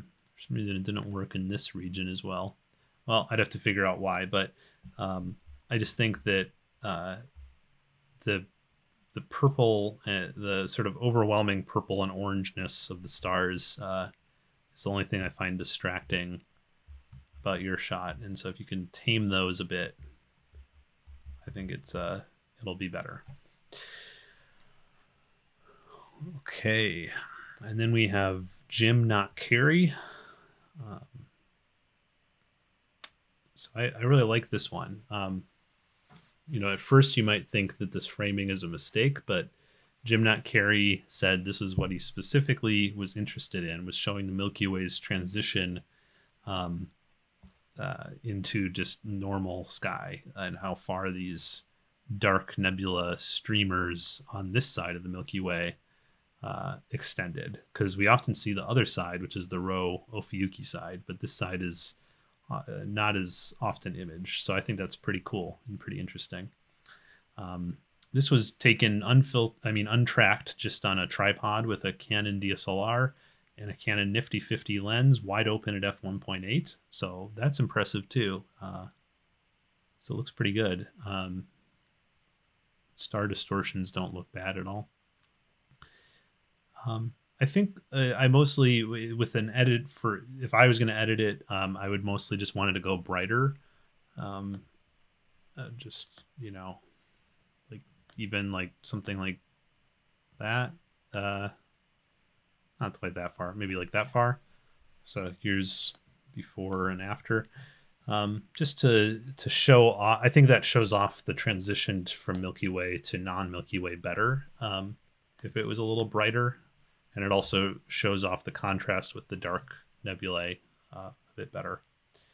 Um, and then there's some little bit of artifacts down here and up here, and I think you, you didn't want to crop those out because then you'd be losing too much of the Milky Way and you'd be losing the lagoon. So um, instead, you could manually go in with Photoshop and try to correct those with a little masking. Um, but uh, I'm not going to show that, but it, but it's pretty uh, simple to do. Just sort of you just want a curves uh, adjustment layer and then um, draw in a little gradient mask on the curves adjustment layer to fix those. Okay, next we have Joao Andre Bastos. Joao Andre Bastos captured the Milky Way um, from Portugal with a Panasonic Micro Four Thirds camera and a wide angle lens. And this was their first time photographing the night sky. So this is great for your first time. Very interesting. Lots of nice um, detail here. Uh, I think you just went a little bit too hard with the noise reduction because it looks a little blurred in some places, but uh, really not too far off from what I think I would do with it. Um, so, uh, and then there's some um, stuff down here. You know, there's the the orange, but then there's also sort of a green. And I'm not sure how much of that is natural sky glow. I'm suspecting that some of this green actually is what we call natural air glow. Um, and it's uh, it's something you're going to see um, with darker locations, especially low in the sky. Um, and it can take on pretty interesting colors, like very vibrant greens, but it can also be orange. So I don't know how much of this is air glow versus uh, light pollution. Um, one advantage that you have being in the southern hemisphere is that at certain times of year, the Milky Way will be very high in the sky. So if you can shoot it then, that's really ideal. And usually the air glow doesn't extend all the way up, uh, straight up at zenith, uh, where uh, from what I've heard and seen, and from what I've heard from other people, uh, even this core part of the Milky Way will get right up in the, uh, right straight up in the sky at times, at certain times a year.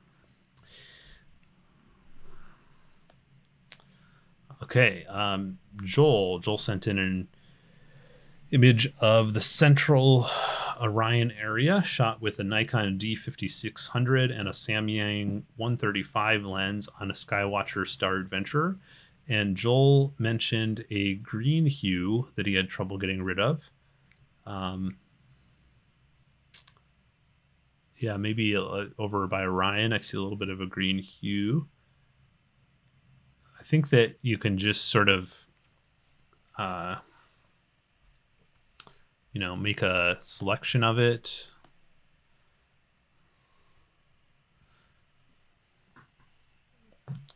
That's a pretty bad selection, but anyways, just make some kind of selection of it and, um, you know, drop down the green in that area, and then it's going to look really obviously uh, wrong maybe at first, but then if you just feather the selection, usually that works pretty well for me.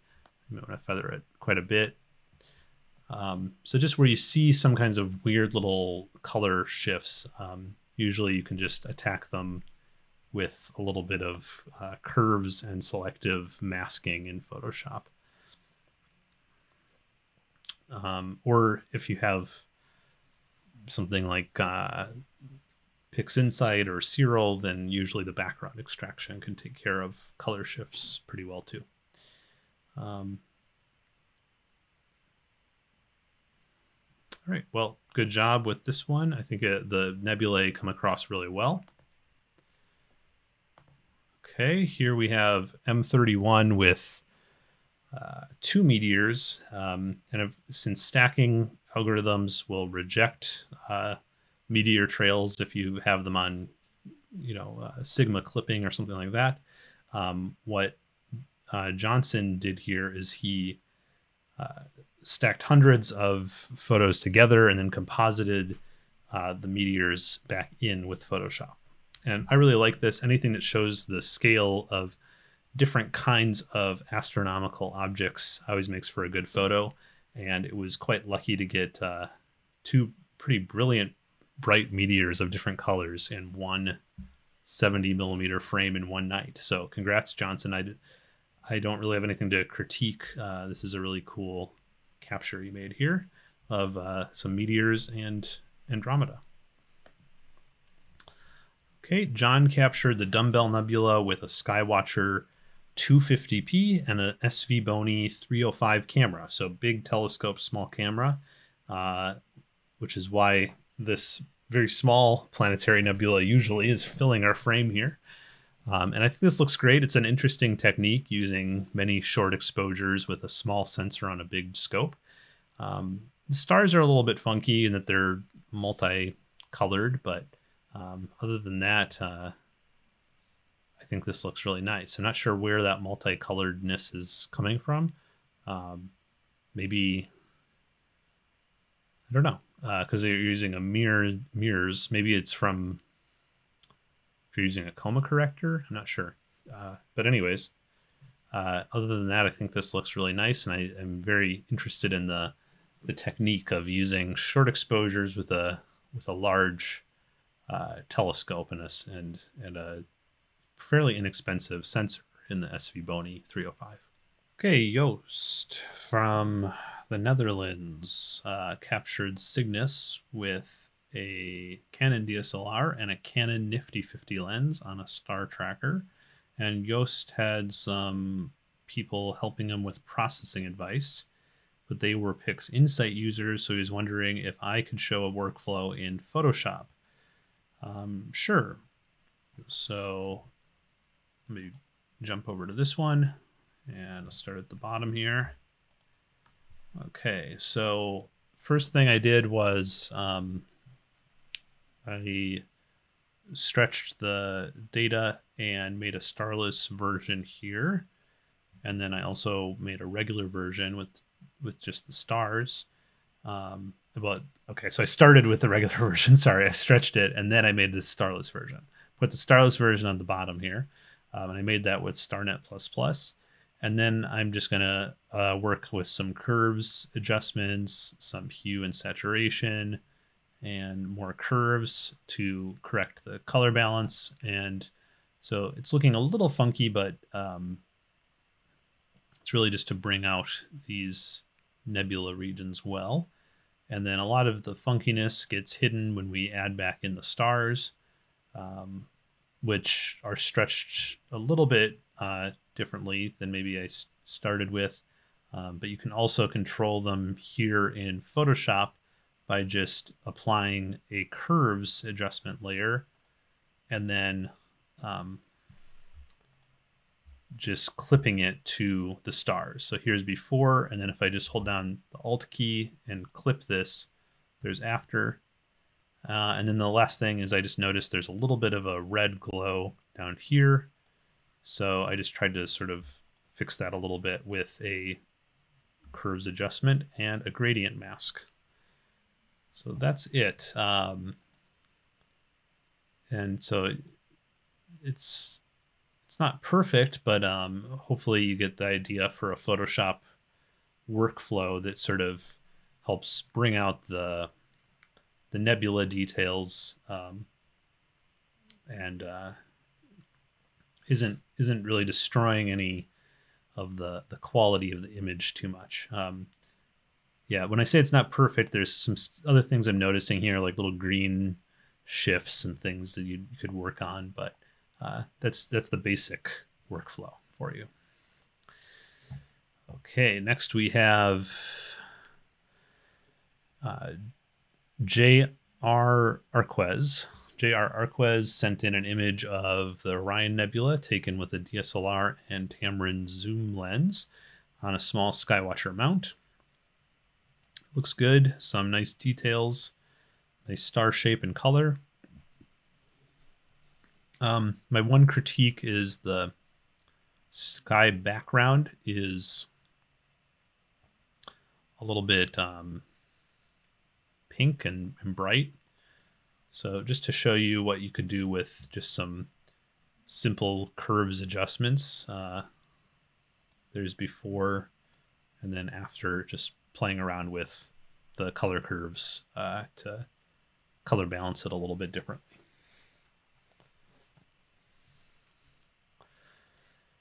Okay, and then we have J Regs 815 J Regs 815 captured the Wizard Nebula with a ZWO 533 MC and an 8 inch Newtonian. Um, you know, in the detail, color, uh, framing, all look good to me here. Um, the main issue I see is with the stars. I think you dimmed them um, a bit aggressively. Um, and I'm guessing the reason you did that uh, is to hide the fact that they're a little bit funky. Um, you know, they're distorted in a way that's typical of needing a coma corrector. Um, and then on the bright stars, you can see this double diffraction line means they're they're not in perfect uh, collimation. So uh, I would just look into you know collimating uh, your telescope uh, better because then you'll get sharper details on uh, everything too. Um, So there's different kinds of collimation tools. I'm not going to go into it here. I'll just say I use a, a laser collimator that also has the attachment uh, for barlowing it so you can do the primary mirror adjustment. I think that's really easy. Uh, works pretty well and pr- pretty fast. So work on collimation, and then if you can afford it, I'd also get a coma corrector to help with the stars. Okay, Julian shot the North America and Pelican with a Skywatcher 80ED and an Optolong L enhance filter. And then they, they said that they used the auto stretch in PixInsight on the separated HA and O3 channels. Um, and then also noted that the overall result was maybe more red than they would like. So I think the the first thing to say there is to I would avoid the auto stretch. Um, instead, stretch the O3 and the HA by hand using histogram transformation and just trying to sort of equalize the uh, the brightness of them uh, by looking at them. Um, and that, that way you'll get a lot more power over the balance of the blue and the red and, and not have the image being so red. Um, but even if I was just to mess around, you know, here in Photoshop, I think we could we could do something interesting probably. Let's see. So let's just go into reds and add more cyan to red. And let's add it to magenta too.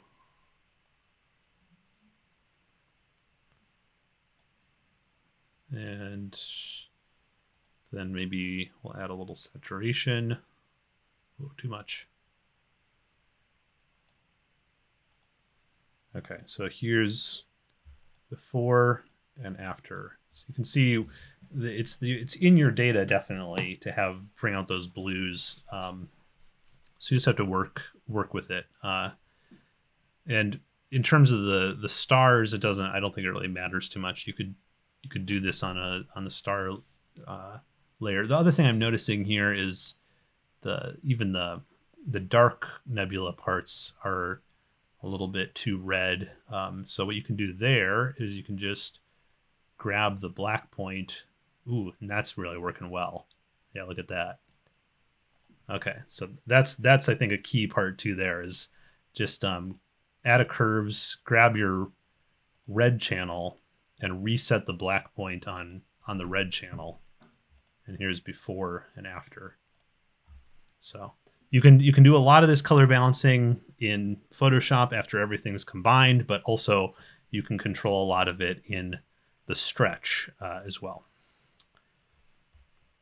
Okay, a different Julian shot this image of a section of the Milky Way and Messier 11, which is the wild duck cluster right here. Something I've never shot. Looks really nice though. And uh, Julian mentioned pre-processing with Siril. Um, didn't mention Siril's background extraction. So if um, if you if you're having issues with sort of color gradients and things like that, I would try try the background extractor tool in um, in Siril. I, I tried it with your data and got a, a fairly different result than you did. Um, I mean, not wildly different. Just I, I think that uh, a little bit more star color after uh, running that. Um, so I'm not I'm not sure uh, exactly what steps we did that were so different if we both used it, but uh, try it out if you if you if you haven't. And it, and if you have tried it and it's and it wasn't working quite right try placing the samples differently because that makes a big uh, difference to the to the result. Okay. Um, justin. And justin said they're still pretty new but they sent in a nice shot of the orion nebula done with a nikon dslr and a zoom lens on a star tracker and Justin stacked in AstroPixel processor, just another program I haven't. Uh, I, I own it, but I haven't played with it too much. And they processed in Photoshop.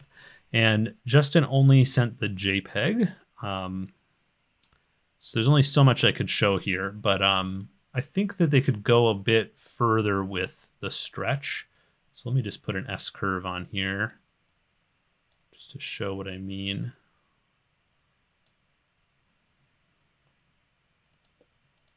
So just to just to show, I think there's more uh, data in there to sort of bring out. Um, the other thing that stands out are some of these black um, marks, like right. Hold on.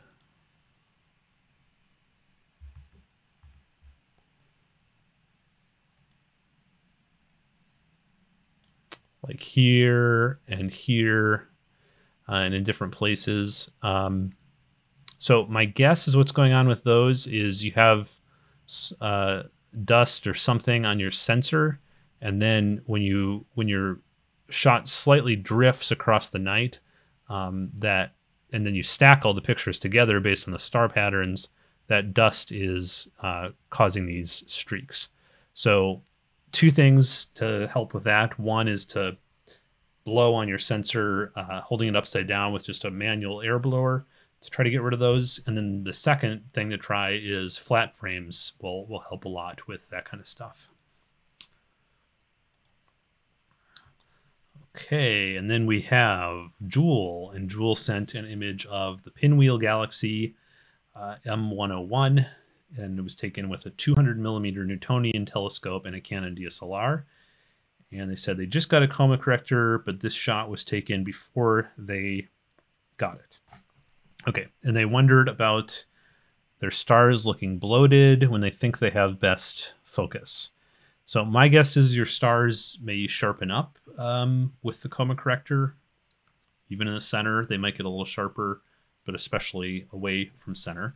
Um, and then I guess collimation. I'm, I'm not. I can't really tell with these stars how well collimated they are. Uh, focus doesn't look off to me, so I'm not sure. In terms of processing, I think this looks really great. Um, I'd probably boost the saturation a little bit of the blues and the reds in the galaxy, so something like that. And um,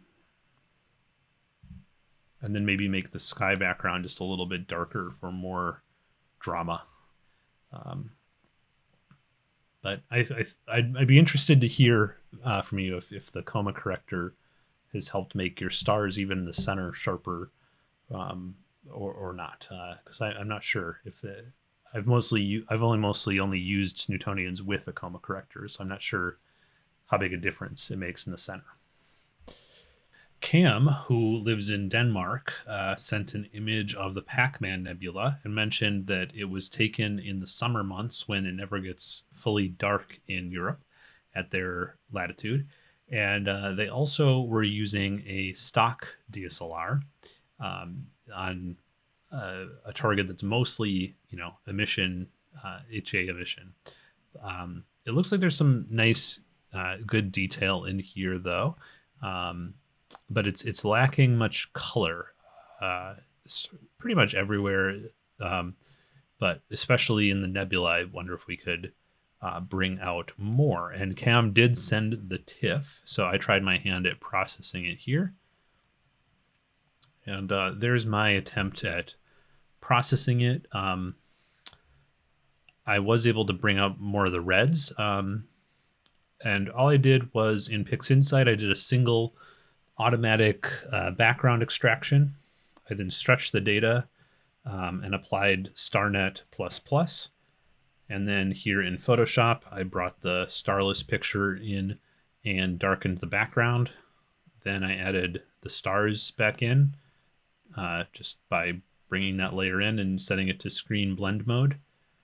And then uh, adjusted the saturation and the black point again. So pretty simple processing, um, but the data looks really good, really pretty clean for uh, being shot in the summer, and um, the collimation looks spot on. You can see the diffraction spikes is just a very classic uh, uh, sharp line diffraction spike. So good job, Cam.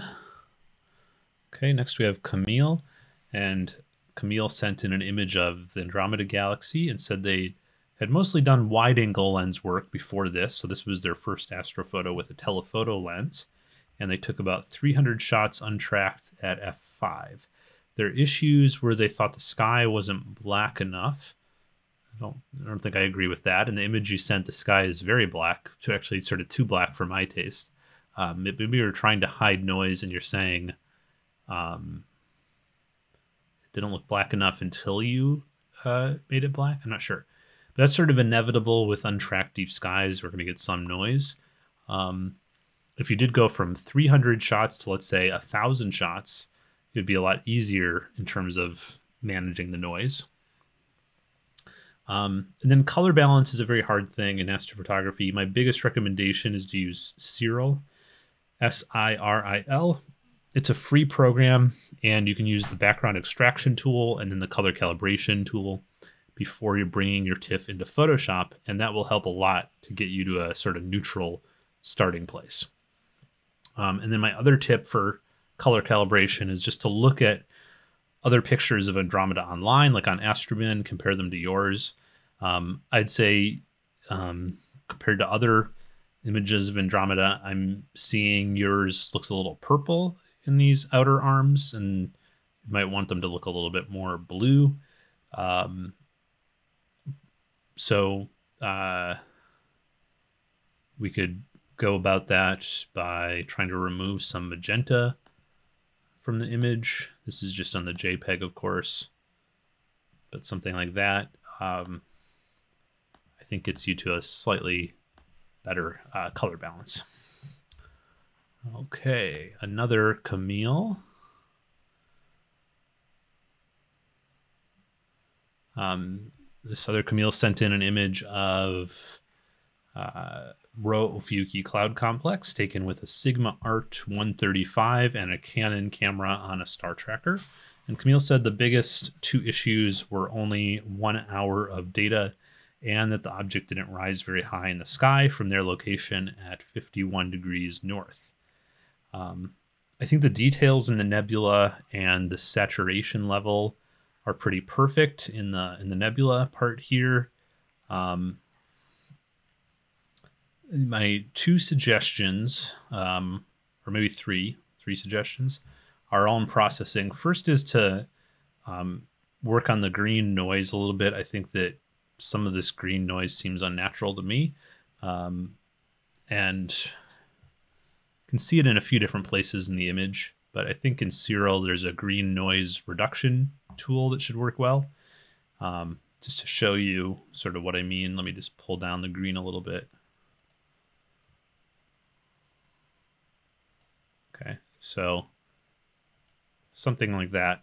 Um, and then my next suggestion is to back off on star reduction. So um, I just think this the small stars are too small in your image. Um, they're sort of, they're starting to look sort of like noise um, because they're so reduced.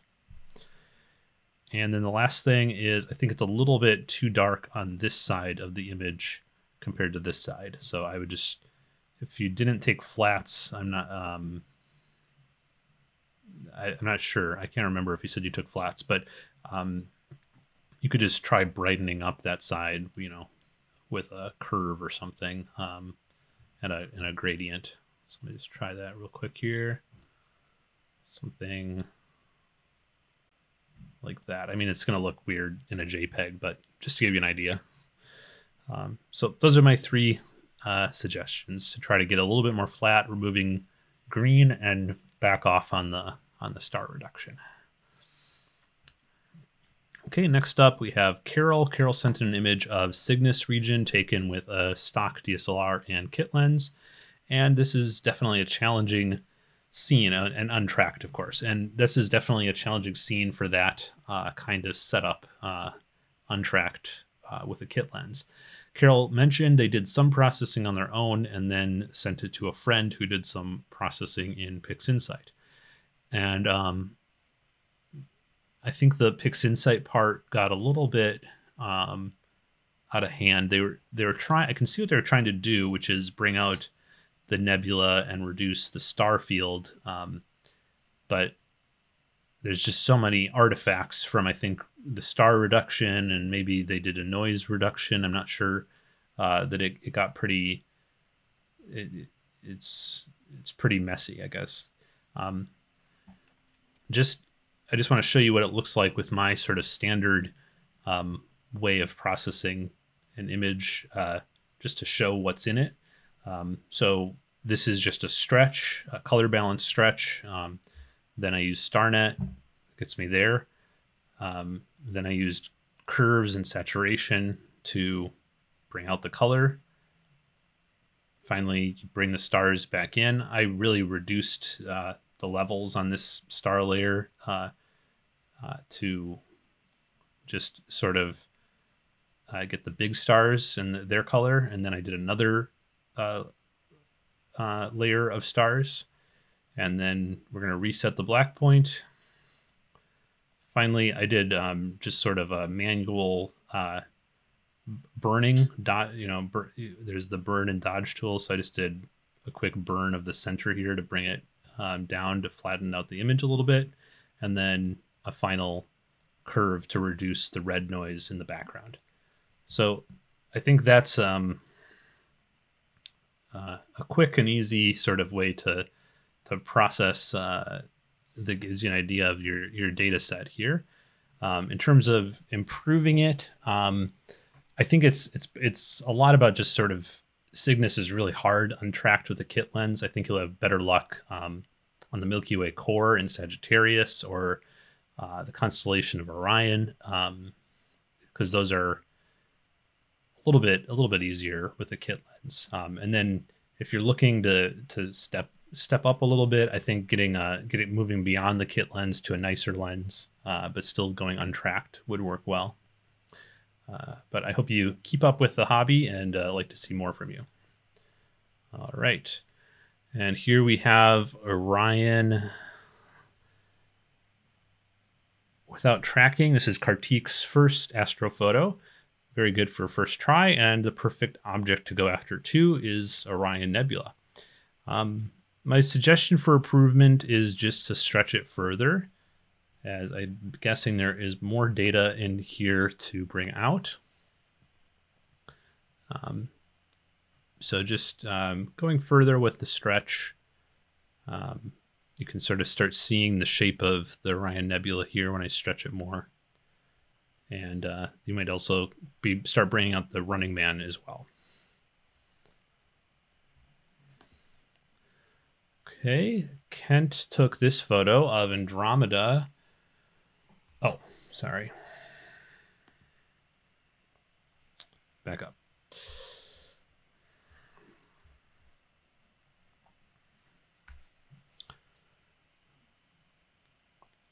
Okay, this is Kartik's first astrophoto, and it's very good for a first try.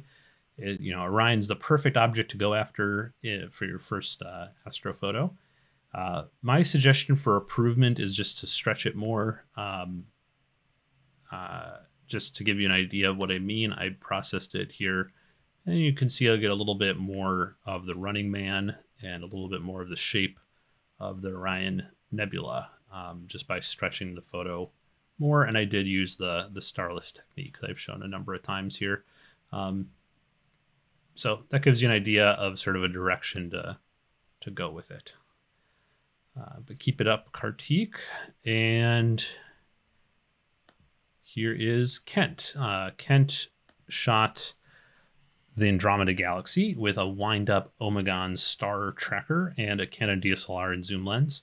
And Kent mentioned having issues with polar alignment due to only being at 9 degrees latitude. Was wondering if there's anything he could buy uh, to help with polar alignment. You know, nothing immediately comes to mind, um, but a whole series of videos on polar alignment is something I definitely want to do. But I have to research, you know, all the different ways myself. Um, I know there are more and more software assisted methods, uh, some of which don't require a view of Polaris. So I believe if you want to look into that, the free software Nina has an add-on module for plate solving without a view of the pole and some kind of polar alignment method there. I'm not sure how well it's going to work um, with a wind up Omegon tracker. Um, but I'll, I'll, pay attention to the channel and, and, hopefully I'll have a video on this at some point. I, I, think, but I think this already looks very good for the equipment that you're using. Um, in terms of uh, processing, I just would suggest damping, tamping down this um, uh, bright area over here. I'm not sure what it's from, but I just used a curve and a sort of uh, unusual mask I just made with a, a soft brush uh, to tamp down that uh, bright spot. And then I brought down the uh, overall darkness of the fo- of the background a little bit more after that. Um, it gives a little bit more of a dramatic look on on Andromeda. Okay, next up we have Kerman, and Kerman sent in a nice image of the lagoon and Trifid done untracked with a Rokinon 135 and Canon DSLR. And I'm very impressed that this is only six minutes integration from a Bortle 7 Sky because really pulled out a lot of detail uh, in just six minutes. Um, and the the one thing I'd say is just the the color is a little um, dull, maybe. Um, it's a little uh, feels like there's still a bit of sort of like overall red yellowishness to it. Um, so I went ahead and, and tried processing your photo uh, from scratch. And um, see I did a fair amount of sort of work here to even out the field because this was shot untracked. Um, so that's sort of par for the course with untracked. You get weird uh, things because you're constantly recentering it and all of that. But um, you know, if you had asked me, is this tracked or untracked data, I probably would have guessed tracked because it's really nice for six minutes from uh, 7. So um, I think you you have a, a really a good copy of the Rokinon lens here, and uh, I think you'll make some really nice images with it. Okay, next up we have Bell, a 15 year old astrophotographer from Arizona who sent a photo of the Rosette Nebula done with a Canon DSLR and zoom lens on an Omegon wind up tracker from a Bortle 8 Sky. So that, that combo I've been getting a lot here Canon DSLR, uh, Canon zoom lens, and an Omegon wind up tracker. I'm to have to try that out. Um, so for that setup, I think this looks really great my one advice is that it's very hard to do the rosette from a light polluted sky because um, it's hard to make the transition from the rosette to the dark darker part of the sky very natural since it, it does keep extending out there's very dim parts um, um, but you sort of have to pick where you're going to start to clip the data to black um, so anyways, um, it's it, but it's still it's still a good target for for bright skies because it's so the core part is so bright. Um, so here's my attempt at, at sort of doing a natural transition into the dark uh, parts of the sky. Um, it's not perfect, um, but uh, this is what what I came up with uh, using your data just to give you an idea one thing I'd say is um, on yours, it's a little bit crunchy, um, a little bit um, high contrast in here, um, which is so the, the rosette doesn't feel very filled in. Um, so what I was trying to do with mine is go a little bit softer. Um,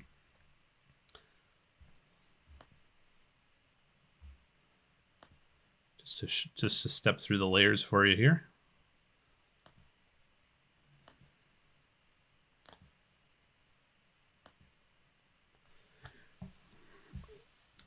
Okay. I think we use a lot of the same processing techniques. It's just a matter of, you know, the details of how you how you do it. Um, next up, we have Crinchy. Crinchy shot the Andromeda Galaxy at f2 with a Yashica 50 millimeter lens on a Canon 60D. And uh, this is really nice processing. Um, this was uh, there, there's Crinchy pointed out that there's very strong distortion here on the stars in the corners, um, and that's you know really common with a fast 50 millimeter lens when you shoot it uh, wide open like this. Um, I actually, I you know, the, it's the same thing on the Canon Nifty 50 if you shoot that at f 1.8. I actually think though that it looks sort of cool uh, in this kind of shot where the galaxy is centered like this because the distortion is so regular, you know, that it almost looks like a warp drive effect of like the, you know, in Star Trek when you sort of enter warp speed and it, and the stars start to to streak uh, on the sides like this. Um, so that's one way of, of thinking about it that maybe will uh, make you in, enjoy enjoy the distortion a little bit. Um, but to get yeah to get rid of it, you'd probably have to start tracking and and stop down the lens quite a bit. Um, maybe like to f four, f five point six, something like that. Um, and then but then you're stopping down the lens so much that you're going to want to track to get the long exposures. Um, Crinchy said he also uh, has uh, kit lens. Was wondering if this is better or worse than the kit lens. I'm guessing this is going to be better than the kit lens, so I'd stick with I'd stick with this one. Okay. And uh, this was sent to me by Kunal. Kunal sent in uh, here the California Nebula taken only with a cell phone untracked. Um, so that's cool. I've never thought of the, of doing the California Nebula untracked with a smartphone. Um, I never thought I'd see it. Um, so, uh, because just because it's a very diffuse nebula, and I didn't think that a smartphone would pick it up with its small pixels and small lens. But there we are. Um, Kunal sent their tracked, uh, their stacked uh, TIFF file. They so they stacked a bunch of pictures together from their phone, and um, I thought that was pretty interesting. I went for a larger crop here, um, including the Hyades and the Pleiades, um, and the California Nebula over there. Um, so I, I really like the wide shots like this. So when I saw that this was wide, I couldn't help but uh, try to present it in this sort of wide field. Um, but you still sort of see the the California Nebula there. I did I did boost its saturation a little bit when I saw it. Um, yeah. So thanks thanks for sending this Kunal. This is really cool. Okay, and Larry captured the Eastern Veil Nebula with a refractor telescope, a ZWO 294MC, and an L Extreme filter. this is one hour and 10 minutes total from a Bortle 5. And Larry noted he sometimes feels that he overprocesses, and if I have any tips for that. Um, sure. So I'd say the two areas where I feel um, most people overprocess, and it's what I would say you're saying uh, you're overprocessing here is um, in saturation and in contrast. Um, and so saturation is easy enough to show. I can just go in here and, you know, bring down saturation. Um, and that, that gives you some idea of, you know, what we mean when we say it's oversaturated. But this is just the JPEG, so you're only getting sort of half the picture here. But really, it's it's like it's a very delicate thing because um, just changing it, you know, this much minus eight versus that might be all you really need to do. Something around there.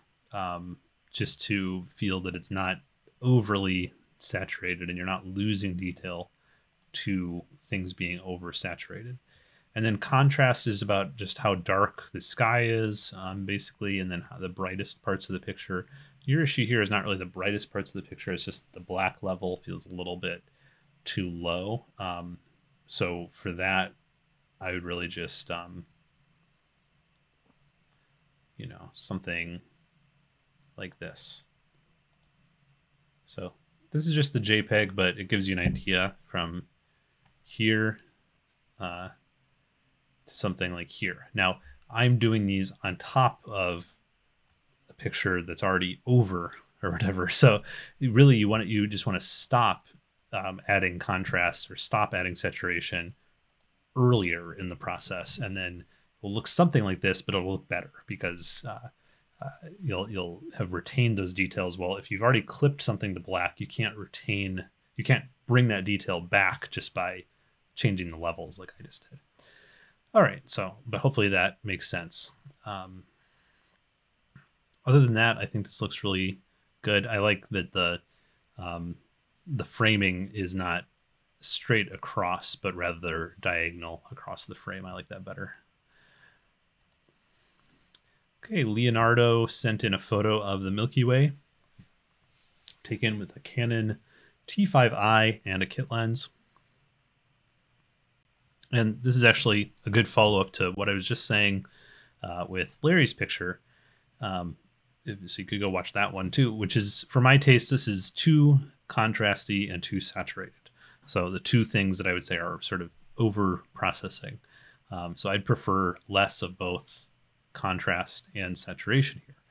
Um, but again, it comes down to personal taste. So I'd encourage uh, Leonardo to try doing less, try doing a more subtle edit of your picture and see what you think. See if you like it more. See if you, or maybe you like it less. Maybe this is um, exactly how you want it to to look. So, um, but again, by doing a more subtle edit, not stretching the highlights of the stars quite as bright, um, and and and not making the dark um, parts perfectly black, um, you often can keep things you keep things more in the middle of the tonal range, and you can see more detail. Um, because when you take a star and make it completely white, you lose all color. When you make a dark nebula or whatever completely black, then you again are losing gradations of color in there that might exist.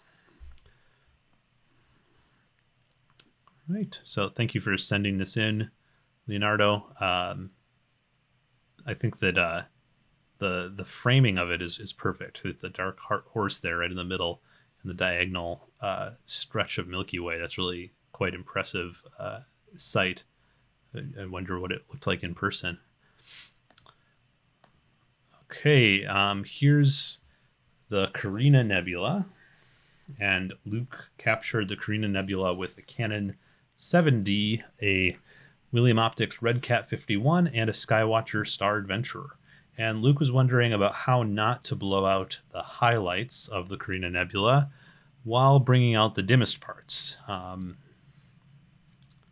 so there are a number of ways that can be done. Uh, one is, you know, you can use only masks to target the dim parts, bring those out um, just by selecting, you know, just the things you want and then processing just those using a mask. Um, it, it usually uh, requires fairly complex masks, um, but it's possible. Another way is, you know, you take shorter exposures, uh, like 10 second exposures for a part that you know is very bright. Um, and then you use an HDR technique to bring those back in.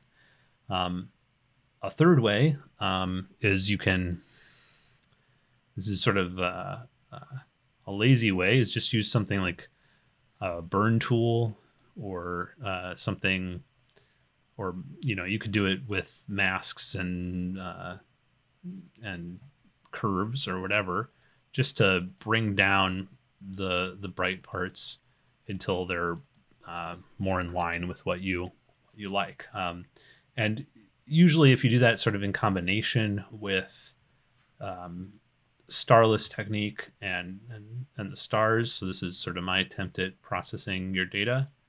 You can get a fair amount of detail uh, to pop out. Um, so here's the background, and I did do a little bit of um, burning on the keyhole region there. And then I saturated it and then just added the stars back in.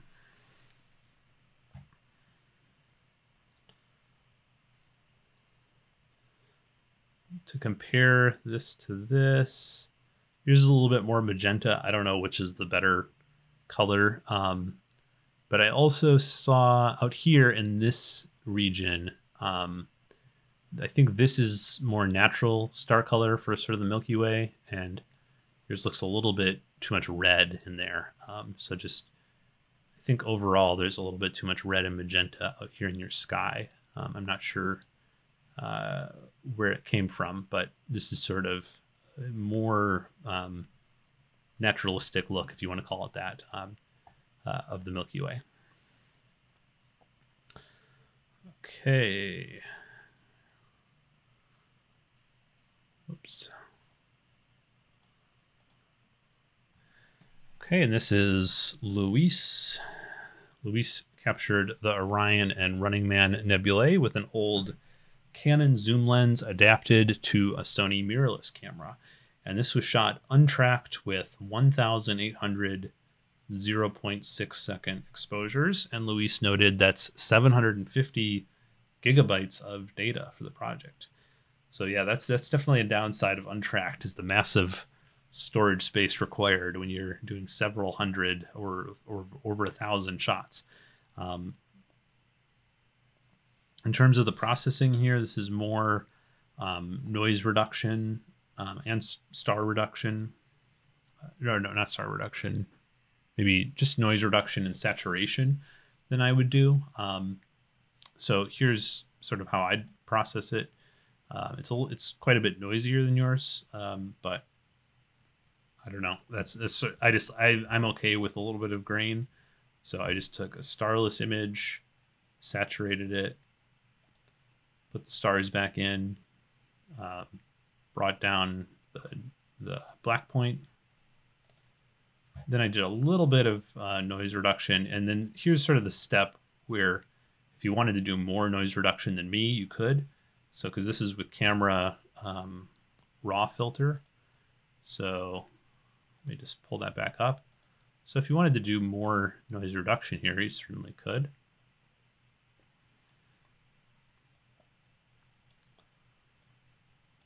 I'm just going to pile on a bit more.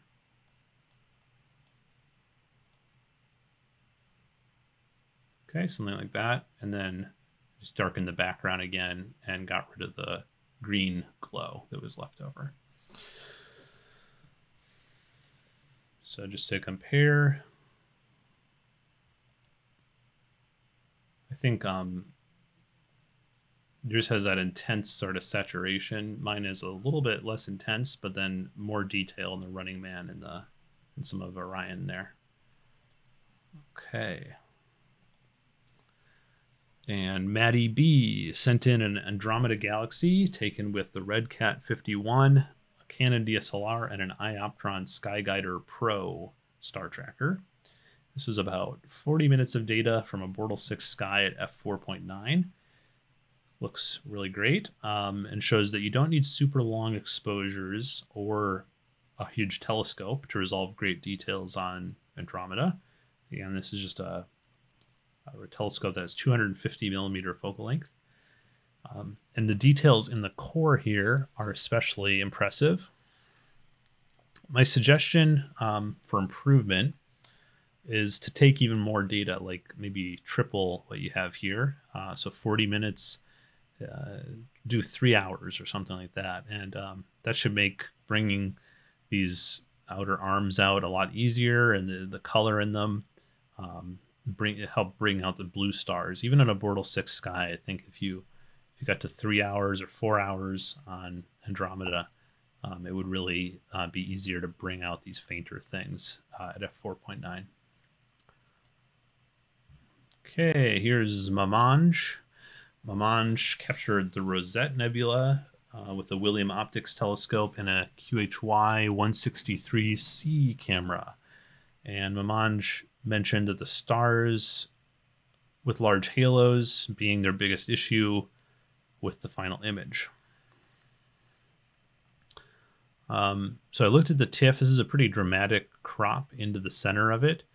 Um, and that's one of the drawbacks of cropping in uh, is the stars will look bigger in proportion because they're taking up more of the image real estate proportionally.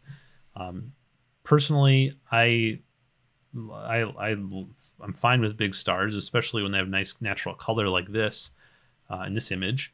Um, so I don't I don't really mind um, them having nice natural big halos. Um, it's funny when I started astrophotography, I always was after the smallest stars possible, and now I'm appreciating bigger stars more, and I even use diffusion filters uh, to produce big stars for my wide angle shots. Um, but anyways, uh, the two things that stand out to me about this image for critique are that it should be a bit brighter. So I tried to do that here, and um, that's easy to fix with just a uh, curve. So there's my curve. And then the other thing I noticed when I was doing that curve is that the sky background was a little bit too blue. So I just fixed that with slightly changing the black point on the blue curve. And that's that's it. Just two quick uh, fixes. Make the image brighter and change the black point a little bit. Okay, and then we have Mark. And Mark sent in an image of the Pac Man Nebula taken with a ZWO 533 MC camera, an L Extreme filter, and a Skywatcher Newtonian telescope on a Skywatcher mount. And this was during full moon from a light polluted city. And I think um, it came out very well. Um, my first feeling was I wanted to change the intense orange color, as it's not a t- color I've typically used um, in astrophotography. Sorry. My first feeling was that I wanted to change the intense uh, sort of orange color here because that's not a color that I've typically used in my astrophotography. Um, but the more I looked at this image, the more I thought that this orange and uh, purplish blue uh, really worked well for this object. And I, I don't always like pictures of the Pac-Man Nebula, but I like this one. So uh, the orange must be working for it. Mark asked about the star color, and I think it's okay to have some star color in narrowband, as, as long as you know the stars are pretty small as they are in this image. Um, how I treat the stars depends on the image. Sometimes I think narrowband looks better with just white stars, so you could just pull them from the HA. Other times, you know, pulling in star color from the narrowband data, even if it's not fully accurate uh, to the color of the stars themselves looks nice. And sometimes going out and really getting real star color by shooting, you know, with a color camera, you can shoot without a filter or with an IR cut filter. Um, and getting the real star color is good. I've had limited success doing that with uh, from a city, but if you can ever get away from the city, shoot from a dark sky, uh, I think you'll you'll get good star color that way. So, anyways, that's a bunch of words to say. I don't really have much of a critique for this image other than um, my personal preference would be to back off the saturation just a little bit. Let me just try backing it off um, 10%. Yeah, something like that is sort of where I'd rather end up. Um, okay, thanks for sending that one in. Okay, Mario sent in an image of the Lagoon and Trifid nebulae taken from, uh, let's see here, they're taken with, sorry, a ZWO 294 MC, a 61 millimeter refractor, and an IDAS NBZ filter, which I believe is a dual narrowband filter, which isolates the HA and O3 emission lines. And it's great how you have this HA bridge here between the lagoon and this nebula up here. Um, I really like how that looks. Uh, my only nitpick with this image is if I zoom in, there's a lot of just like pure red stars. Um, so I'd probably desaturate those a bit just because they think they look like noise. Um, that's about it. Um, you know, another possible option is if you drive somewhere dark, is to combine this image done with a dual narrowband filter with an unfiltered image. Because uh, another thing this image is missing out on a little bit is some of the extended blue reflection nebula here in the Trifid, um, but also the yellows and golds that you get from natural star color. Um, and that's you know especially true over here because this is the Milky Way. Um, so yeah, to get that natural star color, maybe just using an IR cut filter with your 294 if you have one. um, would be good. Um, but again, like I said, the last critique, I've, I found getting the natural star color uh, really sort of requires darker skies usually.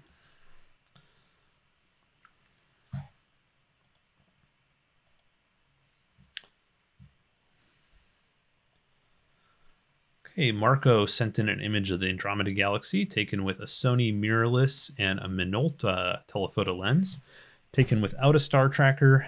Um, my two suggestions for Marco here are to ease off on the contrast. The black is level is very dark, um, and then the stars and galaxy are very punchy, very bright. Um,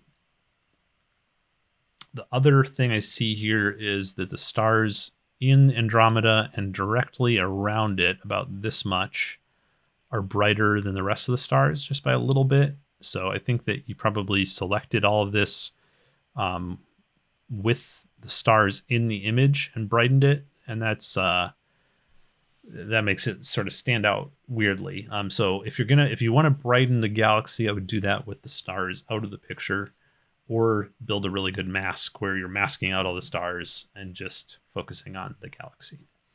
Um, so either strategy, building a really good mask where you're you're only selecting the galaxy and not the stars can work, or working on the stars and the galaxy separately can work too. And Marcus. Marcus captured the Rosette Nebula with a full frame stock Nikon DSLR a Samyang 135 f2 lens, and a Skywatcher Star Adventurer. It, and it, it, definitely shows uh, how the Rosette is this bright, beautiful little nebula in the in this huge field of stars um, that are pretty non-distinct. It's in monoceros, so it's not there's not a lot of like um, asterisms going on. Um, so it's an interesting uh, framing.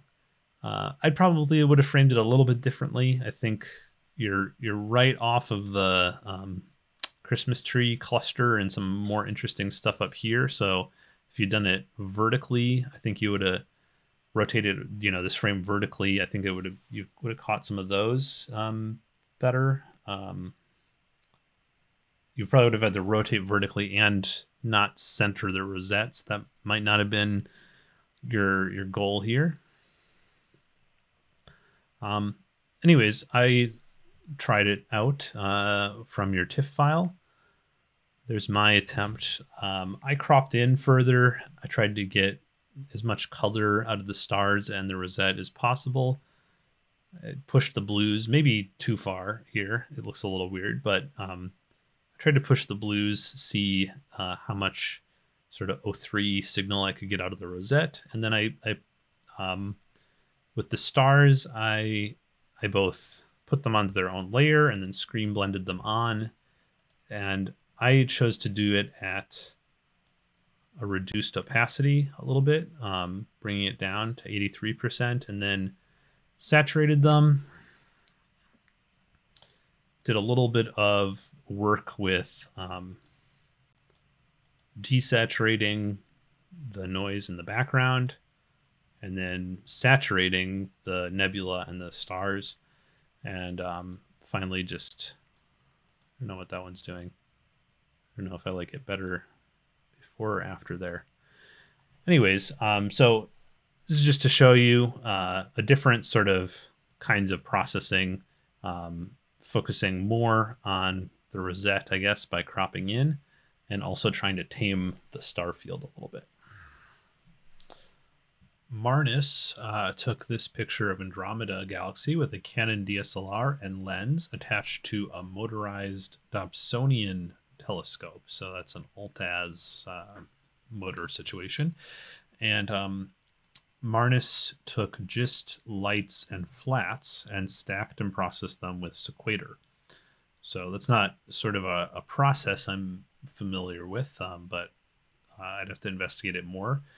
Uh, to say what I think about it. Um, Marnus was wondering about these lines all over the picture of red, green, and blue. Um, to me, what those look like are hot pixels that uh, didn't get rejected um, by Sequator, um, and also didn't get rejected because you didn't use dark frame. So if, if you use a, a, a temperature matched dark frame, what should happen is if there's a hot pixel like like these uh, ones, then they should get uh, rejected uh, by the the dark frame, which will have the same hot pixel if it's a the same exposure length and same temperature. Um, so without doing that, um, what's going on here is after you stack all of your pictures together, those dark frame, uh, those hot pixels form these lines because um, there's drift uh, across the night. Drift both um, from the tracking not being perfect, but also some rotational drift.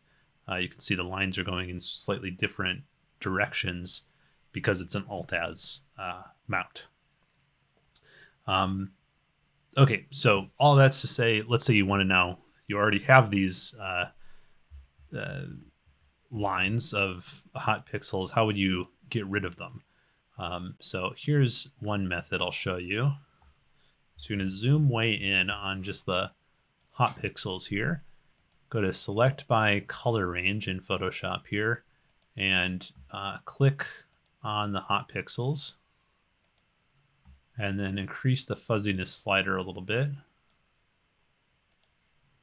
Let's look at the selection now. So you can see it selected that line pretty well. Okay, I'm going to click OK. And then I'm going to expand that selection just a little bit by going to Select, Modify, Expand by 2 pixels. Okay, and then I'll feather that by 1 pixel.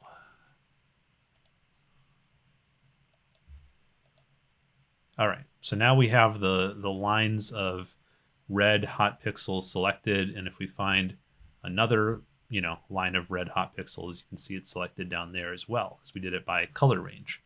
Then we just go to Edit, Fill, and choose Content Aware, and this will take a little while. But what it's going to do is across the image, everywhere where we have that selection of those red hot pixels, it's going to do a, a fill command to get rid of them. Um, and then we would just do the same thing for the blue and for the green uh, to get rid of all of those uh, streaks of hot pixels. But you can see now uh, all the red ones are gone, and then we would just repeat that for the blue and the, the green ones. Okay, hope that helps. Let me go on to the next one here. And this one is Martin Yu. And Martin Yu sent a photo of the Cygnus Loop uh, supernova remnant taken with a Pentax camera, Sigma lens, and a Skywatcher Star Adventurer. And Martin, you mentioned there being a lot of stars and wishing he could eliminate them. Um, so, yeah, that's a big issue when shooting the veil with a camera lens is just how many stars there are and how dense that star field is. Makes it hard to process uh, without the star field sort of taking over the shot, but I think you did a really nice job here. Um, my one critique uh, is I think I'd like uh, a slightly bigger crop if you have one. So like, especially on this side, it feels that the um, I always get these mixed up. Well, whatever veil this is, this veil seems very close to the edge. So if we could just expand the crop a little bit, I think it would look a little better.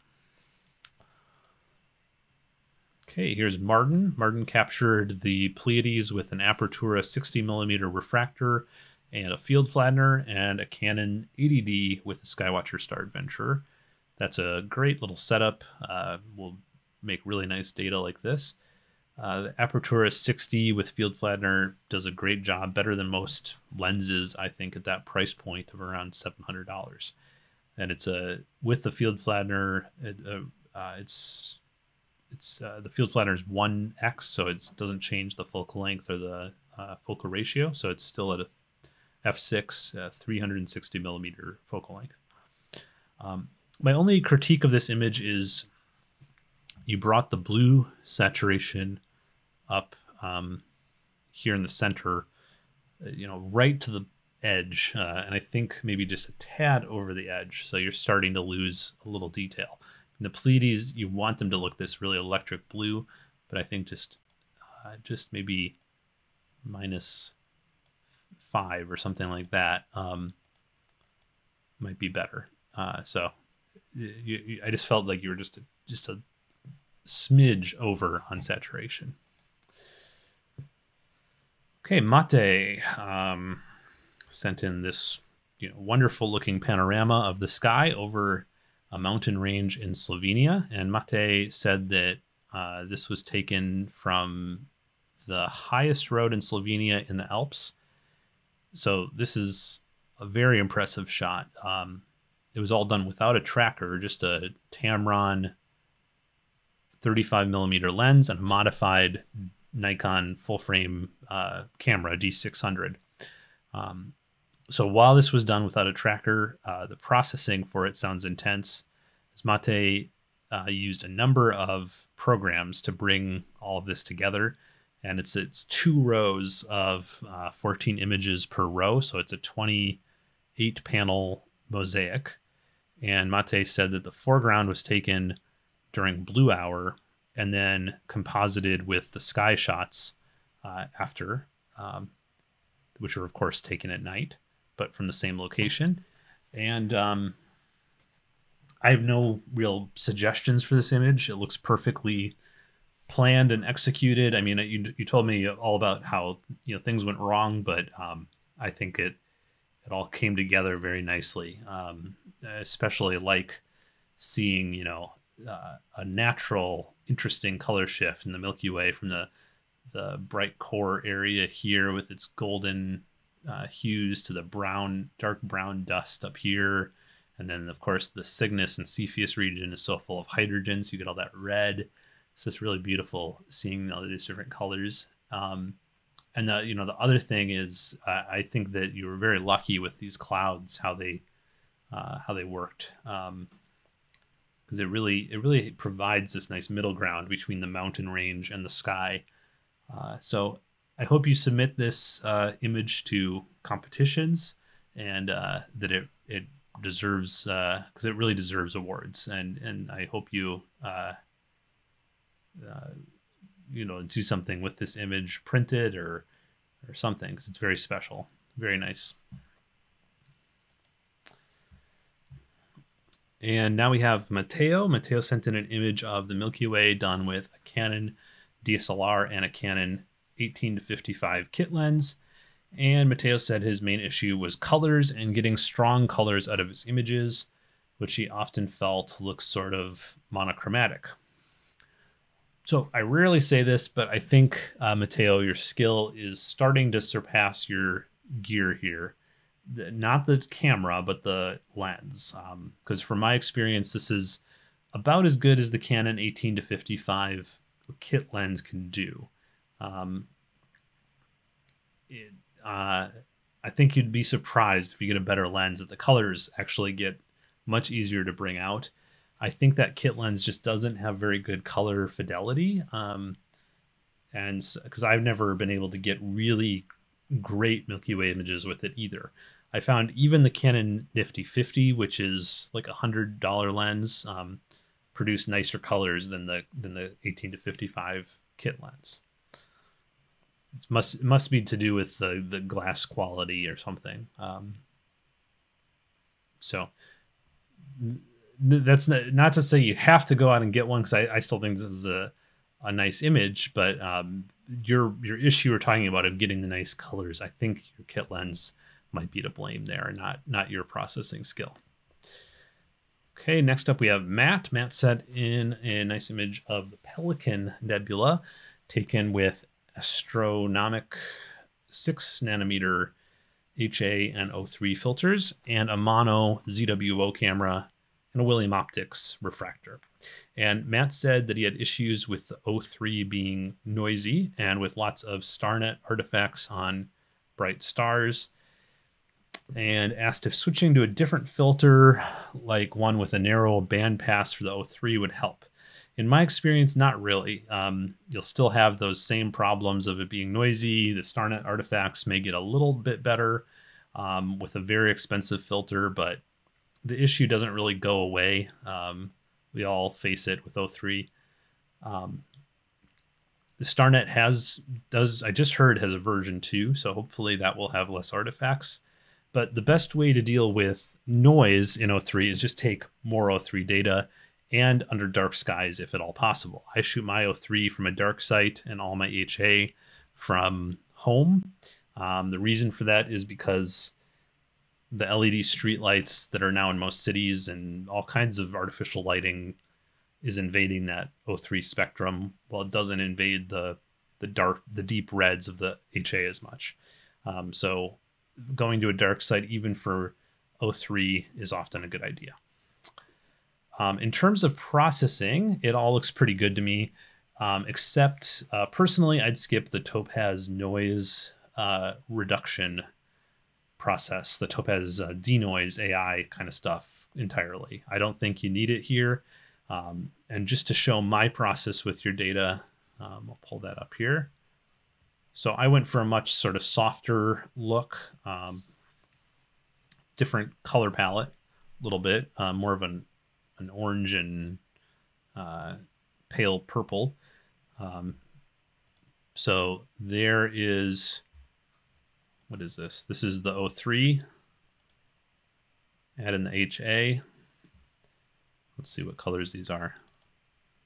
For the O3, I went a hue of 222. And for the HA, a hue of 6.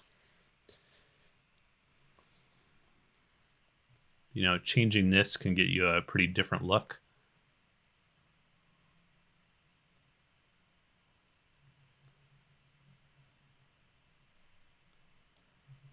This is just one way of combining starless data.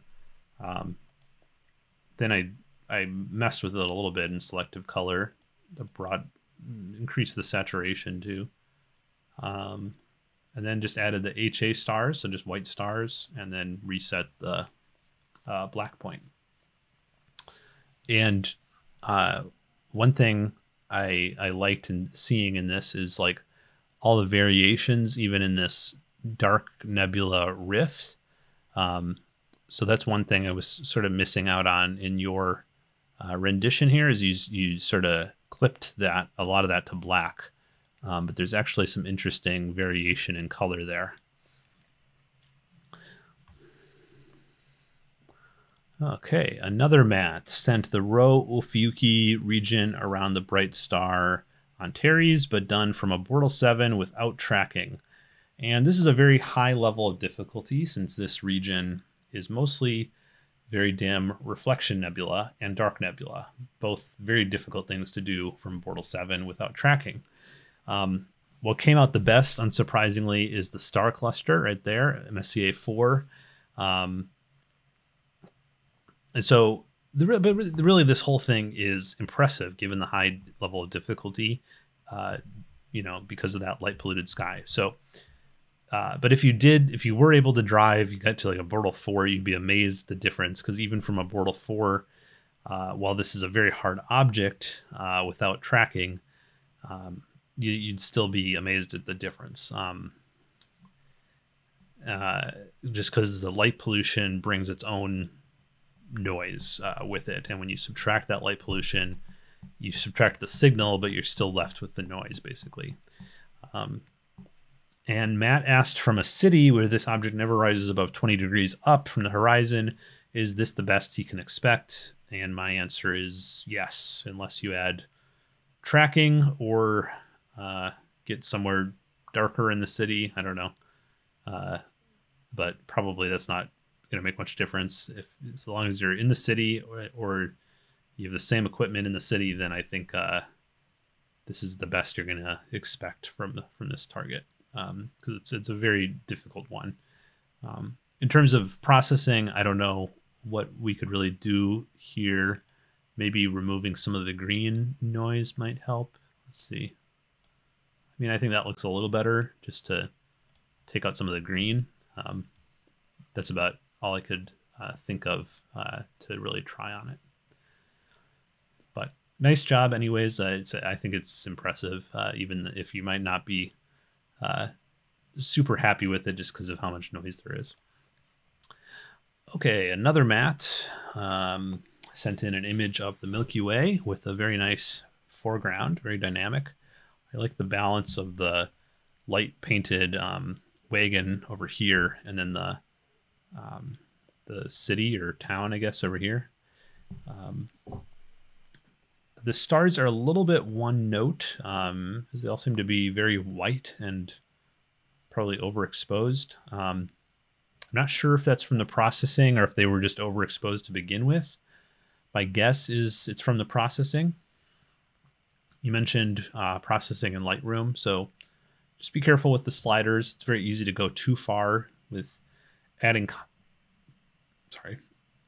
Just be careful with the sliders. It's very easy to go too far with adding, you know, contrast, and you'll actually see more detail by keeping the contrast more restrained, not not pushing your highlights uh, so much so that all your stars sort of get white like this, um, uh, which is even more noticeable sort of over in this region. Okay. Mattia sent in an image of the North America and the Pelican region taken with a Skywatcher AZ GTI and a Canon DSLR with a 75 to 300 zoom lens from a pretty light polluted city sky. Um, so this looks pretty good. I think the framing is very nice for this uh, focal length. I definitely know this temptation we all have to really push uh, the data, um, but at a certain point, the data is what it is. You can't push it any further. and I think the limitation that Mattia is facing here is not their processing skill, but the light pollution uh, level. Um, so one of those dual narrowband filters like the L-Enhance would do wonders, I think, for you, Mattia, with this scene. Um, but anyways, here's how much I would push your data personally uh, before stopping. Um, so it's just a little bit more restrained than what you did in terms of contrast and saturation. So pretty, I think, similar processing choices, just not going as far with them. Maddie S. Um, captured the Crescent Nebula with a modified Canon DSLR, an SVBony light pollution filter, and the William Optics 73 millimeter refractor. And I think this looks great. My one suggestion is to play with the color balance a bit more. Um, while this whole region is filled with red nebulosity, I think the shadows are a bit too red. Um, and I'd also boost the mids in the blue channel just to show you what that can look like. Here's just playing with the JPEG. So just boosting the blue and resetting the the red's uh, black level, and uh, I think you'll you'll get a lot more out of this uh, with the TIFF. So just to show you, there's before, it's just a little bit too red in the shadows there's after, and you can see some of these interesting blue parts coming out by boosting the blue. And uh, yeah, that's it. Um, other than that, I think it looks great. Okay, next up we have Max. And uh, this was very tricky data to work with. Um, this is my best attempt to subtract the background, and you can still see there's even with my best attempt, there's still some color shifts here and unevenness that would have to be worked out. So, uh, given that difficulty, I think this is a really good job at processing this uh, data. Um, if there was a way to make the transition from the galaxy to the background sky a little bit more subtle, um, I think that would be good. Um, but you you really pulled out all the details that were that were in there. Um, I found. Uh, so good job with the with the processing here. And another Max. This uh, is a nice Milky Way nightscape done with a Sony mirrorless camera and a Laowa lens stopped down to f5.6. But Max made a barn door tracker, so the Milky Way is actually three five minute shots tracked with the barn door tracker. And I think um, it looks good. It's an interesting foreground with uh, these crops or whatever these are over here. Um, and, you know, I, I think that the the f- sort of foggy light pollution looks natural. Nice way to transition into the foreground. Um, Max was wondering why all the stars were white and was wondering if that was in capture or in processing. So I started, I I wasn't going to do the full, uh, you know, uh, composite like you did here, but I just cropped out the Milky Way and started processing that in PixInsight. And just to show you that uh, there's indeed plenty of good star color in your images. Uh, uh, so it's all just about processing. And, and most of the, the processing I did here was uh, trying to find a good uh, color balance, uh, but mostly just gradient removal. You know, PixInsight has this automatic gradient removal tool uh, called the automatic background extractor. If you're looking for a free program to do that, Siril has it too. Um,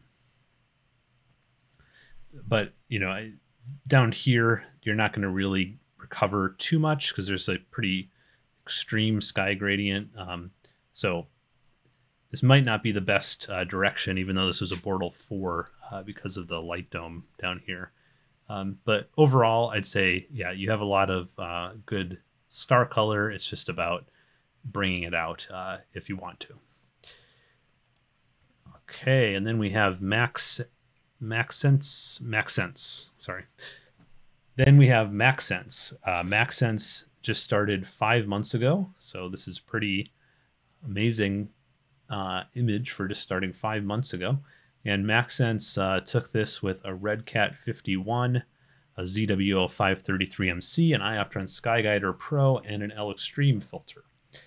And Maxsense asked if it was over sharpened. Um, and yes, uh, they made my job easy, as that's the, my one issue with this image is the over sharpening. Um, Maxsense said they sharpened with multi-scale linear transform and a lightness mask.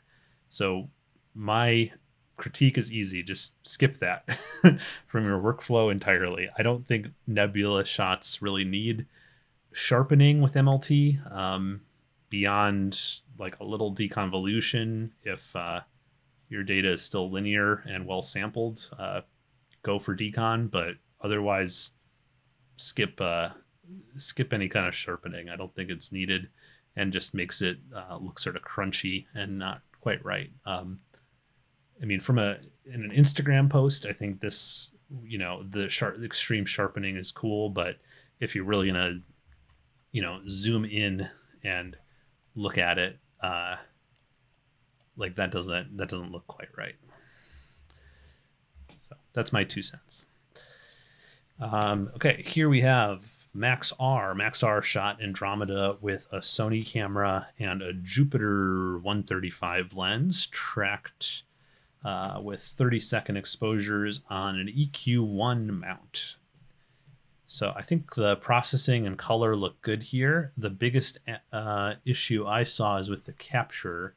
You can see all the stars, um, zoom in, are trailed in the same direction. See how they're all trailed like this uh, down and to the right. So when you see trailing all in the same direction, it's either a matter of the mount isn't um, accurate enough for 30 second exposures or your polar alignment was not on enough and you're getting drift that way. Either way, if you see trailing like this, you're better off using shorter exposures uh, and higher ISO. So, you know, if you're doing 30 second exposures at ISO 1600, do try 15 second exposures at ISO 3200. And uh, if you see you know less trailing that way, uh, you'll get a sharper picture overall. And next we have Mete. And Mete sent an image of the lagoon and Trifid shot with a 135 millimeter lens and a Nikon D5300, but without tracking. And Mete said they followed my processing steps exactly uh, from my Lagoon uh, Nebula uh, untracked uh, video. So I think that it's no wonder that I like the result because they, uh, if you use sort of my techniques uh, exactly, I'm probably going to like how it looks. Um, the only thing I'd change here is I think the blacks are too blue. Like if we look over here and down here, they look too blue to me. So I'm just going to take a blue curve and do that. And that's it. Okay, next we have Michael. Michael captured the cat's paw and the lobster nebulae from the southern hemisphere. I think it looks very good. Um, personally, I do less saturation. So let's just try that here on uh, Michael's image. Now on a JPEG, that's not going to look quite right. Um, but Michael actually did send me their um, uh, TIFF. So here's how I processed it, just to show you. So the the nebulae are still pretty, um, pro, you know, saturated, but I'm just doing uh, less saturation out here in the Milky Way. Uh, so it's it's pretty similar, but just a little bit different. Um, just a little different, different look, different look overall. Okay, and what else did Michael say here? Michael mentioned having trouble with polar alignment in the southern hemisphere using the octans and the reticule in Star Adventurer.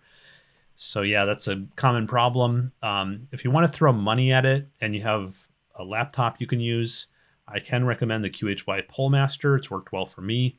It's an electronic polar scope, um, just so it's a gadget that works well.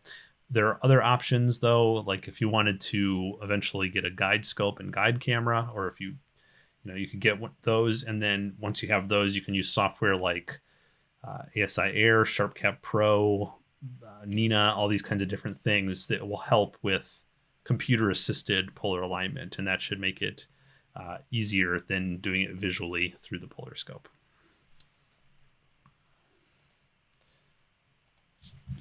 This is from Miguel. Miguel asked about his stars um, being bloated and about color balance. Um, so, color balance with Photoshop is hard. I don't really have any great solution other than just trusting what you think it should look like um, and then using any tools necessary, uh, you know, like color balance or uh, selective color or whatever it is uh, to get you to what you think it should look like.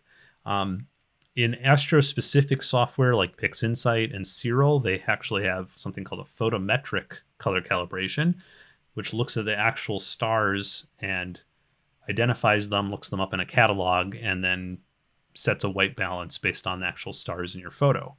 Um, last thing you can do, of course, is look at reference photos of the of the galaxy from things like NASA or whatever, and uh, try to match that. Uh, with the star bloating issue, I noticed um, most of the bloat is happening in the blue and the violet. Um, so uh, Photoshop has a nice tool uh, for sort of managing that. Um,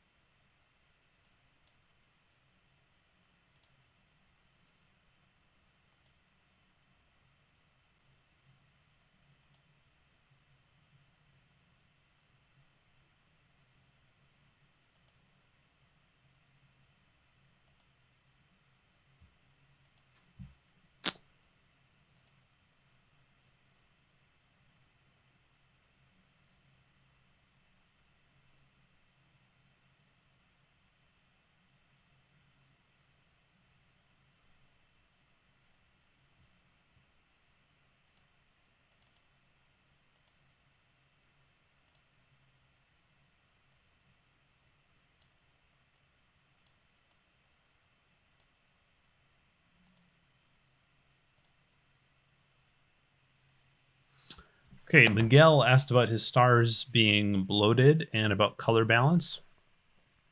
Color balance with Photoshop is hard. I don't have any really um, great solution other than just trusting what you think it should look like and then using any tools necessary to get you there.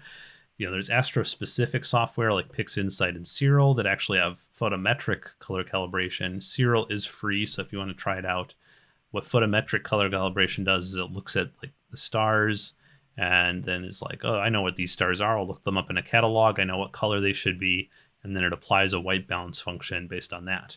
Um, other than that, I think it's just you know looking at reference photos and and trying your best with color balance. In terms of the star bloating, um, I don't know if you already used this, but there's the camera raw filter with its uh, defringe, and so you can try to you know if this the for the blue and purple stars you can try to reduce them a little bit with that.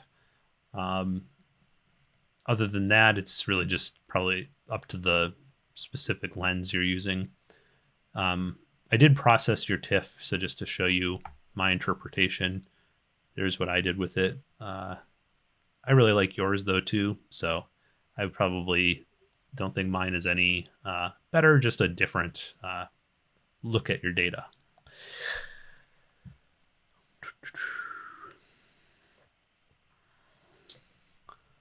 all right, next up we have Mihalo. And Mihalo sent in an image of the Milky Way taken with the Nikon DSLR and kit lens on a Skywatcher Star Adventurer. And Mihalo mentioned they had an issue with the t-shirt method of taking flats because they could see the threads in the flats uh, from the t-shirt.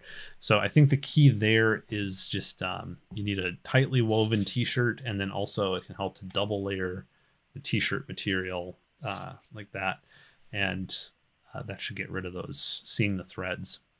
Um, Hello said their other problem was with the unevenness, with some parts being darker and some brighter. And yes, that's a common problem. Um, I'd suggest looking into PixInsight or Siril. Siril is free. They both have background extraction tools that work really well for getting a flatter, cleaner result um, that I can ever do in Photoshop.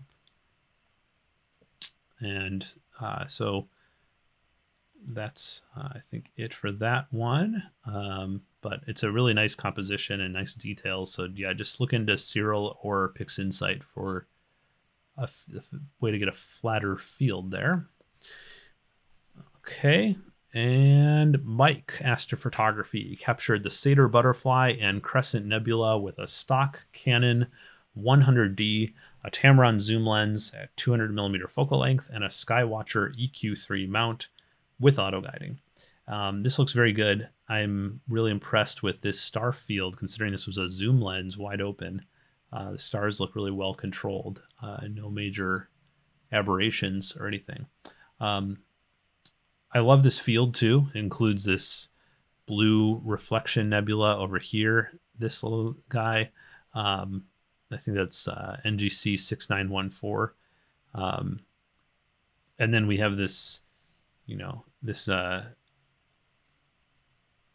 nice uh, bridge, uh, you know, between that and Sadr and this other nebulosity and the crescent up here. So I just think this this field is great. Um, the the only thing uh, I'm I'm thinking is I wonder if you rotated the field slightly, if you could have gotten the crescent away from the edge, I mean, that might have looked a little bit better. But I don't mind it. You know, the crescent being close to the edge, it almost looks like it's like trying to escape the photo. Um, so uh, yeah, good job. Um, let's go on to the next one here. And this is Milo Quisp. Milo Quisp captured the Eagle and Omega nebulae with a RedCat 51 and a Nikon DSLR with an Optolong L-Enhance filter on a Skywatcher Star Adventurer mount. And it's from a red zone shooting 125 second long exposures at ISO 2000. I really like this composition, uh, you know, with the, the Eagle and Omega.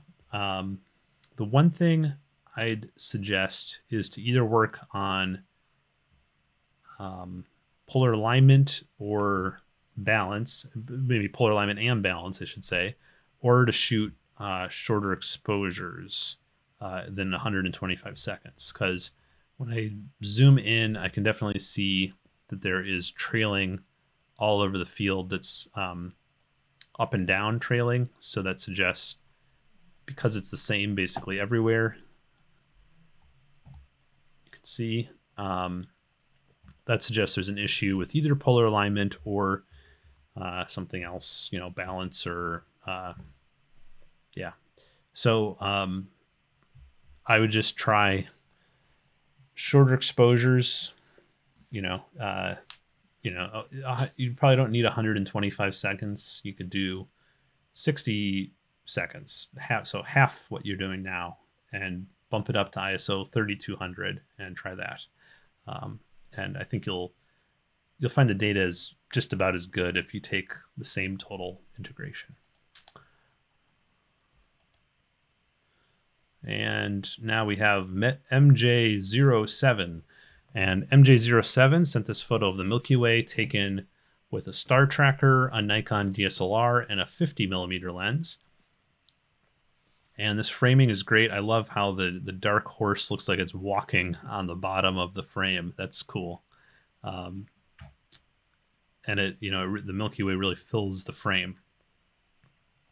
With the processing, I think uh, this orange here uh, is too much. It's too saturated. Um, but then the the big thing is that it's it's a too big of a saturation shift from here to here. Uh, that and then there's sort of like an artificial line all of a sudden where it's happening right there. Um, so I tried to sort of uh, tone down and then tone up this just to sort of show you where where I'd go uh, with this. Um, just try to make the whole thing flatter in terms of saturation. I think that you know you your nebulae are highly saturated, and that's fine. I think that looks good. But in terms of the Milky Way, um, back off on that sort of selective saturation and just keep it more more natural. All right, Naveen sent in an image of the Iris Nebula in Cepheus with a taken with a uh, ZWO 533MC and a William Optics 73 millimeter refractor. Um, so, like uh, the last photo, um, the saturation balance seems a little bit off here to me. Um, the blue reflection nebula uh, you know, here looks this is the iris, but then this the blue part here just looks super saturated to me. But then the rest of the image, like the blue stars out here, barely seem to have any saturation. So it just like looks a little artificial when the saturation in one part doesn't match the other part. But I do like how the blue reflection nebula looks. So what I would recommend to Naveen is to just saturate the rest of the image like they saturated this part.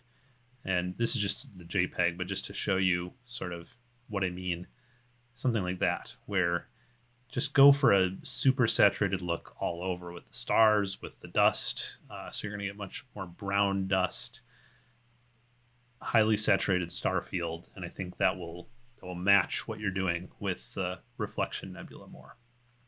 Um, but the rest of your processing uh, what you're doing here with the star repair you described and the the noise reduction and stuff like that, I think all looks looks really good. So that's my one recommendation is the saturation uh, balance between the the reflection nebula and the rest of the field.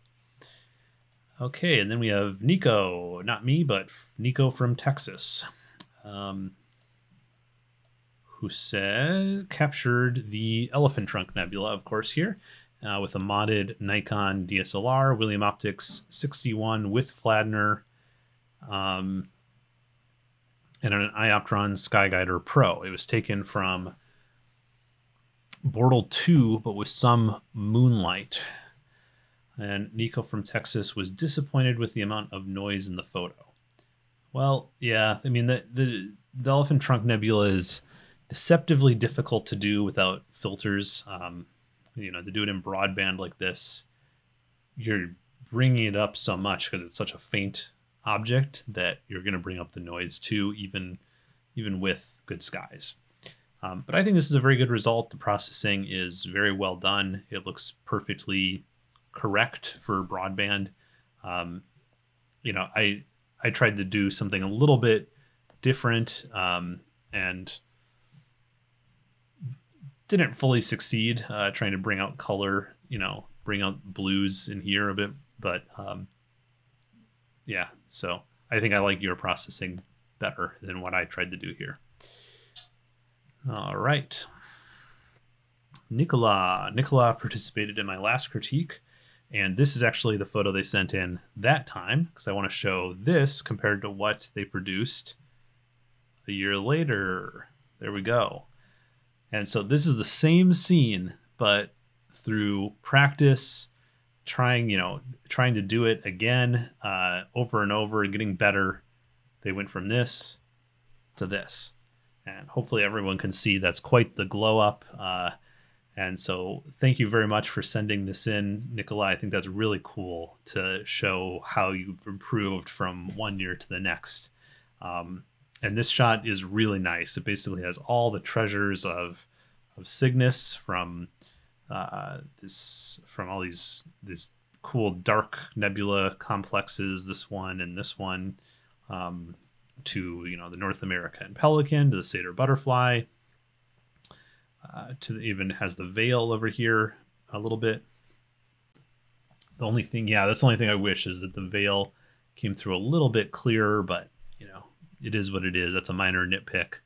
Uh, I love how the star field looks here with just like so many stars, uh, but doesn't feel uh, like too much to me. I mean, it just feels right. Um, and I think that is because you wisely uh, stop down the lens uh, to get the stars nice and sharp, which is is really cool. I, I, I have to try more of that to do tracked exposures with a, a stop down lens to get a really nice uh, nice tight stars, but tons of them everywhere.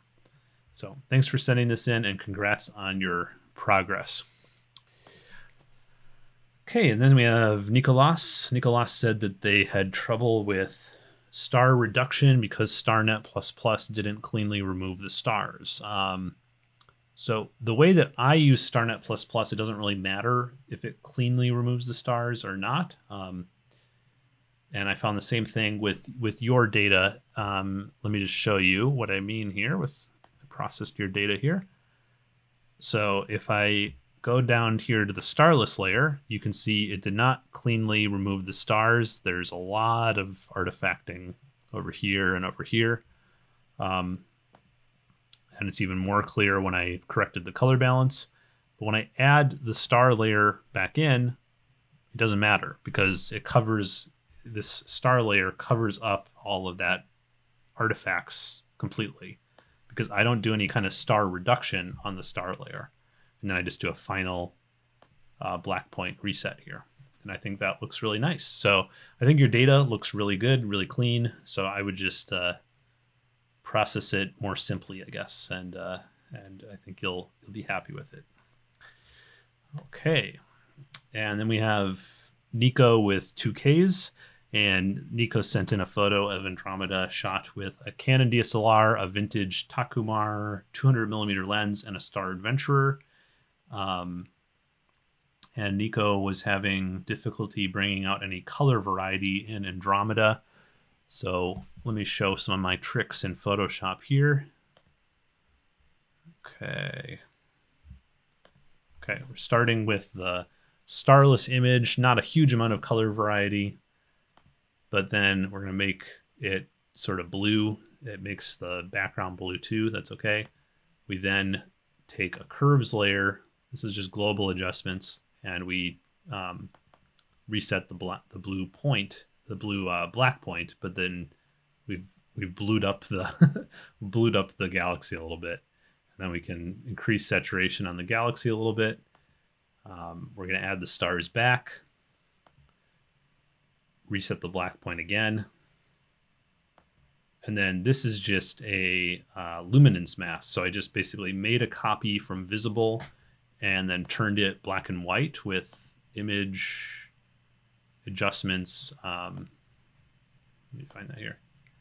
Image adjustments, black and white filter. Then I copy this um, black and white luminance mask onto here, onto a, the mask for a hue slash saturation layer. Then I turn this off. So now this hue slash saturation layer is affecting everything below. And then I just increase the saturation on uh, the bright parts of the image. And so that's how I got more color variety into your Andromeda shot. Uh, hopefully you could follow that. Uh, and, and hopefully also it's a little bit more simple than maybe what I showed in the Andromeda video, which watching watching it back, I think I, I go through too many steps and masks and things, and this is hopefully a little simpler. All right. Next we have Nix Shutter. Nix Shutter, or is it maybe it's Nix Shutter? Um, anyways, they shot the Ophiuchus region untracked with a Canon 200D and a 50 millimeter lens. And they asked to see what I could do with their linear TIFF file. So here's what I came up with.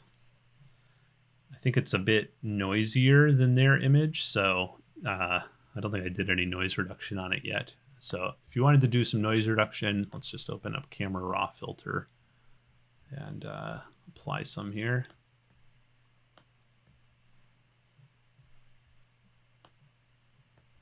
I don't know how much. Something like that. Yeah, I don't know if it made much change, but anyways, um, my goal with uh, processing your TIFF file was just to capture the whole of what you of what you got here. So I really like how these dark streamers look, um, and then the Rho Ophiuchi down here in that corner. So I'm not sure why you cut that off, but uh, but I like it. So that's maybe just because it was sort of a noisy part of the image. Um, but you know, I think it looks really cool. Um, is you know, for an untracked shot at 50 millimeters, um, the way to make this better is, of course, just to capture more data. Um, but all the dark nebula in this shot is what makes it so neat. So that's from uh, Nix Shutter. And then next here we have from Nils. And Nils sent this image of the Cygnus Wall region um, you know, in part of the North America Nebula in Cygnus. It was taken with a Nikon DSLR, an Optolong L Extreme filter, and a Skywatcher refractor and mount. Nils mentioned not being sure how to handle the color with the L Extreme filter and was wondering if I thought the photo was too red. So I think leaving the nebula very red like this is closer to a natural representation of it in the sense that if you took a long photo of this nebula with a modified camera, it would come out very red. Um, an L Extreme filter is a dual narrowband filter though. So if you want to play around with sort of narrowband techniques, what you can do is you can separate the uh, red channel from the green and blue channel. So for instance, if I look at here, if I just click on this and then I look at the channels, you can see there's the green channel. Uh, so it's there's a lot of stuff going on in green, but you can see the red channel is so much brighter. So to equalize these a little bit, what I can do is I can copy this green channel, put it here, and change it from normal to screen. And then we have this. So that already looks sort of interesting. But then what I'm going to do is I'm going to colorize this layer. Uh, this is with a hue saturation layer set to colorize and set to, you know, uh, a blue green. So this is to get a sort of natural representation. If you wanted to make it more of a fantasy representation, you can do a deeper blue. It's up to you. Um, how, you know, where you want to put this. An actual really natural representation might look like that, but I think that's pretty ugly. So I'm going to do somewhere in between. Anyways, then I'm just going to reset the black point with some curves and call it a day. And so that's an easy way to bring out more color variety is just take the green or blue channel right from the data, put it here as a screen blend, colorize it, and do some curves. There's other ways you can, of course, uh, do this, but this is one way. Now, this does have some downsides. You can see it brought out some of this blue noise up here, so you might want to crop and you might want to do noise reduction on this layer, different things, but this is the basic uh, workflow. Next up, we have Noah, who shot the Pelican Nebula with a small Newtonian reflector, an Optolong L-Enhance filter, and a Canon DSLR. And um, my critique here will be sort of similar to the last one, and that the L-Enhance, like the L-Extreme, is a dual narrowband filter, meaning it picks up O3 data in the blue-green spectrum and HA data in the red spectrum. So usually the way to get the most color is you separate the channels, stretch them independently, map them, that kind of thing. Um, in this photo, I feel like it, it all looks pretty orange, um, so I don't see a lot of color separation. Noah noted they did use a palette, uh, a defined palette, one by another astrophotographer named Foraxx, F O R A X X. Um, I don't know how you stretched the channels before using the palette, um, but it, it's just it's uh, like I said, there's just not a lot of color separation, which is what I usually go for, rather than this more sort of monochromatic uh, look. Um, so just to give you an idea of how I might do it, um, here's sort of my processing style, I guess. Um, so I started here with just your red channel, applied a red coloration to it. Then I took your green and blue channel, combined them, and uh, put that on as a screen blend, and then colored that to taste. So I did 216 uh, on the hue thing here. And then I used a selective color layer to intensify the reds even a little bit more.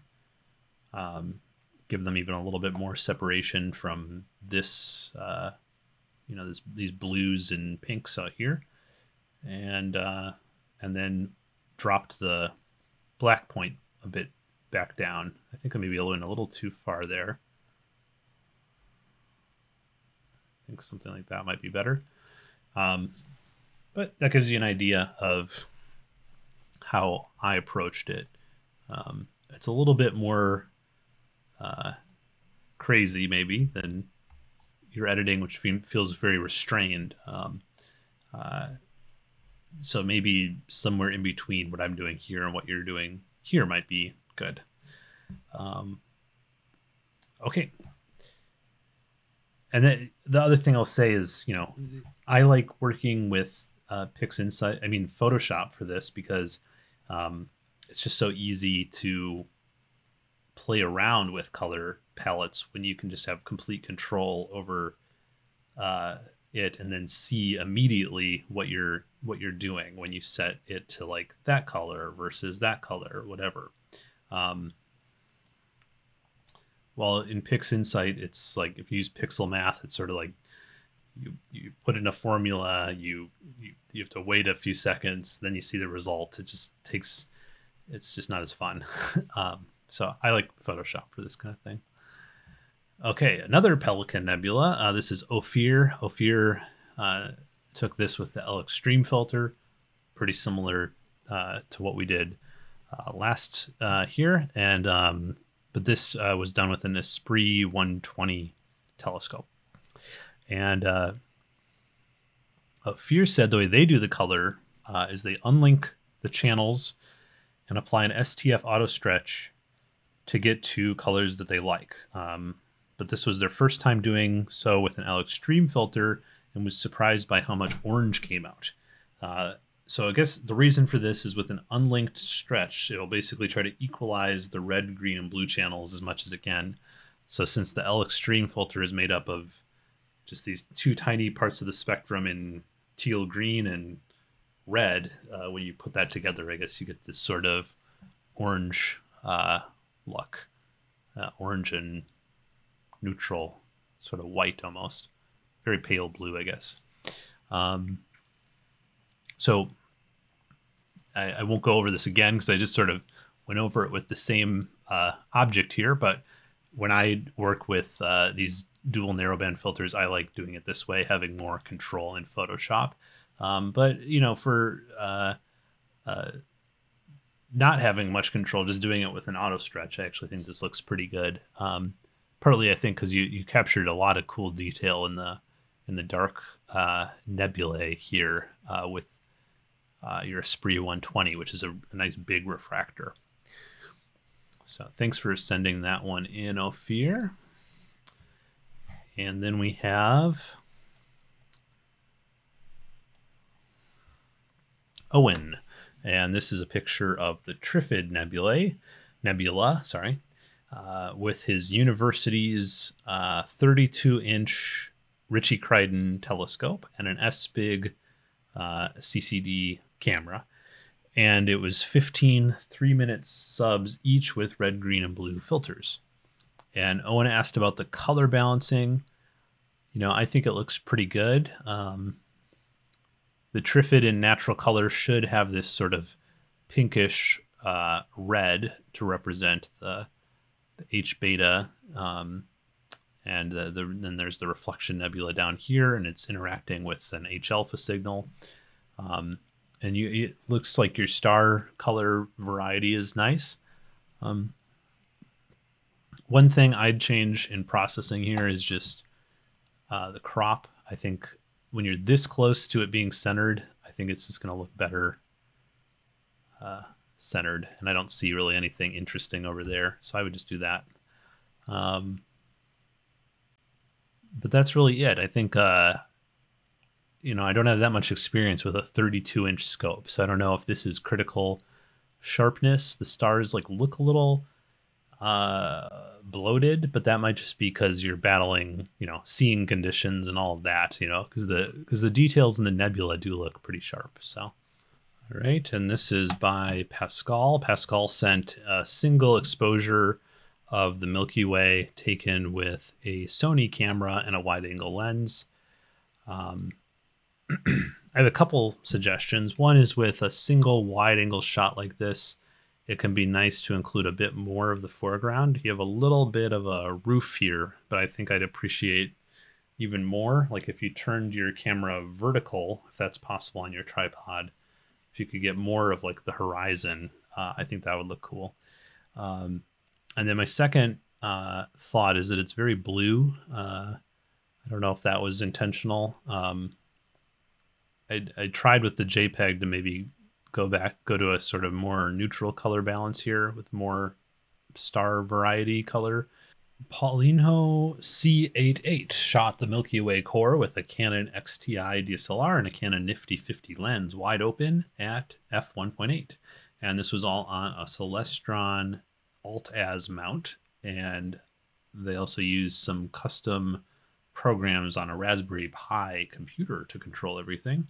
And Paulinho C88 mentioned that the chromatic aberration and the vignetting were likely a result of the lens. And yes, I can confirm with this Nifty 50 wide open, um, this is the best performance to expect in terms of star distortion. Um, and I think it looks pretty good uh, for this lens. So well processed with Siril and GIMP. Uh, Paulinho C88 did mention this glow in the bottom right here and was wondering if I knew what it is. To me, it just looks like a stacking artifact. Um, you know, I can sort of see it here too.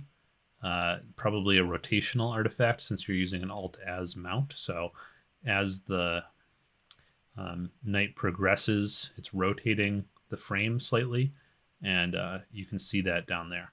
Now, why can't we see it up here? Uh, I'm not sure. I think I can see a sort of red line right there. So I think the whole frame is rotating and it's just clearer, cl- clearer down here. So, uh, you know, what I would do with that kind of thing is just uh, lose about whatever 30, 20% of the picture uh, and get rid of that because I think as long as you still have sort of the key things you're going for, uh, I think it's it, it's fine, and you still have the lagoon and Trifid centered if you sort of crop in on all directions. Okay, and here is from uh, Peter or Petar. I'm not sure which pronunciation, um, but uh, Petar sent in an image of the Eagle Nebula um, taken with narrowband filters and a mono camera. And they said the thing that they struggled with the most was the color mix uh, being new to narrowband. I played around with the data that you sent in, and you know I didn't get anything radically different or better uh, than you got here. Uh, I think that it's just that HOO, uh, hydrogen and oxygen only, is sort of unsatisfying uh, on this target since the Pillars of Creation shot uh, literally invented the Hubble palette, which is this more gold, green, and blue look. Um, and we, we can only achieve that once we have separation with the sulfur data too. So I think that that's just become so iconic that this with this object that it's hard to feel like that it's finished with this more subtle HOO palette, even though it's still quite beautiful. Um, you know, we could we could go further with making this blue, but I, I tried that and it didn't look really quite right. Um, so I think you did a really fine job here with very nice details and uh, well controlled stars and a, and a very nice field. Okay, and then we have Peter H. Um, different Peter sent in this image of the Cygnus Loop supernova remnant, and it was captured with a Nikon DSLR, a zoom lens, and a Skywatcher Star Adventurer tracker. And the nebulae came out really well in your rendition here. Um, lots of fine details. The difficult part with this region is always how to handle that star field, um, since it's so dense and packed with stars. It can overwhelm the photo. And then you also have the noise from the DSLR to deal with, um, which makes it extra difficult. So here's my attempt. Um, I think compared to yours, I sacrificed star color a bit um, to get a slightly cleaner result um, in the background, a little bit more uniform and free of color noise. Um, and then the other thing I did is I just felt your crop felt a little bit cramped, so I just opened it up a little bit uh, in the corners here. Okay, next we have Prashant, and Prashant sent in an image of the Markarian's chain of galaxies. This was taken with a 107 millimeter refractor, a QHY 268M, and LRGB filters. Uh, so this is excellent framing. Uh, you know, I like that Prashant was able to fit it in like this. It looks really cool, and uh, I think that you know, with with a wide view like this, you you want to try to be able to see differences between these all these little uh, galaxies, and that's hard to do because you're you're so far zoomed out. So you really have to push things like saturation and contrast and things like that uh, to make them stand out. Now, of course, that's a trade-off because when you when you really zoom in on them, if you've really pushed saturation, then you get sort of uh, things where it's like that's just blown. You know, it's like it's just a, a pink blob around an orange blob. Uh, you know, same thing over here. If we really zoom in, there's just like blown details, but those those details actually look much better um, then not pushing them as hard when you're zoomed out like this. So I think that Prashant, you know, hit a good balance here by pushing the saturation so hard on an image like this because I'm often not satisfied when I look at Markarian's chain in a, on a wide field and it just looks sort of boring, and this doesn't. So I think the only the only way to make it better uh, would be to shoot with an even bigger telescope, like a a mirror a mirrored telescope, and um, and then do a mosaic of this region, but that's a lot of work. So I think uh, this is the best you can do with with a, a, wide field refractor like he has. Okay, and then we have Pratulia, and Pratulia sent an image of Orion and part of Monoceros. Um, shot untracked with a Nikon mirrorless camera and a lens at 42 millimeter focal length. And Pertulia stacked in Deep Sky Stacker, extracted the background gradient in Siril, and stretched in Photoshop. I like it. Uh, it's a very nice composition, and uh, you brought out the the interesting dark nebula structures up here. Um, the the only thing I think is a little funky is over here on the right hand side. You're getting some stacking artifacts, I think. So I might chop that off.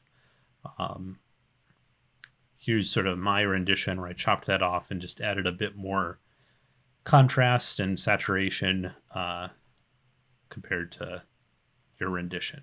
Uh, but I think that yours is definitely on the right track and looks it looks really nice. Uh, so well done. It's a it's a balancing act with wide field shots like this to you know control the star field, uh, bring out what you want to bring out, and also work on the the noise and everything that comes with that with shooting untracked. Randall sent an image of the Milky Way shot with a Nikon DSLR and an 18 to 55 kit lens on a star tracker. And Randall stacked 31 minute exposures with Sequator and then color corrected in Photoshop. And I think your color correction looks very good. Uh, one thing I was a little confused of was this little white line here uh, next to this bright star. Um, I didn't see it in your stacked TIFF file that you sent, so I'm not sure what caused that. It looks sort of like it could have been a satellite trail, but then usually stacking with, you know, a rejection algorithm will get rid of those. So I'm not sure what that is. Uh, Randall said that he struggled with how much noise there is and how many stars there are, which are both common problems with Milky Way shooting. Um, I wouldn't worry about noise too much with this image as it's not super visible when you look at the whole photo like this. Um, the only thing I'd maybe do is just reduce the green noise a little bit. Photoshop, you can just sort of bring it down a little bit like that. Um, some, you know, ways to try reducing noise are to take temperature matched dark frames. But the best way is just take more total frames, uh, more total photos. So if you did 30 minutes, uh, if you do two hours, the signal to noise will be twice as good and you, you won't notice the noise as much. Um, in terms of the stars, I, I really like how your image looks with all the stars, but uh, I'll just show you a way to reduce the appearance of the stars, which is uh, different than a traditional star reduction method. So I took your file, I applied StarNet++ to it. I then put the original image back on top, set it to a screen blend mode. And at first it will look no different, but then if I just want to um, reduce the appearance of the stars, I can literally just take the opacity of that stars layer and play around with it a little bit to make them a little bit dimmer in the overall picture. And I think for a Milky Way shot, this works uh, pretty well. Uh, just just to reduce the stars uh, with opacity and a screen blend.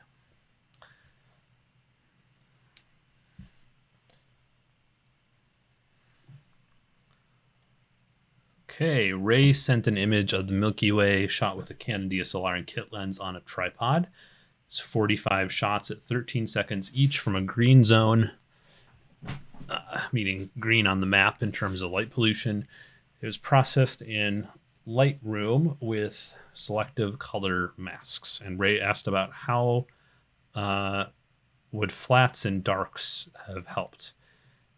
Maybe a bit. I don't honestly see you know, there's a bit of vignetting up here. Maybe flats could have helped with that. There's probably hot pixels in there, but it, for a wide shot, I don't know if it really matters. Uh, if you, there's a couple hot pixels, so there'd probably be some benefit, but I often skip them for my Milky Way shots too. Um, my main critique of your shot is I think it's just a little bit over processed um, with the saturation and the and the colors. Um, uh, but this is of course a more of a personal preference thing. But I would have processed it a little bit more like this, just to get the natural color of the Milky Way. Um, it's more your yours is more of like a um, a fantasy look, I guess, with sort of this like blue and pink, uh, and then this is more of like a you know a naturalistic look, I guess. Um, so not quite as pretty. Uh, so I could go either way, but that's just sort of uh, if you wanted to see what it looked like with more uh, the natural color of the Milky Way. This is sort of the direction to go.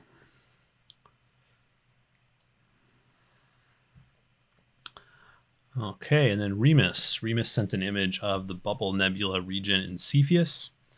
I think this looks uh, very good in terms of capture and processing. Uh, for some reason, when I started to process your TIFF, I'm, get, I'm getting really weird banding. I'm not sure if you're seeing that on your end when processing. If you are, try to get to the bottom of it. It could be like a power supply issue uh, with the camera, or try a different gain setting. If you aren't seeing that banding, then just ignore this because it's I don't really see it in the end result that you have here. So maybe something went wrong with the TIFF file you sent. I'm not sure. Um, in terms of what else to try with this, I try separating out the color channels to mono, and um, that's easy to do with uh, a button in PixInsight. And you might be able to pull out some more separation of the HA and the O3.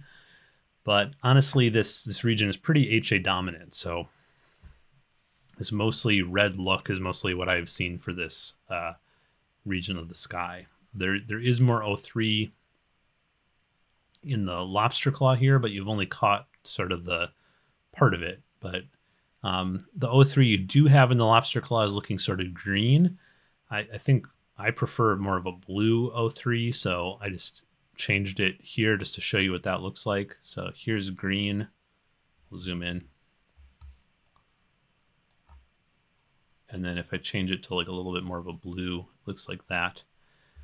Um, but there's not a lot of, like I said, there's not a huge amount of O3 in this in this region. So I think this looks uh, pretty good.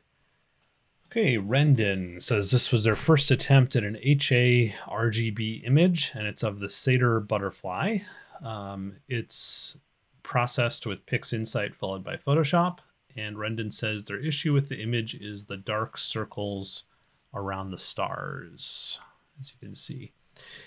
Um, I looked through all of Rendon's steps that they said they um, made, and I'm not sure at what point the the dark circles appeared. And Rendon said they weren't sure either. My first guess is they mentioned a smart sharpen step in Photoshop, and sharpening can often cause these dark rings or at least accentuate them. So I would just skip sharpening because I never I never do it to my nebula shots. I don't think it's necessary. Um, the other thing I'd encourage you to try is just process your HA however you want, then make it starless with StarNet++, which is included with PixInsight. Take that starless HA into Photoshop, set it to RGB mode, um, colorize that, and then put the RGB image on top and use a blending mode like screen uh, or Lighten or whatever, and then just use curves until the blend looks right. Um, so th- that's just another processing idea. Um, but I, I think probably your dark rings are from that smart sharpen step or because uh, I didn't really see anything else in your processing workflow that was going to cause them. Okay, and then uh, Rick. Rick sent in a photo of Saturn and you know, I'm not really the best to judge planetary images because all my attempts at it have been lacking much detail. But this looks really good to me. Uh, Rick has clearly resolved the Cassini division, which is this uh, separation between the rings there. And um, my only critique here is that there seems to be a little bit of separation um, between the going too far there between the red and the blue because you can see some red outline there and then some blue bluish stuff here and here there um, and so that usually that happens because of the atmosphere. Um, so an atmospheric dispersion corrector, an ADC, may help with that if you don't already use one. I think ZWO makes a pretty inexpensive one. Um, that's my only sort of planetary tip that I can I can think of. Otherwise, I think it looks really good. Ricky, a 17 year old astrophotographer from New Zealand, sent a great image of the Ophiuchus region here, taken with a stock Canon DSLR and a 50 millimeter lens and a star tracker, and uh, processed with PixInsight and Photoshop. I think this looks nearly perfect. Uh, the only thing that stood out to me to improve is that there's still just a little bit of uh, green noise left. Um, the best thing to do for that is after you color calibrate, but before you stretch, use the SCNR green noise reduction tool at about 25 30% strength. Um, you know, uh, just to show the difference here in Photoshop, it won't be the same. Uh, just something like that uh, is the difference I'd expect uh, if you just reduce the green noise a little bit. Um, that's the only thing I saw. Other than that, this looks you know perfect to me. I love this framing uh, that you have here with the the Rho Ophiuchi coming out from the uh, from the bottom like a sort of like a tree. Uh, looks really nice. Okay, Rishub. Uh, Rishub sent an image of the Milky Way shot untracked. It's just 51 shots at 10 seconds each with a Canon M50 mirrorless camera. In terms of editing, um, I would just suggest cropping off um, a little bit. The sides here, I don't think they are adding much. Uh, and so just something like this, I think. And then I'd probably just try to fix this uh, spike of light pollution. Um, in terms of acquisition, I'd try doing maybe 10 times or more the number of lights uh, if possible, just to really bring down uh, the noise in the final image. Uh, but it looks like a great start. Uh, just to manage the noise, we just need more signal. So something like 500 shots or a 1,000 shots uh, is, is best for this kind of Milky Way untracked kind of image. Okay, and then another uh, reshub and another Milky Way image. This one, a single image shot from a city, and they said that they they used the exposed to the right rule to capture it. So I actually don't suggest exposed to the right for astrophotography. It will tend to just blow out highlight detail and make it unrecoverable. So uh, generally, I don't recommend that. Maybe for a single exposure, it's fine. Uh, maybe that's, but if you're going to stack, which is what I'd recommend you try next, then don't expose to the right, expose to the left. Uh, not, you know, just above uh, the the left edge. So getting it, you know, getting that histogram bump to about one quarter of the way over is what you want. Anyways, uh, Rishab asked if I could try to bring out as much detail in the Milky Way as possible. So let's see. Here we go. That's what I was able to do. Uh, compared to Rishab's shot, you can see here um, I was able to bring out a, a little bit more of the dark nebula streamers, um, but nothing I can do about these extreme gradients. So it's really just trying to get this middle part as uh, re- recovered as possible. Uh, and I think that's it. So that's sort of what you can expect to achieve from a single exposure from the city exposing to the right. It's a good experiment. Okay, and then we have Rob. Rob sent in an image of the Carina Nebula taken with a Canon R6 camera uh, stock and the William Optics 73 millimeter refractor and a Skywatcher HEQ5 mount. And Rob says this was their first time using PixInsight. They were struggling to bring out the depth of the nebula. Um, but I, th- I, think this looks really good, especially with uh, you know a stock camera. I wonder when you're talking about bringing out the depth, if you're comparing it to shots taken with a modified camera or an astro camera, which is pre-modified, because uh, they're going to pick up a lot more of the dim hydrogen emission that extends out. Uh, but it's a trade-off because then if you're if you're using one of those, then the H alpha will sort of dominate all this blue stuff in the middle, and it will turn out a lot more pink or, or red.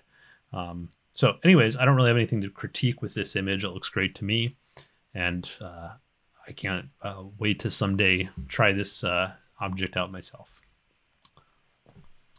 Okay, and then we have Roger, and Roger uh, sent in an image of the Orion Nebula, had some questions about his gear. He's using an Artesky Flattener reducer, but uh, wasn't sure it was flattening the field correctly. Because uh, if we look at the stars here,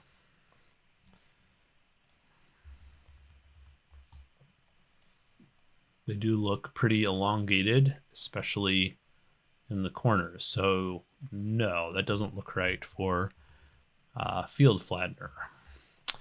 Um, the spacing should be pretty easy with a flattener. It's 55 millimeters with that particular field flattener. So with the DSLR, you should just want to get a 48 millimeter T adapter designed for Canon uh, EOS, so your Canon 60D.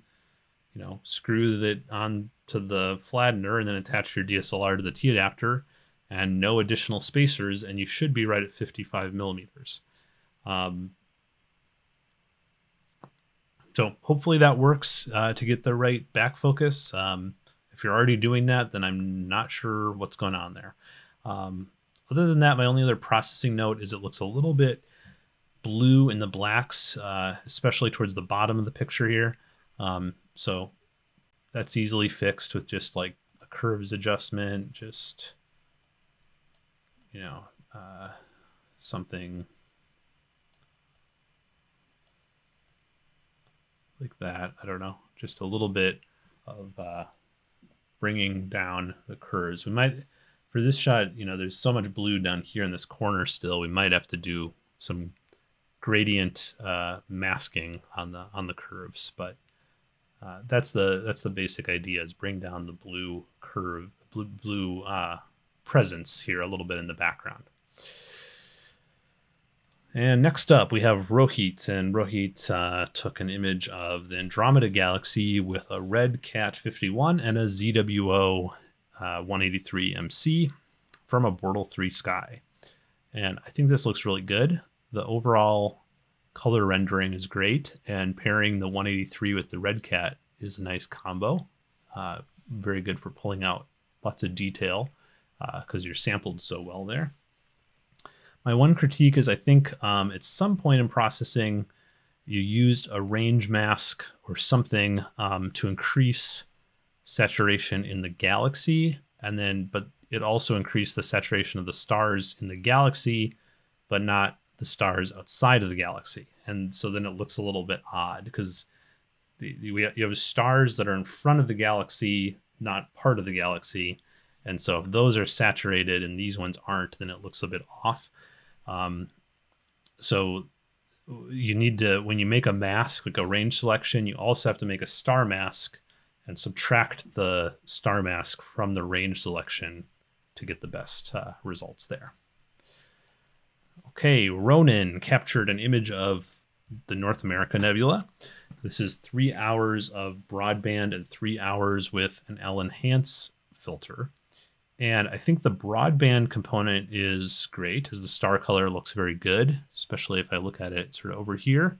Um, but I'm not convinced this is the best palette choice for incorporating the L enhanced data. Um, I think it should be possible to get some separation of the O3 and HA, uh, but this looks sort of like all the one, same color pink. Um, so I think with a different stretch, different combination of the channels, you can get better uh, color separation there, and it will help, um, you know, make the the things like the Cygnus wall stand out from the rest of the nebula here because right now it's sort of the details getting a bit lost in how same color everything is.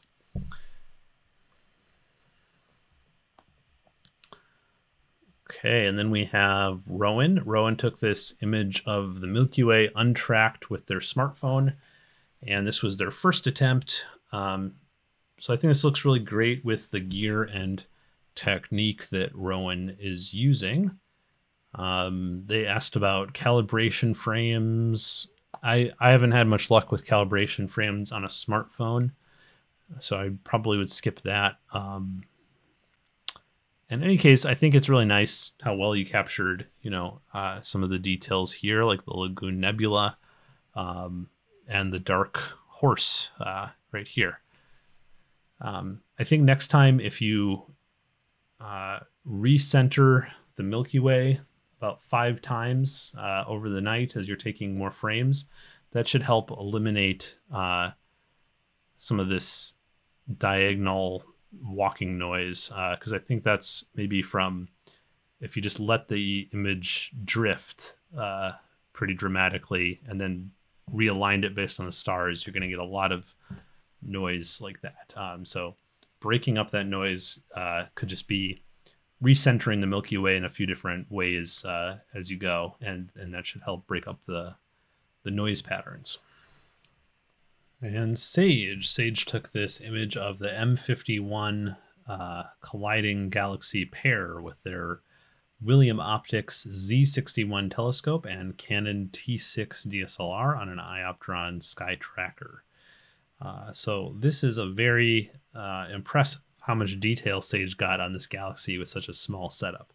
Uh, the, the only thing I noticed to critique here is just a tiny bit of tracking error uh, sort of going up into the right hand corner. It's very minimal though. It's just slightly egg shaped left to right. Um, but I'm surprised there's actually not even more tracking error considering this is a Z61. It's pretty big, hefty, you know, little telescope. This is 360 millimeter focal length on an iOptron Sky Tracker. So not their bigger Sky Guider Pro, but the the Sky Tracker. So uh, really, all I can say is you know keep it up, Sage, because this is I love stuff like this of like trying to push the limits of your gear and go after you know the M51 with a with a small package like that. That's cool. and Sally, Sally took a great image of the trapezium region uh, of the Orion Nebula with a Meade ETX 60 and an SVBony 105 camera. And Sally said this setup is very challenging for astrophotography and hasn't been able to make calibration frames work with it yet. And I mean, I can imagine that would be very difficult, really challenging setup uh, to have a tiny sensor, one of the smallest to cheapest cameras you can get, and then pairing it with a long focal length alt-az motorized telescope.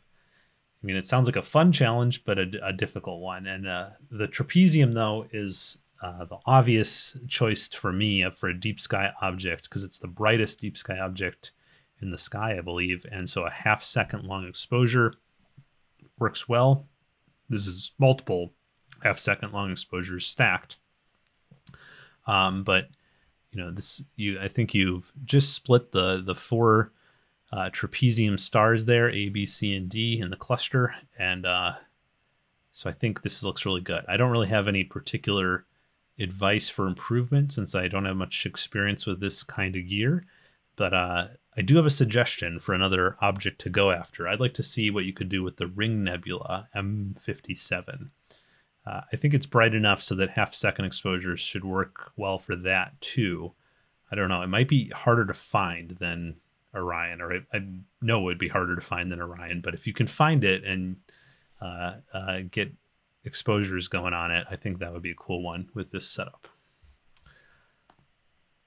And then we have Sam. Sam sent in an image of the Milky Way captured untracked with a uh, smartphone. Uh, Sam shot 76 photos at 25 seconds each from a yellow zone. So Sam asked how to improve, but I feel like I should be taking lessons on smartphone astrophotography from Sam because this just seems remarkably good to me, uh, considering the technique, untracked smartphone, and the sky condition being yellow. Um, I mean, I suppose it might be even better with like a barn door tracker. So I have a video on making one of those, but I don't know. The processing here looks really great to me. It doesn't look overdone. Uh, there's a little bit of a, a dark um, darkening on this side, uh, and then a little bit of green down here. But uh, overall, I think you know this just looks really good for for this technique. So well done, Sam. And here we have Samuel, um, and Samuel captured the Milky Way centered on the lagoon at Trifid with a Sony mirrorless camera, Rokinon 135, and Star Tracker. And Samuel said that he shot this low on the horizon and therefore had trouble with natural color except for the reddish feel. Not sure what that means.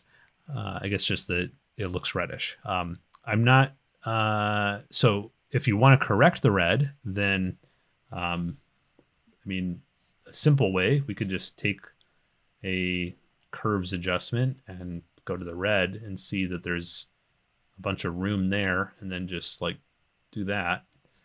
Um, you know, now it looks a little green, so then we might have to go into greens and correct that a little bit too. But that, you know, that's a simple way to correct the sort of overall red tone to it. Um, I think that gets us sort of like 80% there. If you want to go all the way, I think you need to start with um, uh, a gradient, you know, reduction technique, like a background extraction when the data is still linear. So that's what I did here. That gets us to an even more neutral uh, photo. And this, you know, you could process this further, but I think it's pretty interesting that uh, you know, this is pulling out some pretty interesting little stuff. This is the Twiddlebug Nebula right there. I can sort of see it. Um, and then we have the star clouds up here at the top. Look pretty good. So uh, the program I can recommend to do this kind of work is Siril, S-I-R-I-L. It's a free program, or PixInsight that's paid. Um, but it'll allow you to extract the background while the data is still linear, and that's going to look uh, even better for color correction. Okay, Sandu G sent a wonderful photo here of the Blue Horsehead Nebula, which is a nice, challenging object, very large reflection nebula near the more famous uh, Ophiuchi region, sort of just above it. And Sandu G said they had issues with star reduction, leaving artifacts and gaps. Yes, that's why I don't use star reduction for the most part. Um, I just use star removal with StarNet++ and then blend the stars back in as is. But you can sort of control this intensity of them since they're on their own layer and you can control the stretch. Um, I, guess these stars seem to me to be like overstretched and then reduced. Uh, they're like very bloated here and then they seem reduced after that. So I don't think that's a good idea generally. Um, then I also think you went a little bit too dark with the background here. Like if I look at your uh, starless image, you have a lot of dust out here. And I, I get that it's sort of broken up because of noise. Uh, so maybe you went dark because you wanted to hide some of that um, broken upness of the of that. Um, but uh, I don't know. It's a balancing act. I get it. Um, so I'm not going to criticize that too much because I, I didn't go through the steps of processing this. And so maybe you found you just couldn't bring out all that dust. Um, uh, so it, it's uh, something to consider. But the other thing i'd say about the stars is if you don't reduce them i think they can help hide actually some of that noise um, rather than you know when you when you reduce the stars and then you have the all of the dusty stuff. It's it's really difficult because it's it's usually that very faint dust is noisy. And so uh, it's uh, you're gonna have to do something with it. And the gaps and artifacts you're talking about are just sort of the result of of processing the photo too much sometimes. Um, so i think you you this is a very dramatic look, um, but if you wanted to go for something a little bit less dramatic, I think just putting all of the stars onto something like this and then just increasing the saturation might look good too. All right.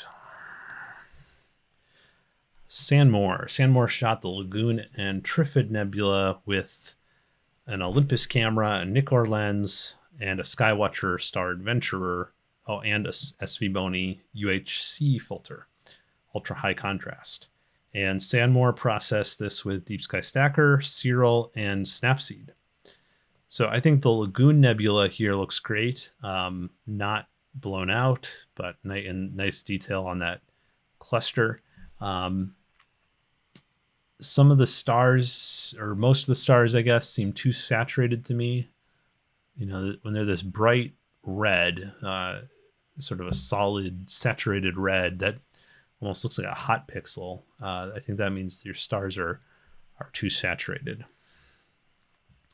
So just to show you how I'd how I'd process your image, this is just um, uh, a crop, background extraction, and stretch in Siril, followed by just a small reduction in green here, and that's it. Um, and you can see the the star color is a little bit more natural. So stars that have gone sort of red in your image are more of a orange in my image. I mean, they're, they're sort of red stars, but they, they don't look that red. Um, uh, so this is sort of uh, a more natural, maybe more boring uh, look than what you have here, but uh, just to give you an idea of another way to go. And then next we have Sasha, and Sasha captured this wonderful dark nebula region with a 170, well, no, 107 millimeter refractor and a ZWO 2600 MC camera. So a color ZWO camera, and they processed it in PixInsight. And uh, so they're most concerned with color and saturation. And, uh, you know, I think both the color and saturation are really well done. Uh, the colorful star field always looks so good with this um, brown dust stuff. And then I think your your black is perfect. I love I love this black. Um, so I think that looks really good. Well, my one critique is um, you wrote out all your steps, and personally, I would have skipped the morphological transformation step at the end, uh, just because to me, uh, you know, I think what happened when you did that is it made the smallest stars smaller, and uh, that that when you do that, I think the smallest stars just end up looking sort of like noise because they're so small. Um, with PixInsight, if uh, to play with star de-emphasis just with PixInsight, I would check out Adam Block's method. Um, and there's now a script for it too, which could make it even easier. Um, but I found that the Adam Block method, um, instead of going after the smallest stars, it's going to go after this size star, like a medium sized star, and make that a little bit smaller. Um, it leaves the big stars alone and it leaves the smallest stars alone. It goes after those sort of medium ones, which I think is is the best uh, idea for a star de-emphasis. Okay, and then Sasandu. Sasandu shot the Milky Way with a Canon DSLR and kit lens, untracked from a yellow zone, processed with Deep Sky Stacker and GIMP. And it looks like Sasandu pushed the saturation pretty far, um, and maybe before removing light pollution gradients, which what which what's giving us this sort of color shift from red to yellow uh, to green even. Um, and so I'd suggest Sasandu look into using Siril, S-I-R-I-L. It's free and open source. It has a background extraction tool and uh, so that's what I was able to get out of it. Um, it gives a much flatter image like this, and uh, and then you can continue to process and you know add saturation and do all that kind of stuff to it. Um, but if you're if you have a pretty flat image like this to start out with, then when you add saturation to your image, you don't get these sort of extreme artificial uh, color shifts because basically you're just uh, coloring uh, a light pollution gradient when you if you haven't flattened the the overall image first. And Sergey, Sergey shot the North America and Pelican with a modded Nikon DSLR, a telephoto lens, and an Optolong L Enhance on a star tracker. And Sergey said that their main problem was with flats and thought that they didn't take them correctly. And my first thought was that this picture looked a little bit soft. Um, so I wondered if it was out of focus. But when I processed the raw data that Sergey sent, it was much sharper. So I'm not sure why it came out sort of soft like that. But then also in the raw data, um, there are these little black artifacts sort of all over. Um, and so I don't know. Uh, Sergey didn't really mention those, I don't think. Um, so my guess is that the sensor or the lens are dirty. I'm betting more on the sensor. Um, it looks like a physical issue of some kind. Um, but I guess if the flats were really wrong, it could be that too.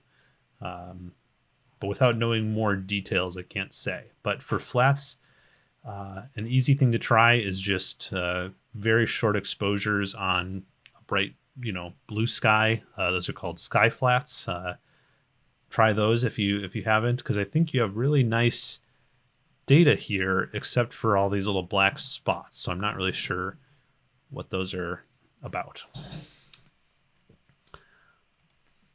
And then next we have ShakeVan. ShakeVan captured the Cygnus Loop supernova remnant with a Canon 80D and a 200 millimeter lens on a star tracker with an SVBony CLS filter from a yellow zone. And I think this looks pretty good. Um, as we've seen from past pictures in this critique, the Veil Nebula is difficult with this dense star field. And this is a pretty dramatic way to handle it. It's like all, all most of the stars, the small stars are gone because uh, they're so dimmed. Um, but I think um, I actually think it looks pretty well done uh, for the technique you used. My one critique of this uh, picture is that the sky background looks sort of blue green. So I just maybe move the black point slightly on that. Um, something like that. I don't know. Uh, might be slightly better. Um, then, but then you are losing maybe some of this uh, O3 nebulosity um, by doing it that way. So I don't know. It's a trade off.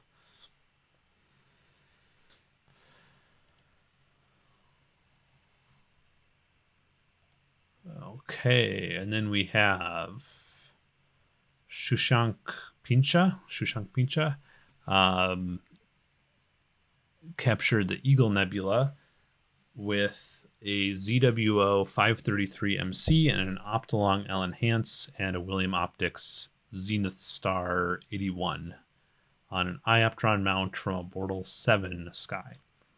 And this was their first shot with the new equipment, uh, so they didn't have much time to set it up, and they didn't have as much time for gathering the images, only 49 minutes. Uh, but Shashank asked if there is anything to do in processing that can make up for having so little data. Not really. Uh, the only thing I'd suggest is um, your background sky is very bright here with like lots of weird noise. I'm not sure. The I think you did something weird with noise reduction um, to get it like that. So I would do much less noise reduction. Try not to brighten the sky so much. Try to keep it more dark. Um, uh, maybe some of this is actual HA emission. Um, I don't know. It, it looks weird to me. Um, so I don't remember ever seeing a ton of HA emission like this above the Eagle. I think I, I thought most of it was below. So, but I could be wrong. That could be actual HA, but it, it, it looks weird. Um, uh, and then Shashank also asked about Deep Sky Stacker versus weighted batch preprocessor WBPP in PixInsight versus doing a full manual calibration, registration, and stacking in PixInsight. And personally, I've had good luck with any method, um, but what I do if it's just one night, uh, a one night project, then I'll typically use the weighted batch preprocessor in PixInsight. If it's an ongoing multi night project, then I do everything manually because I find that easier and more flexible to manage the way that I do it. Um, uh, and then you wrote a number of other things. Um, I'll I'll note them down and try to address them in in future videos. Okay, and then Shipwreck 88. Uh, Shipwreck 88 captured the Lagoon Nebula with an L enhance filter, uh, but actually didn't mean to use the L enhance filter as they usually have it installed for city imaging, but this was taken from a darker Bortle 5 4 site. Uh, and then one thing Shipwreck 88 asked is if the L enhance was a detriment to the image. I mean, yes and no. In this case, I'd say mostly yes, since this is um, in the Milky Way, and so getting that natural star color looks really cool in this for this field because it really fills the field with lots of nice stars. Um, and the L enhance being a dual narrowband filter is pretty crappy for the stars. They all sort of look white or red. Um, uh, when like that, this cluster here should be a brilliant blue, for instance. Um, and then also, uh, speaking of blue, right here, this should be a brilliant blue reflection nebula. Because of the L enhance, it gets it gets pretty dimmed out because uh, you just have that sm- smaller 20 nanometer band pass uh, for picking up the blue. Um, and most of that sort of actually tilted to the green. So no filter probably would have been better but also a mix of this and the no filter would have been good too. Here's my uh, crazy rendition, just to really pull out uh, as much detail as there is in here. I know that it's a very noisy uh, outside of the nebulae, um, but I just wanted to show you that how much was in your data in terms of uh, this bridge between the lagoon and this thing, and uh, even there's even more blue sort of reflection uh, in there. Um, so just to give you an idea of if you really wanted to push your data further, um, you could. Uh, the best would be to do something like this, like what I'm doing here, and then make this starless, and then put the good stars on on top of this, uh, from, with no filter.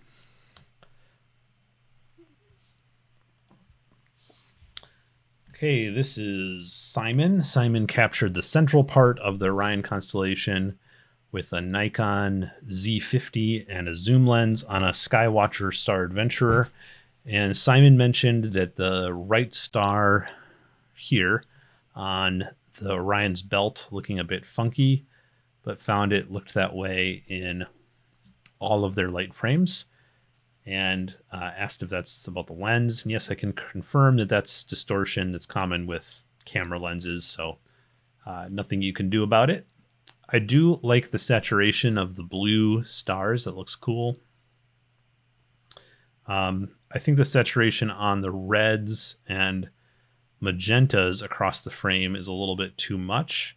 So just to give you an idea of where I'd put it, I'd put it closer to there. So here's before, notice these very reddish orange uh, saturated things. And then there's after. And even though this is just the JPEG, I feel like I'm recovering detail in the flame there. Uh, so uh, that's personal thing, but th- that's where I'd put the saturation on those colors. The blue saturation, I think, looks fine. Uh, very high, highly saturated, like you have it. Okay, and then we have Simon Pepper 85, who captured the Veil Nebula, or the Cygnus Loop, whatever you want to call it, with a RedCat, a ZWO 294MC, and an Optolong L Extreme filter. I think this looks pretty good. Um, it's a very dramatic look, lots of contrast. The, you know, maybe this you're starting to blow details here in some parts uh, with how bright this is. Um, but it stands out very boldly. And Simon Pepper 85 mentioned they're never satisfied with prints compared to seeing their photos on a monitor or on Instagram. And I think there are a number of reasons prints can end up not looking how we want compared to what we see on the screen. I plan to do a series on printing options in the future, including lots of tips for printing at home, where we have a little bit more control over the process and can experiment a bit more to get the best results uh, possible. And so hopefully I can get to that this year um, and give people some good tips for printing astrophotography because it's pretty different than printing anything else, I think. Um, okay, and then we have Stefan who sent in the Eagle Nebula taken with a full spectrum Canon DSLR and a combination of HA filtered exposures and ones with an Astronomik um, L2 filter, which is a luminance filter. So that's good for getting the natural star color, which Stefan has here. Um, I did process this uh, picture from scratch. I didn't think that my uh, rendition really looked any different than yours. Uh, I think the only chase choice I made differently was cropping in just a tiny bit more than you did. Um, but other than that, I think uh, with the great sort of you know detail you got here in the pillars and the HA data, I just wanted to crop in a little bit more.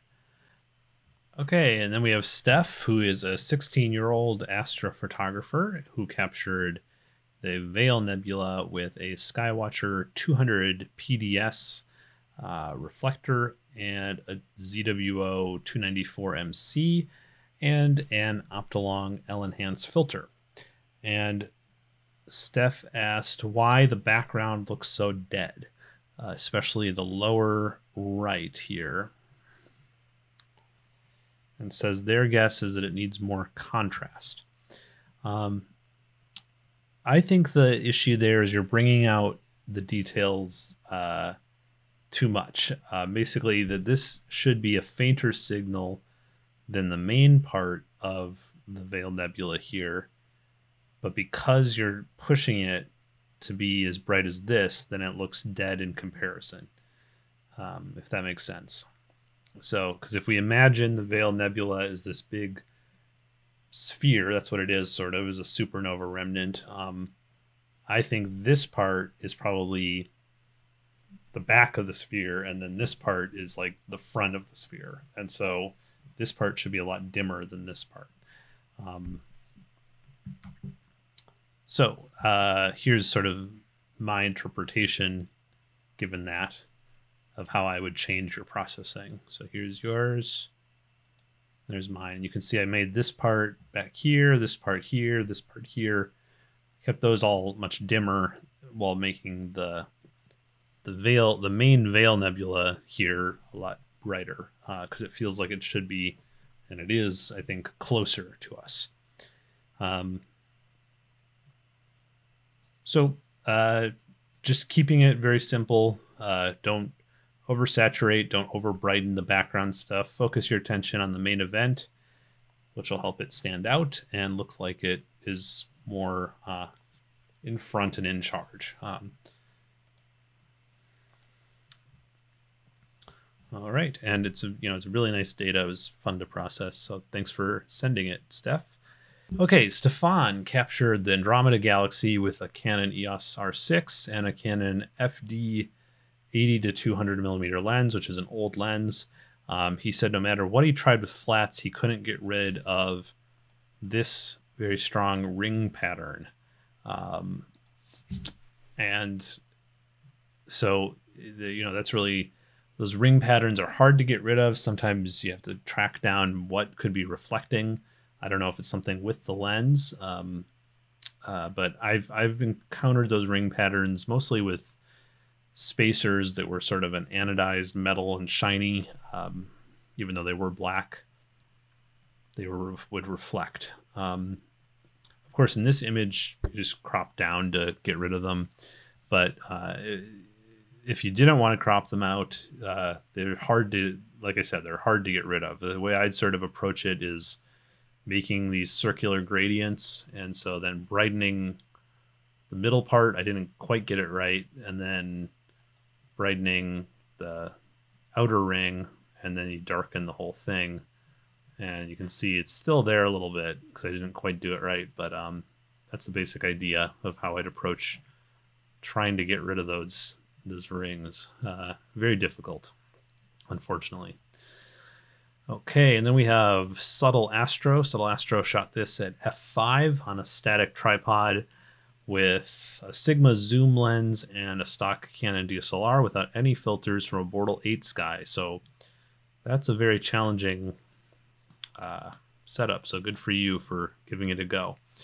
Um, my suggestion with processing is to be careful with the star treatment, um, as it feels like lots of your stars have disappeared or sort of turned into a pattern of noise kind of thing.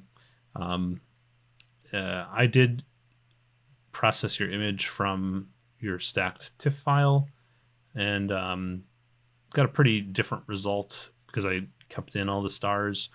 Um, but I, I, still think a, a, very impressive result that we can really see the clear outline of the North America and Pelican, even some details within them, um, untracked from a Bortle 8. I didn't even know that was possible with a stock camera from Bortle 8. So uh, I always I always like to know that uh, things I didn't know were possible are actually possible. And then we have Sons of Cosmos, who captured the North America Nebula with a Celestron Rasa uh, ZWO 294mm and Baader high speed narrowband filters. And I like uh, I like these colors for the nebula. The green looks awesome here. Uh, it's cool. It's like a sort of bluish green, I think. Um, and uh, has a nice subtle transition into the other colors, into the yellows and the and the oranges. Um, I have two small critiques. One is that the stars don't need to be this saturated, and the um, saturation, I think, is what's causing them to have these sort of dark ring like uh, features on them, which is most distracting, like over here and in here, uh, where the, the dark rings really stand out. Doesn't really matter in the dark nebula. And then speaking of the dark nebula, they, they look, this one especially looks way too blue. I'm not sure why that happened, but um, be easy to fix just to you know go into your blue channel and and uh, and fix that like that. Well, maybe it's not as easy to fix as I thought, because I'm now really changing the color balance. So let's see if I do something like that. No. Well, anyways, I that's uh, I guess it's not working on the JPEG here, but that that dark nebula there uh, shouldn't be blue, it should be uh, black, basically. Uh, Tottage uh, captured the Cygnus region around the bright star Deneb right here. And I'm not sure if I've ever seen it uh, like this. Uh, this is feels flipped to me. I'm just going to flip it just, uh, just to show you what I mean. So I'm used to it looking like that with uh, the North America in the right way around.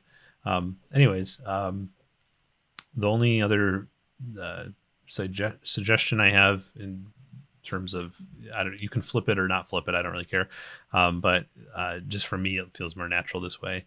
But uh, the only other suggestion I have is uh, here this um, right corner right here just feels a little bit uh, unnatural. I think that's a light pollution gradient. Um, and it, it feels like um, maybe combination of like a slight crop uh, with yeah, something in Photoshop here. Let me show you what I mean. Uh, so if I just do maybe a slight crop and then do a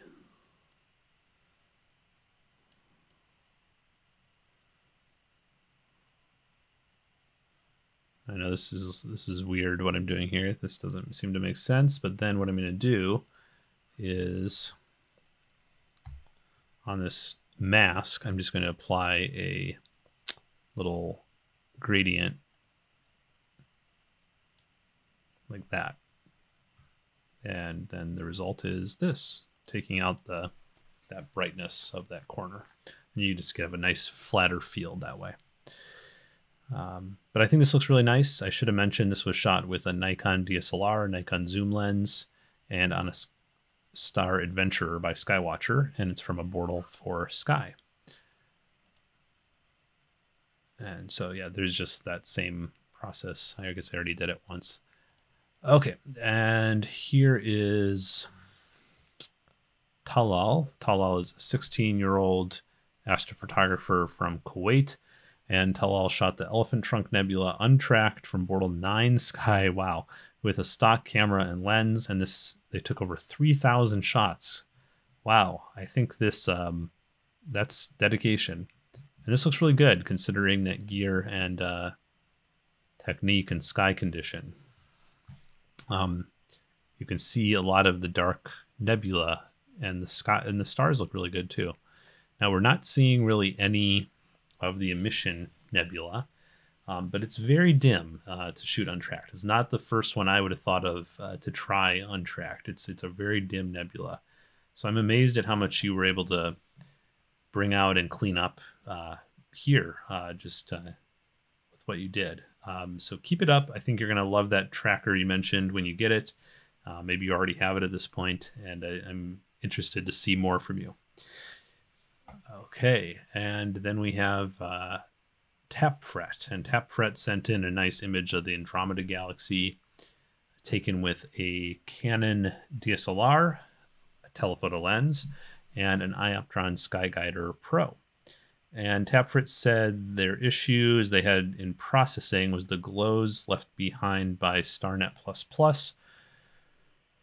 when it removes stars and dealing those without dealing with those without complex masks. And Tapfret specifically mentioned having issues with Messier 32, which is this little thing right here. It's a little satellite galaxy. And so let me show you my approach here. So let's start with the starless you can see here's the starless M32. We have that nasty artifact. But when I add the stars back, M32 comes back, and I don't think it really looks that bad because it covers up that artifact. Um, and then I just add some selective color and curves adjustments uh, until it's uh, done. So it's there's more stars. Uh, the stars are brighter than in Tapfret's uh, interpretation. Um, and mine's a little, there's, you know, it's a little bit um, more stars and like I said, but uh, I, I don't find that StarNet artifacts don't really bother me because they get covered up uh, as soon as I add back the stars. Um, but with the benefit of the galaxy does pop out uh, by doing it this way. Because like if I just use the stars layer, let me turn this off turn this to normal, you can see that doesn't look nearly as finished as if I turn this back on and turn the stars layer to screen. Okay. Next we have Tensor, and Tensor captured the lagoon and Trifid area with an Apertura 60 ED at f6 with a ZWO 294MC and on a Skywatcher Star Adventurer. Wow. So just over an hour of data from a Bortle 4 Sky. And they said they were disappointed in various aspects, various aspects of it, but you know, I really think that's just a matter of expectations being too high, perhaps, because I think this looks excellent for the equipment and sky conditions and amount of data. I don't really see anything in the processing that could be improved. In my opinion, it's excellent. Uh, you have really cool details throughout the field. Um, Tensor mentioned they hadn't found many processes in PixInsight that had worked well to improve their data, with some processes making it worse. For um, processes, they mentioned making it worse. They mentioned deconvolution and multi-scale multi-scale linear transform MLT.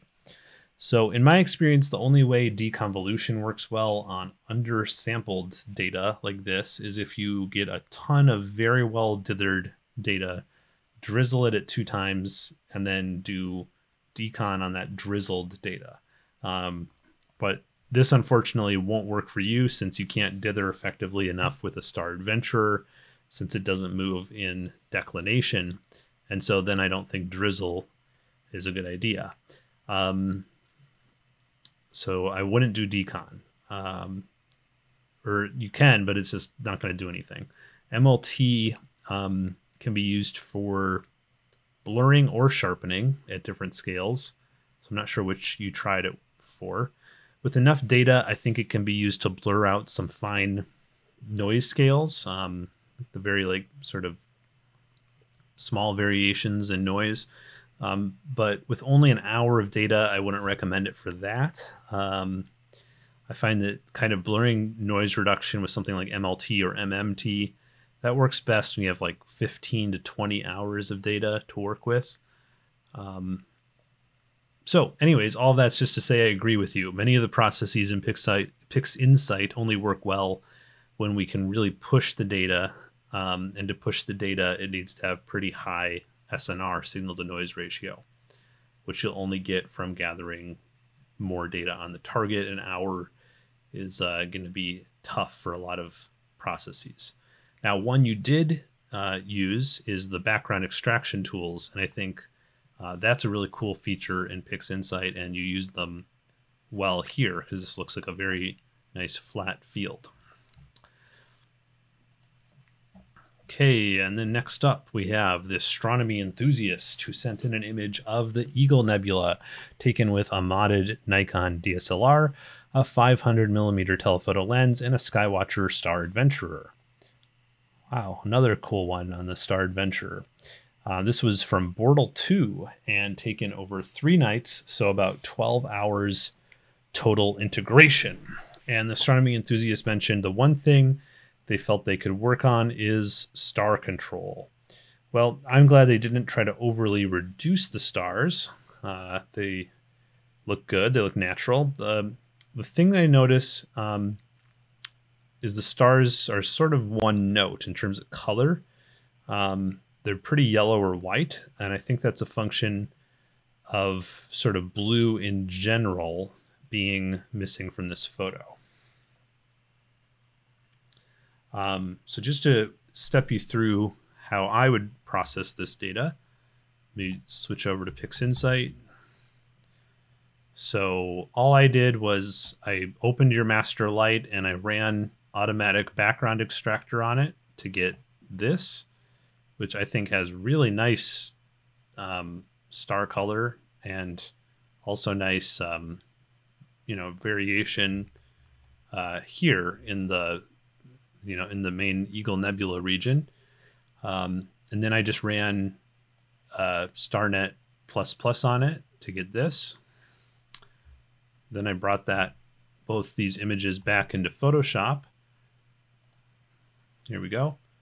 And I put the starless on the bottom, put that masked uh, stretch um, on top. This is the stars. Set it to screen blend mode at 100%. And then it was just a little too bright, so then I just brought down the black point, and that's it. So that's an it's an idea of a very very simple workflow. I mean, you could you could keep processing from here, of course. Um, do different things, add saturation, whatever. But um, I think uh, it shows you sort of a more natural look to your data, uh, natural color uh, with all the star variety and everything. Um, here, I think you just yeah you went a little too far into the, like the um, one sort of color scheme. It's just sort of red, pink, and yellow um, only. Um, and then here you just this is a lot more color variety. Um, so you have sort of like browns and pinks and reds and blues and yellows. Let's see what happens if we add some saturation to this. Too much. Uh, let's do there. I think it's pretty interesting. Um, maybe has a little bit of uh, green parts we have to deal with, but pretty nice uh, data. Twelve hours from Bortle two. That's that's. I wish I could uh, have that more often. Okay, next up we have the Mad Lawyer, and the Mad Lawyer sent in an image of the Shark Nebula in Cepheus, taken with a Canon RA and a William Optics GT81 telescope. This is about five hours total of data at f5.5 from a Bortle 4 sky. And the Mad Lawyer said that they had a hard time processing dark nebula successfully, finding it hard to pull them out without accentuating artifacts. Um, and the, like the last one, I again tried to keep this very simple. So I'll just step through my process here. I just stretched your uh, TIFF file and ran starnet++ on it. That gave me this. And yet you can see there's artifacts left over, but I don't, I'm not going to deal with those. I'm just going to add contrast here to the starless image and then put the star uh, filled image right on top of it set to a screen blend mode with the opacity set to 92%. And anywhere there was an artifact, like right there, the star covers it right up. So I'm not going to care about those artifacts. And then I can uh, reset the black point. So we're really starting to get somewhere now. Um, looks pretty good, I think. And then the last thing I'm going to do is I just made a new copy of this from Visible. So that's Control Alt Shift E. And then I turned that black and white by just going to Image Adjustments, Black and White. And this is just to make a mask. So I copied this. I'm just going to do Control A, Control C to copy that. Then do Alt click and Control V to throw it into this mask on the hue saturation adjustment layer. Turn this layer off so that this hue saturation layer is adjusting on everything below. And this is the difference it makes. So just adding some saturation and you know we could go even further with it if we wanted to. And then this is how we can sort of see the brown dust and but also all the nice star color across the field uh, by adding saturation to it. So that's it. Um, I didn't do any noise reduction. I didn't try to clean up any artifacts. I just went starless, contrast, stars with a screen blend mode, reset black point, added saturation. All right, next up we have the Stellar Remnant, who says this is their first photo with this setup and their second attempt ever at astrophotography. They captured the North America and Pelican nebulae here with a Canon EOS RA, Optolong L Extreme, and a Radian Raptor 61 on a Skywatcher Star Adventurer.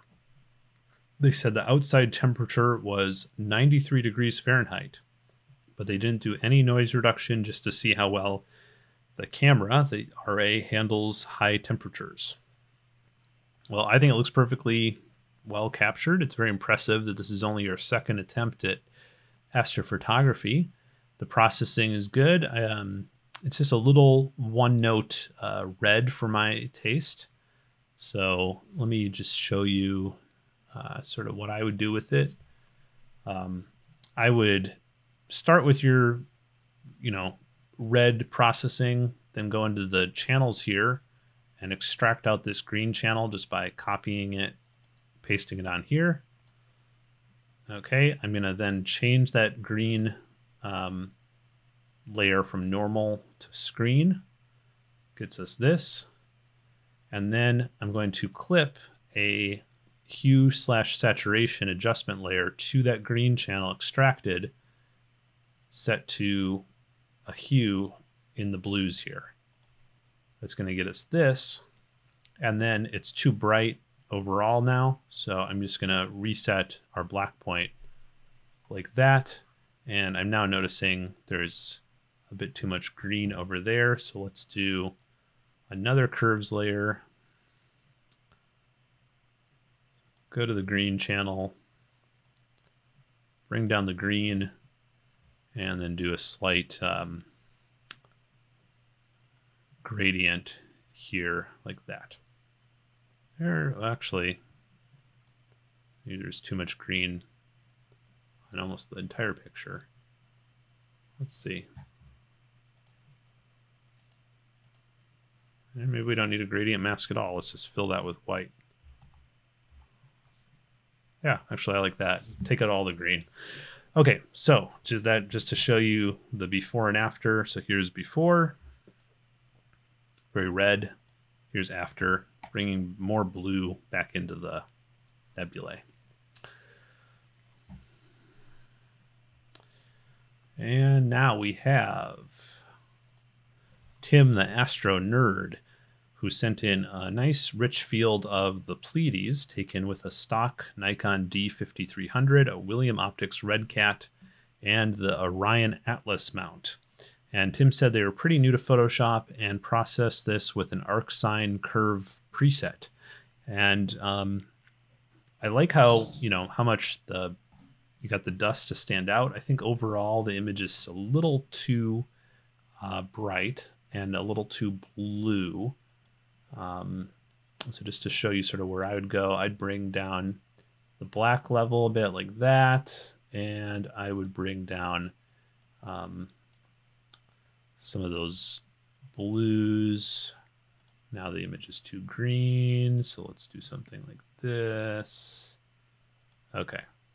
So I would go somewhere like that with the processing, um, just to give you an idea. Some of these dust clouds, which look very blue in your image because there's sort of like a blue wash to your whole thing, should be more brown.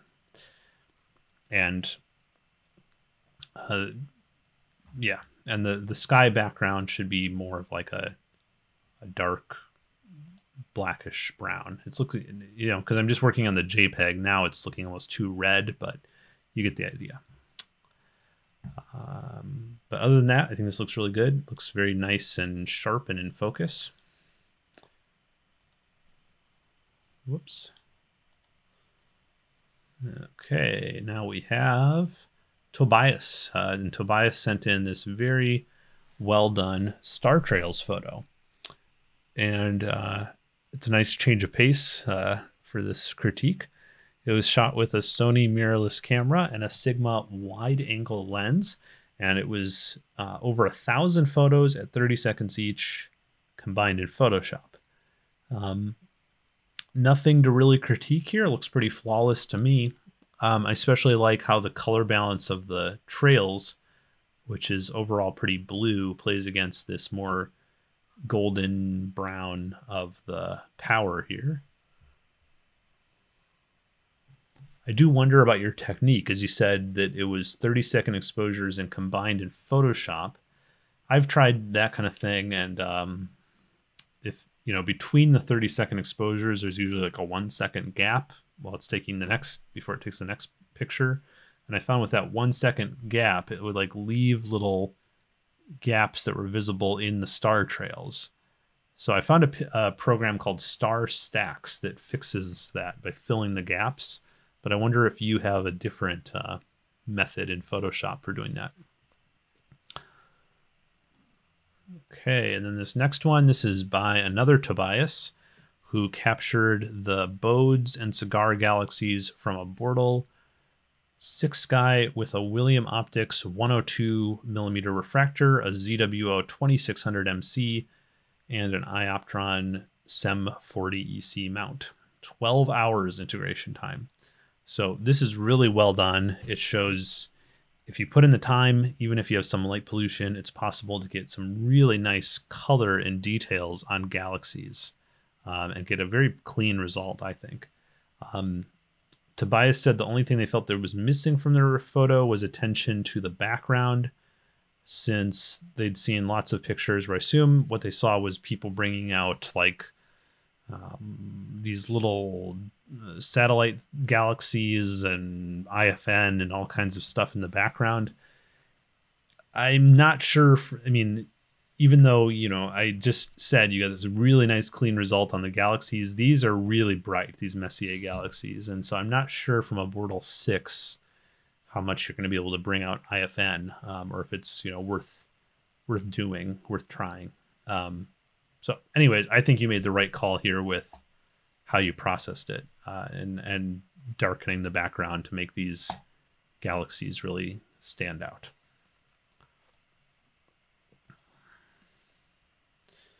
Tom, uh, Tom, you captured the Wizard Nebula with a Canon T7 uh, Skywatcher Star Travel 80T telescope and a Scar Skywatcher Star Adventure. Tom shot 100 lights at 30 seconds each at f4.9. And this is a, definitely a hard object to go after with a stock DSLR. So hats off to you, Tom. And Tom said they struggled with details in the nebula outside the central part and also star color shift between the nebula and the rest of the photo. So I guess they mean these sort of pinkish magenta stars here in the nebula. I wonder if you were trying to do some selective adjustments and, and caught those stars when you were trying to change the color of the nebula, maybe. Um, I'll show my process for your, data that you sent the stacked TIFF for. It's a pretty different look. Um, what I did is I took your uh, photo, I did a background extraction in the free program Siril, S I R I L then I ran that through StarNet++. You know, it left a fair amount of artifacts, but it also isolated the nebula. I then applied this uh, color correction curve to that, bring out the nebula a little, little bit more. Then put the stars on top of that and set them to screen blend mode. And then just reset the black point. And I kept the image a lot wider um, than you did. I know maybe that wasn't your intention. Maybe you always wanted to crop in a lot more on the wizard, but I I like wide field stuff, so that's why I did it this way. Um, but anyways, thanks for sending that in, Tom.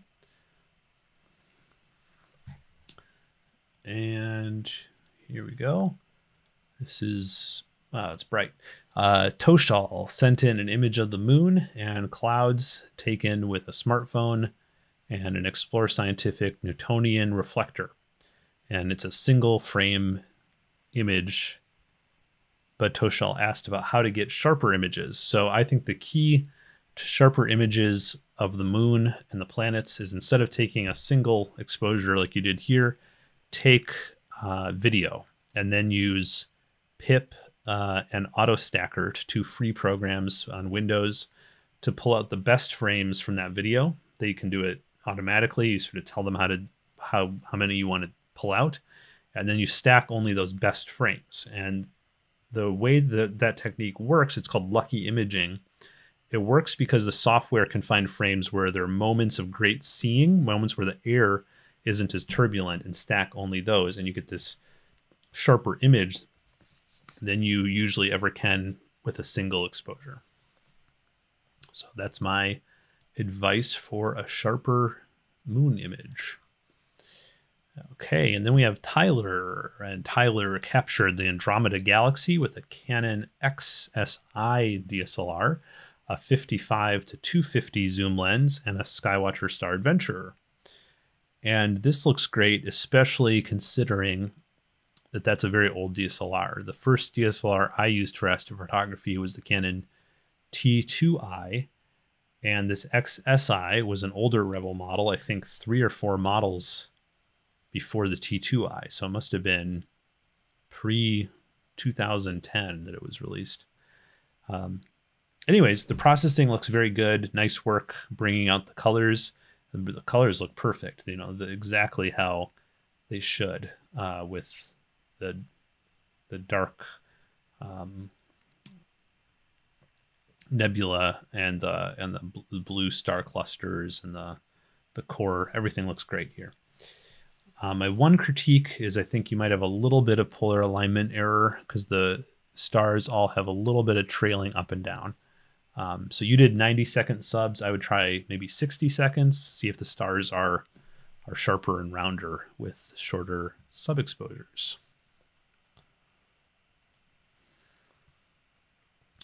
Okay, this is by Euclides. I don't know if I'm saying that right. Euclides sent in a photo of the Lagoon and Trifid nebulae taken with a Canon SL3 70 to 300 millimeter zoom lens and a Skywatcher Star Adventurer. And they mentioned they limited to 30 second exposures because the ambient temperature was high when they took this, so they wanted to be careful about not adding too much thermal noise. That's a smart strategy. My critique of this image is mostly to do with the color. So I'll show you where I'd head with it. Um, so here's just your original JPEG. Um, I'd start by removing a lot of green because green is not a particularly natural color to deep sky. There's no green stars, so I would just first remove a lot of those green uh, stars like this. And then um, overall, I'd, rem- I'd lower the saturation, which I think will actually help recover detail. Even in this JPEG, I feel like by lowering the saturation, I'm seeing more detail in the core of the nebula here.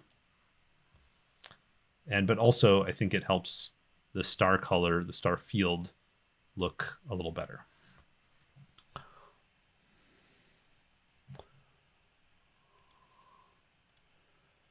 Okay, V, like the letter V, sent in an image of the Cygnus region taken with a ZWO 1600 mm, uh, ZWO 7 nanometer HA filter, and a Canon Nifty 50 lens on an iOptron SkyGuider Pro, all controlled by a Raspberry Pi mini computer. And this is just five lights at five minutes each. So I love this. It I love Cygnus, and the, but it also this picture shows the flexibility of astrophotography today that you can pair an inexpensive lens, an, a relatively inexpensive star tracker. Uh, it's like a SkyGuider Pro is like five hundred dollars maybe, but with a dedicated mono camera and an HA filter, and get results like this in twenty five minutes. Uh, that's amazing. Uh, how good this is, and perfectly framed. You know, the the veil's a little tight, but you did get it in there. You also got the tulip up here. That's so cool. Um, V plans to shoot O3 and S2, and I think it's going to look really great if you make this full color in narrowband. You know, 25 minutes is relatively little integration time, but it already, I think, looks pretty nice. Um, don't really have anything to critique about this. Uh, and I think it's a really neat idea for a kit. All right. Valentine captured the Triangulum galaxy Messier 33 at 85 millimeters with a Sony mirrorless camera and a Skywatcher AZ GTI in equatorial mode from a Bortle 7 location. And Valentine said they did not have the disk space to stack all their shots at once, so they would stack groups of 200 exposures and then delete i think the individual 200 exposures then stack another 200 and keep doing it that way and then stack all the resulting uh, masters together. And they asked if this was okay and yes i think it works pretty well. I mean i still need to do a more rigorous test to see if i can actually see a, any difference between doing it that way versus stacking everything at once. But theoretically, I don't think there could be there would be a huge difference between the two. Anyways, I think the processing looks really nice here.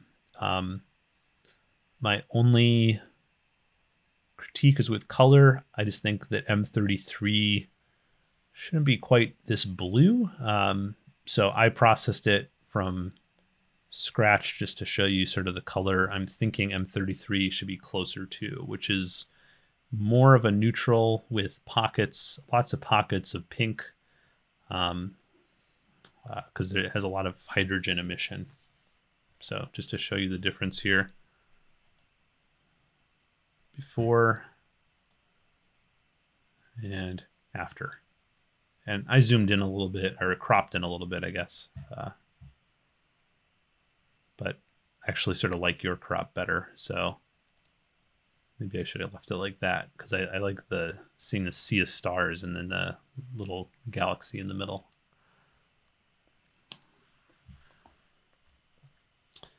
Okay, Voltaire. Voltaire took a photo of the Lagoon and Trifid nebulae with a Canon 600D Skywatcher 72 millimeter refractor and a Skywatcher EQ3 mount.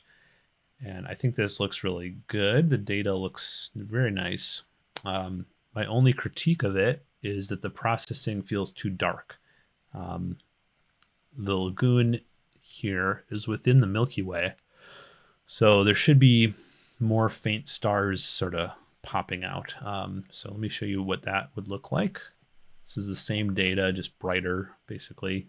Um, and but I think that by making it brighter, you can also see more details in things like the blue reflection nebula around the Trifid and some of this extended nebulosity in the lagoon. And then Vancity Astrophotography captured the pillars of creation at the center of the Eagle Nebula with a Celestron 8 inch SCT and a 0.63 reducer on an alt-az mount all taken with a Canon 60D. And I think this looks really nice. Uh, Vancity Astro asked about why the stars looked funky around the edges. My guess is it has nothing to do with your optics um, and all to do with your mount. With an alt-az mount, you're going to get field rotation. It's uh, unavoidable, and this looks just like field rotation. So uh, the only answer there is moving to an equatorial mount, uh, unfortunately. But I wouldn't worry about it. I don't think it detracts from the shot very much. Um, you could also always just crop in because I don't think the you know you have so much detail here in the in the nebula that just cropping out those sort of funky stars uh, would actually maybe be good. Let me just go here. Something like that. And the only thing with uh, processing I'd recommend is just maybe just a tad brighter. So I just did a slightly brighter version here where I brightened up the, the nebula. But this is really cool. It's one of the better natural color pillars of creation shots I've seen.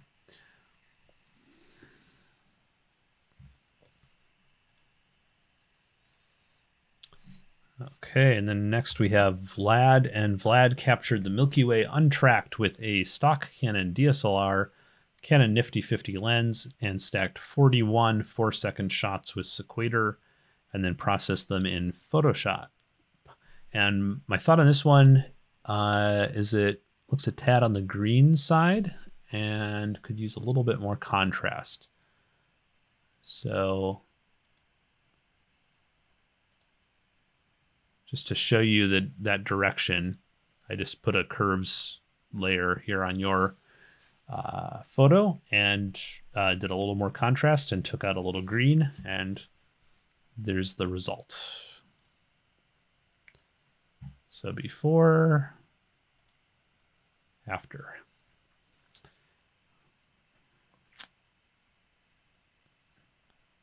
Other thing I could recommend is if you want to add another free program other than Sequator to your workflow, uh, Siril, S I R I L, has a background extraction tool that should make getting good color and get rid of some of these gradients um, very easy to do.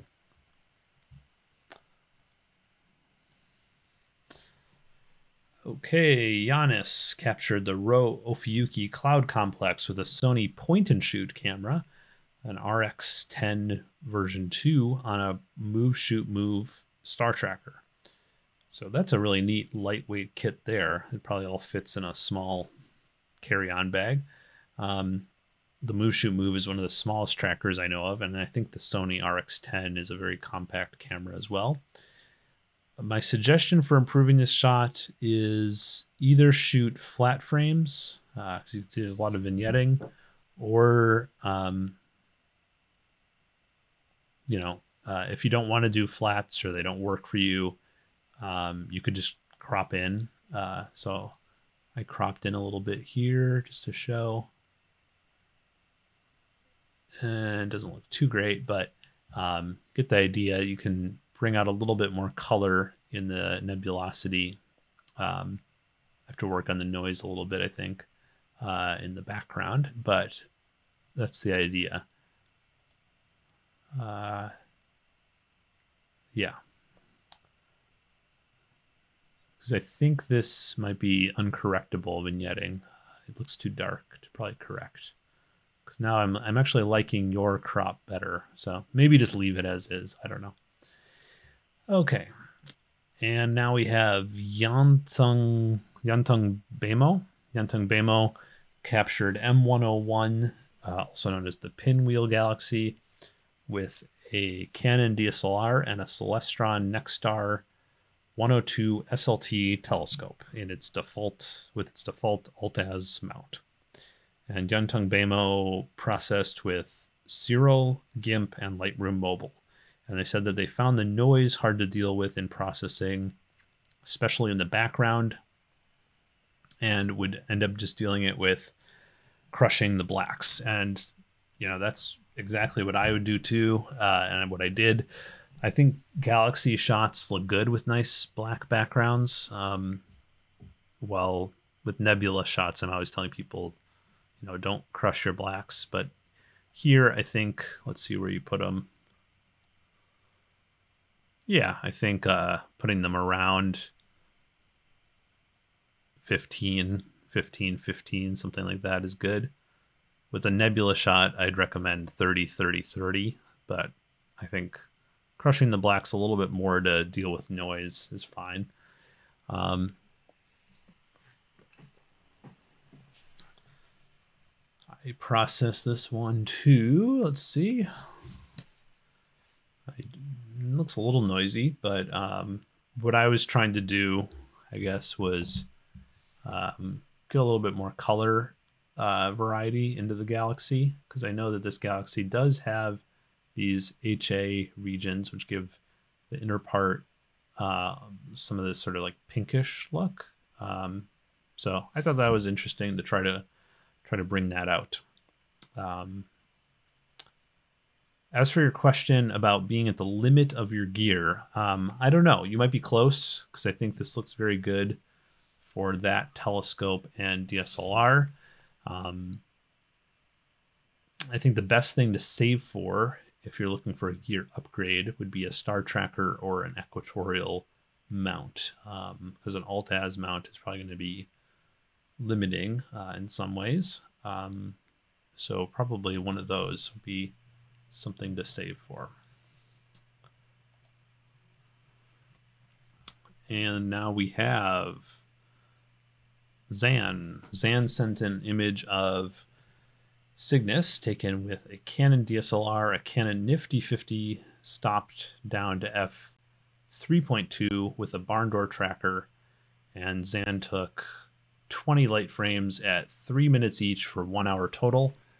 And they were wondering about how to get better, especially when it comes to noise. Um, but Zan already put in the caveat how to get better about hiding noise without taking more data. so they knew I was going to say, yeah, just triple your exposure time. Um, well, so, but I mean, I'll just mention it again. Getting more total time under the night sky is always going to be the best because that's going to increase your signal to noise ratio, and then you can push the data further in processing.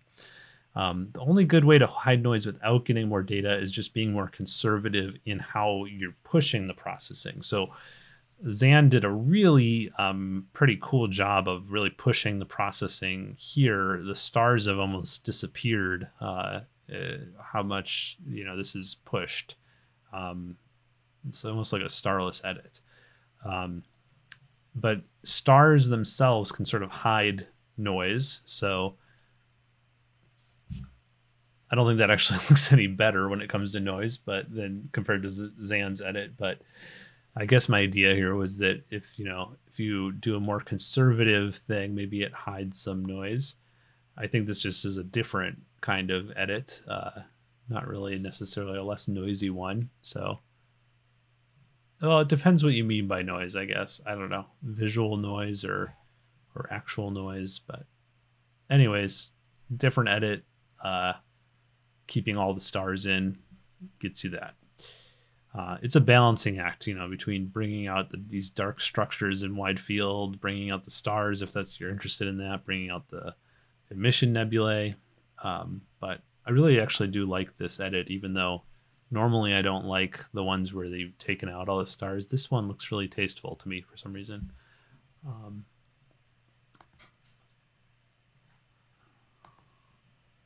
okay, and then we have Zane Kite photography. This is uh, the last photo in the critique, and it's of the central Orion region taken with a Nikon DSLR on an iOptron Skyguider Pro. It's just 14 exposures at two minutes each. And Zane Kite said that they couldn't get rid of this airplane flying through in the lower right part of the frame down here. Um, that actually I'm surprised by with something that bright with 14 exposures stacked. I wonder um, if in Deep Sky Stacker you were using the average stacking method rather than the default Kappa Sigma clipping. Because um, I, I would think that with Kappa Sigma clipping that those pixels would have been um, bright enough that you wouldn't it, they would be rejected. Um, and same thing with this um, meteor strike right here. I would have thought that would have been rejected from the stack if you're using Kappa Sigma. So my, my guess is you were using average or something like that. Um, I don't know of any good way to manually get rid of uh, plane trails or satellite trails. Um, I always just rely on the rejection algorithm when you stack. Um, but other than that aspect, um, I think this photo looks really nice. Um, really well processed, bringing out all of this brown dust in just a, a 28 minute total exposure. And the saturation level looks pretty nice. Um, just right on the edge, you know, like a, it's uh, bringing the saturation right up to that limit, uh, but not uh, over that limit where we'd start losing details to uh, the saturation for anyone that's has stuck around to the very end, congratulations. And I've decided I want to do a bonus clip here at the end where I critique one of my own astrophotos. Uh, this is something I just remembered that I did on the last critique video, and I thought it would be nice to keep up the, the tradition.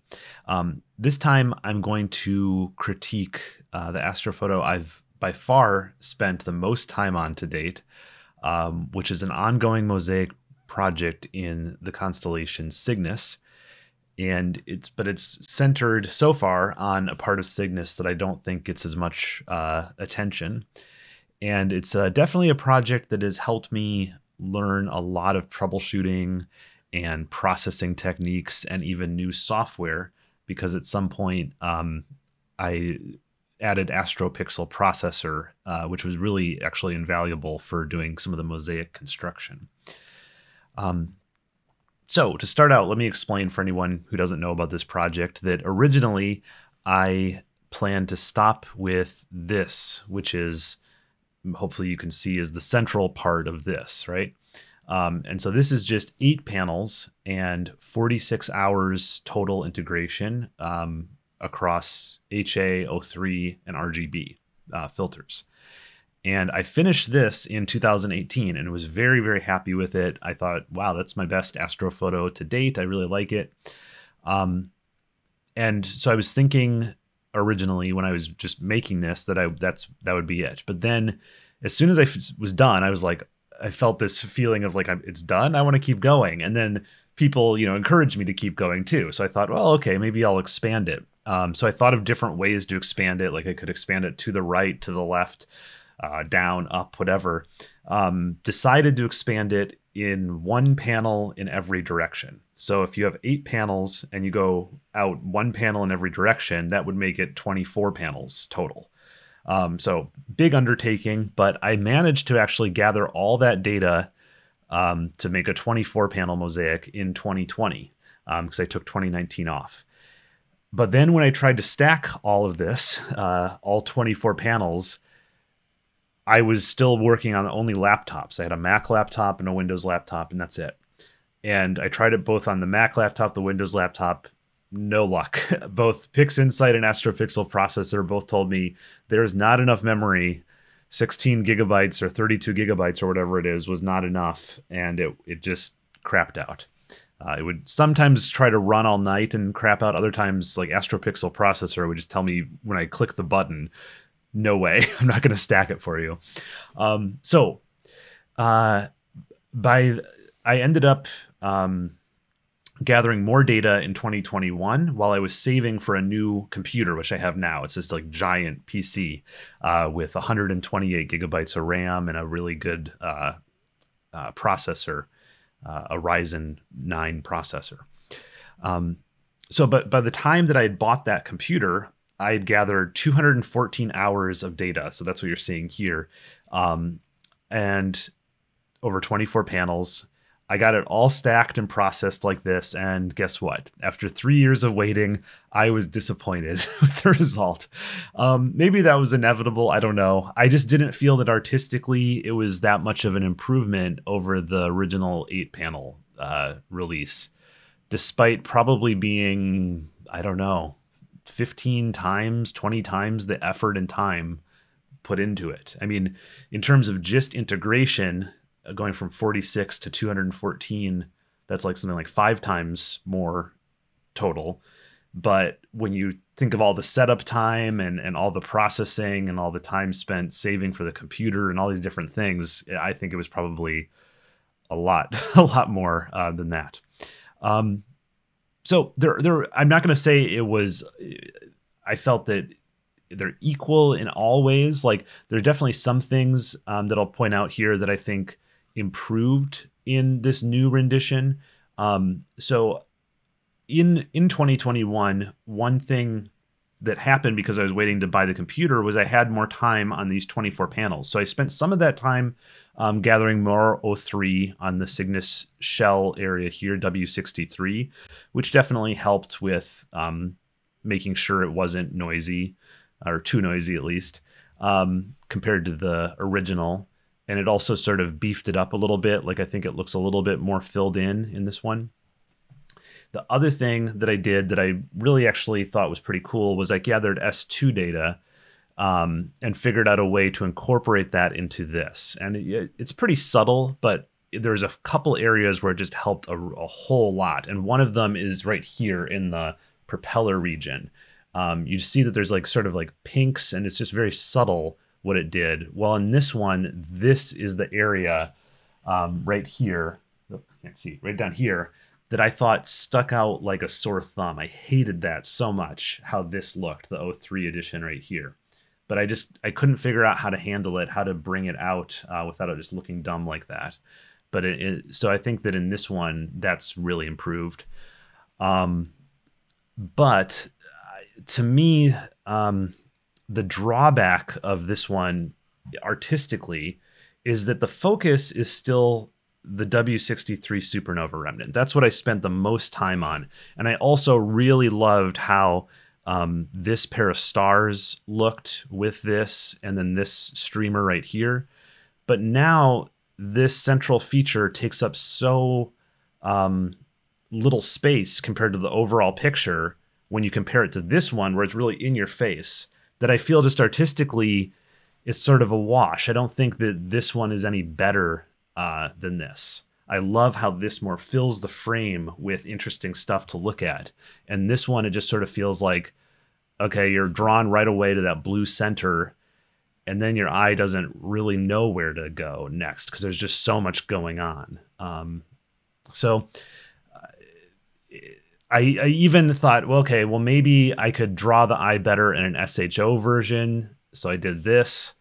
It's cropped in a little bit. Um, I don't know if it's better. I don't, I don't like it at this point. Right now, I'm just feeling sick of this. So maybe maybe that's why. But I, I don't like this version that much. Um, I, I did release it because I thought I'd get some feedback, but uh, I don't know. I don't like it.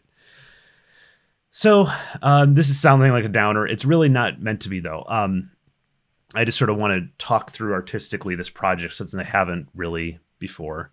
Um, and I think that well, I'll wrap it up by saying that even though I'm somewhat disappointed in the result, I still find this project really exciting um, because when you go really deep on a project like this, it sort of takes on a life of its own. And at some point, you just have to accept that your vision and and the reality of what you actually have captured might not always match up but that's okay. It can be more about the journey of creating a large project than the final result being the most satisfying part. Um, and in any case like i did in 2019 i took a break of all, all of 2019 worked on other other things. I did a, a cave uh, a big thing in the on the cave nebula which was fun and so I'm going to be taking a break from this Cygnus mosaic in 2022 um, to work on other things. Um, but hopefully in 2023, I'll feel energized to pick it back up with some fresh ideas. And uh, I'm thinking, you know, if I could expand it to to some of the more recognizable stuff in Cygnus, like the North America, which has a lot of O3 signal, maybe that offset of another big blue object will really uh, be cool. I'm not sure. Um, that would be expanding it mostly down. So I, am thinking that might be what I do, um, rather than just keep going out, uh, which I'm I'm thinking maybe wasn't the best idea. So, anyways, um, this is a very long video. Uh, I've been working on it now all day and into the night. Um, so, you are now seeing the names of all of my Patreon supporters um, because whenever we have a long video on the channel, um, you get to see the credit in the credits all of the names of everyone who supports me on Patreon. So if you want to see your name in the credits on, on any long video, you can sign up over on patreon.com slash nebula photos. And in addition to having your name in the credits, uh, as you're seeing now, there are lots of other benefits to joining us uh, with us over on Patreon. Um, the, one, one of them is there's a direct chat feature right through Patreon. So as soon as you sign up, you can start chatting with me.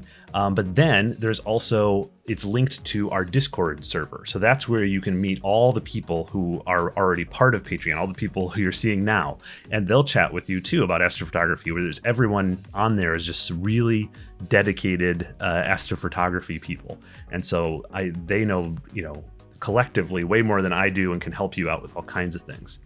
I also organize a monthly imaging challenge um, where each month I'm going to give you a challenge like shoot something in Orion, shoot something uh, that's a reflection nebula, so that kind of thing. Um, so it's a prompt, and then you go out and shoot uh, a picture and do it in one month and submit it on the Discord server, and it's it's a lot of fun. And we pick um, winners, and the winning images each month are published on my Instagram and on Astrobin. I also do monthly Zoom chats. So this is an opportunity to come in live and ask me questions. Um, I usually do a short presentation. Uh, we also sometimes have community presentations. So if there's something that you feel you want to present on, um, that's great too. Um, and then there's just a bunch of other th- stuff. I, I do. A, there's some exclusive videos that are only on Patreon. I'm going to be doing some Patreon giveaways. Um, there oh and then new uh, also new is we're doing a group imaging project so this is we're all going to be shooting or we all are shooting m78 messier 78 in orion right now and then we're going to try to put all of our data together and see what we get. So I think it's really worth your while to sign up um, so you don't miss out on all of this uh, activity. Uh, if you're into astrophotography, it starts at just $1 per month. Um, and then there's a $3 tier and a $7 tier. And I'm gonna I'm gonna keep it that way. I don't I don't plan on really changing it uh, for a while at least. Um, but it's been it's been really fun, and, and hopefully you can join us on Patreon. Well, until next time, this has been Nico Carver. Clear skies.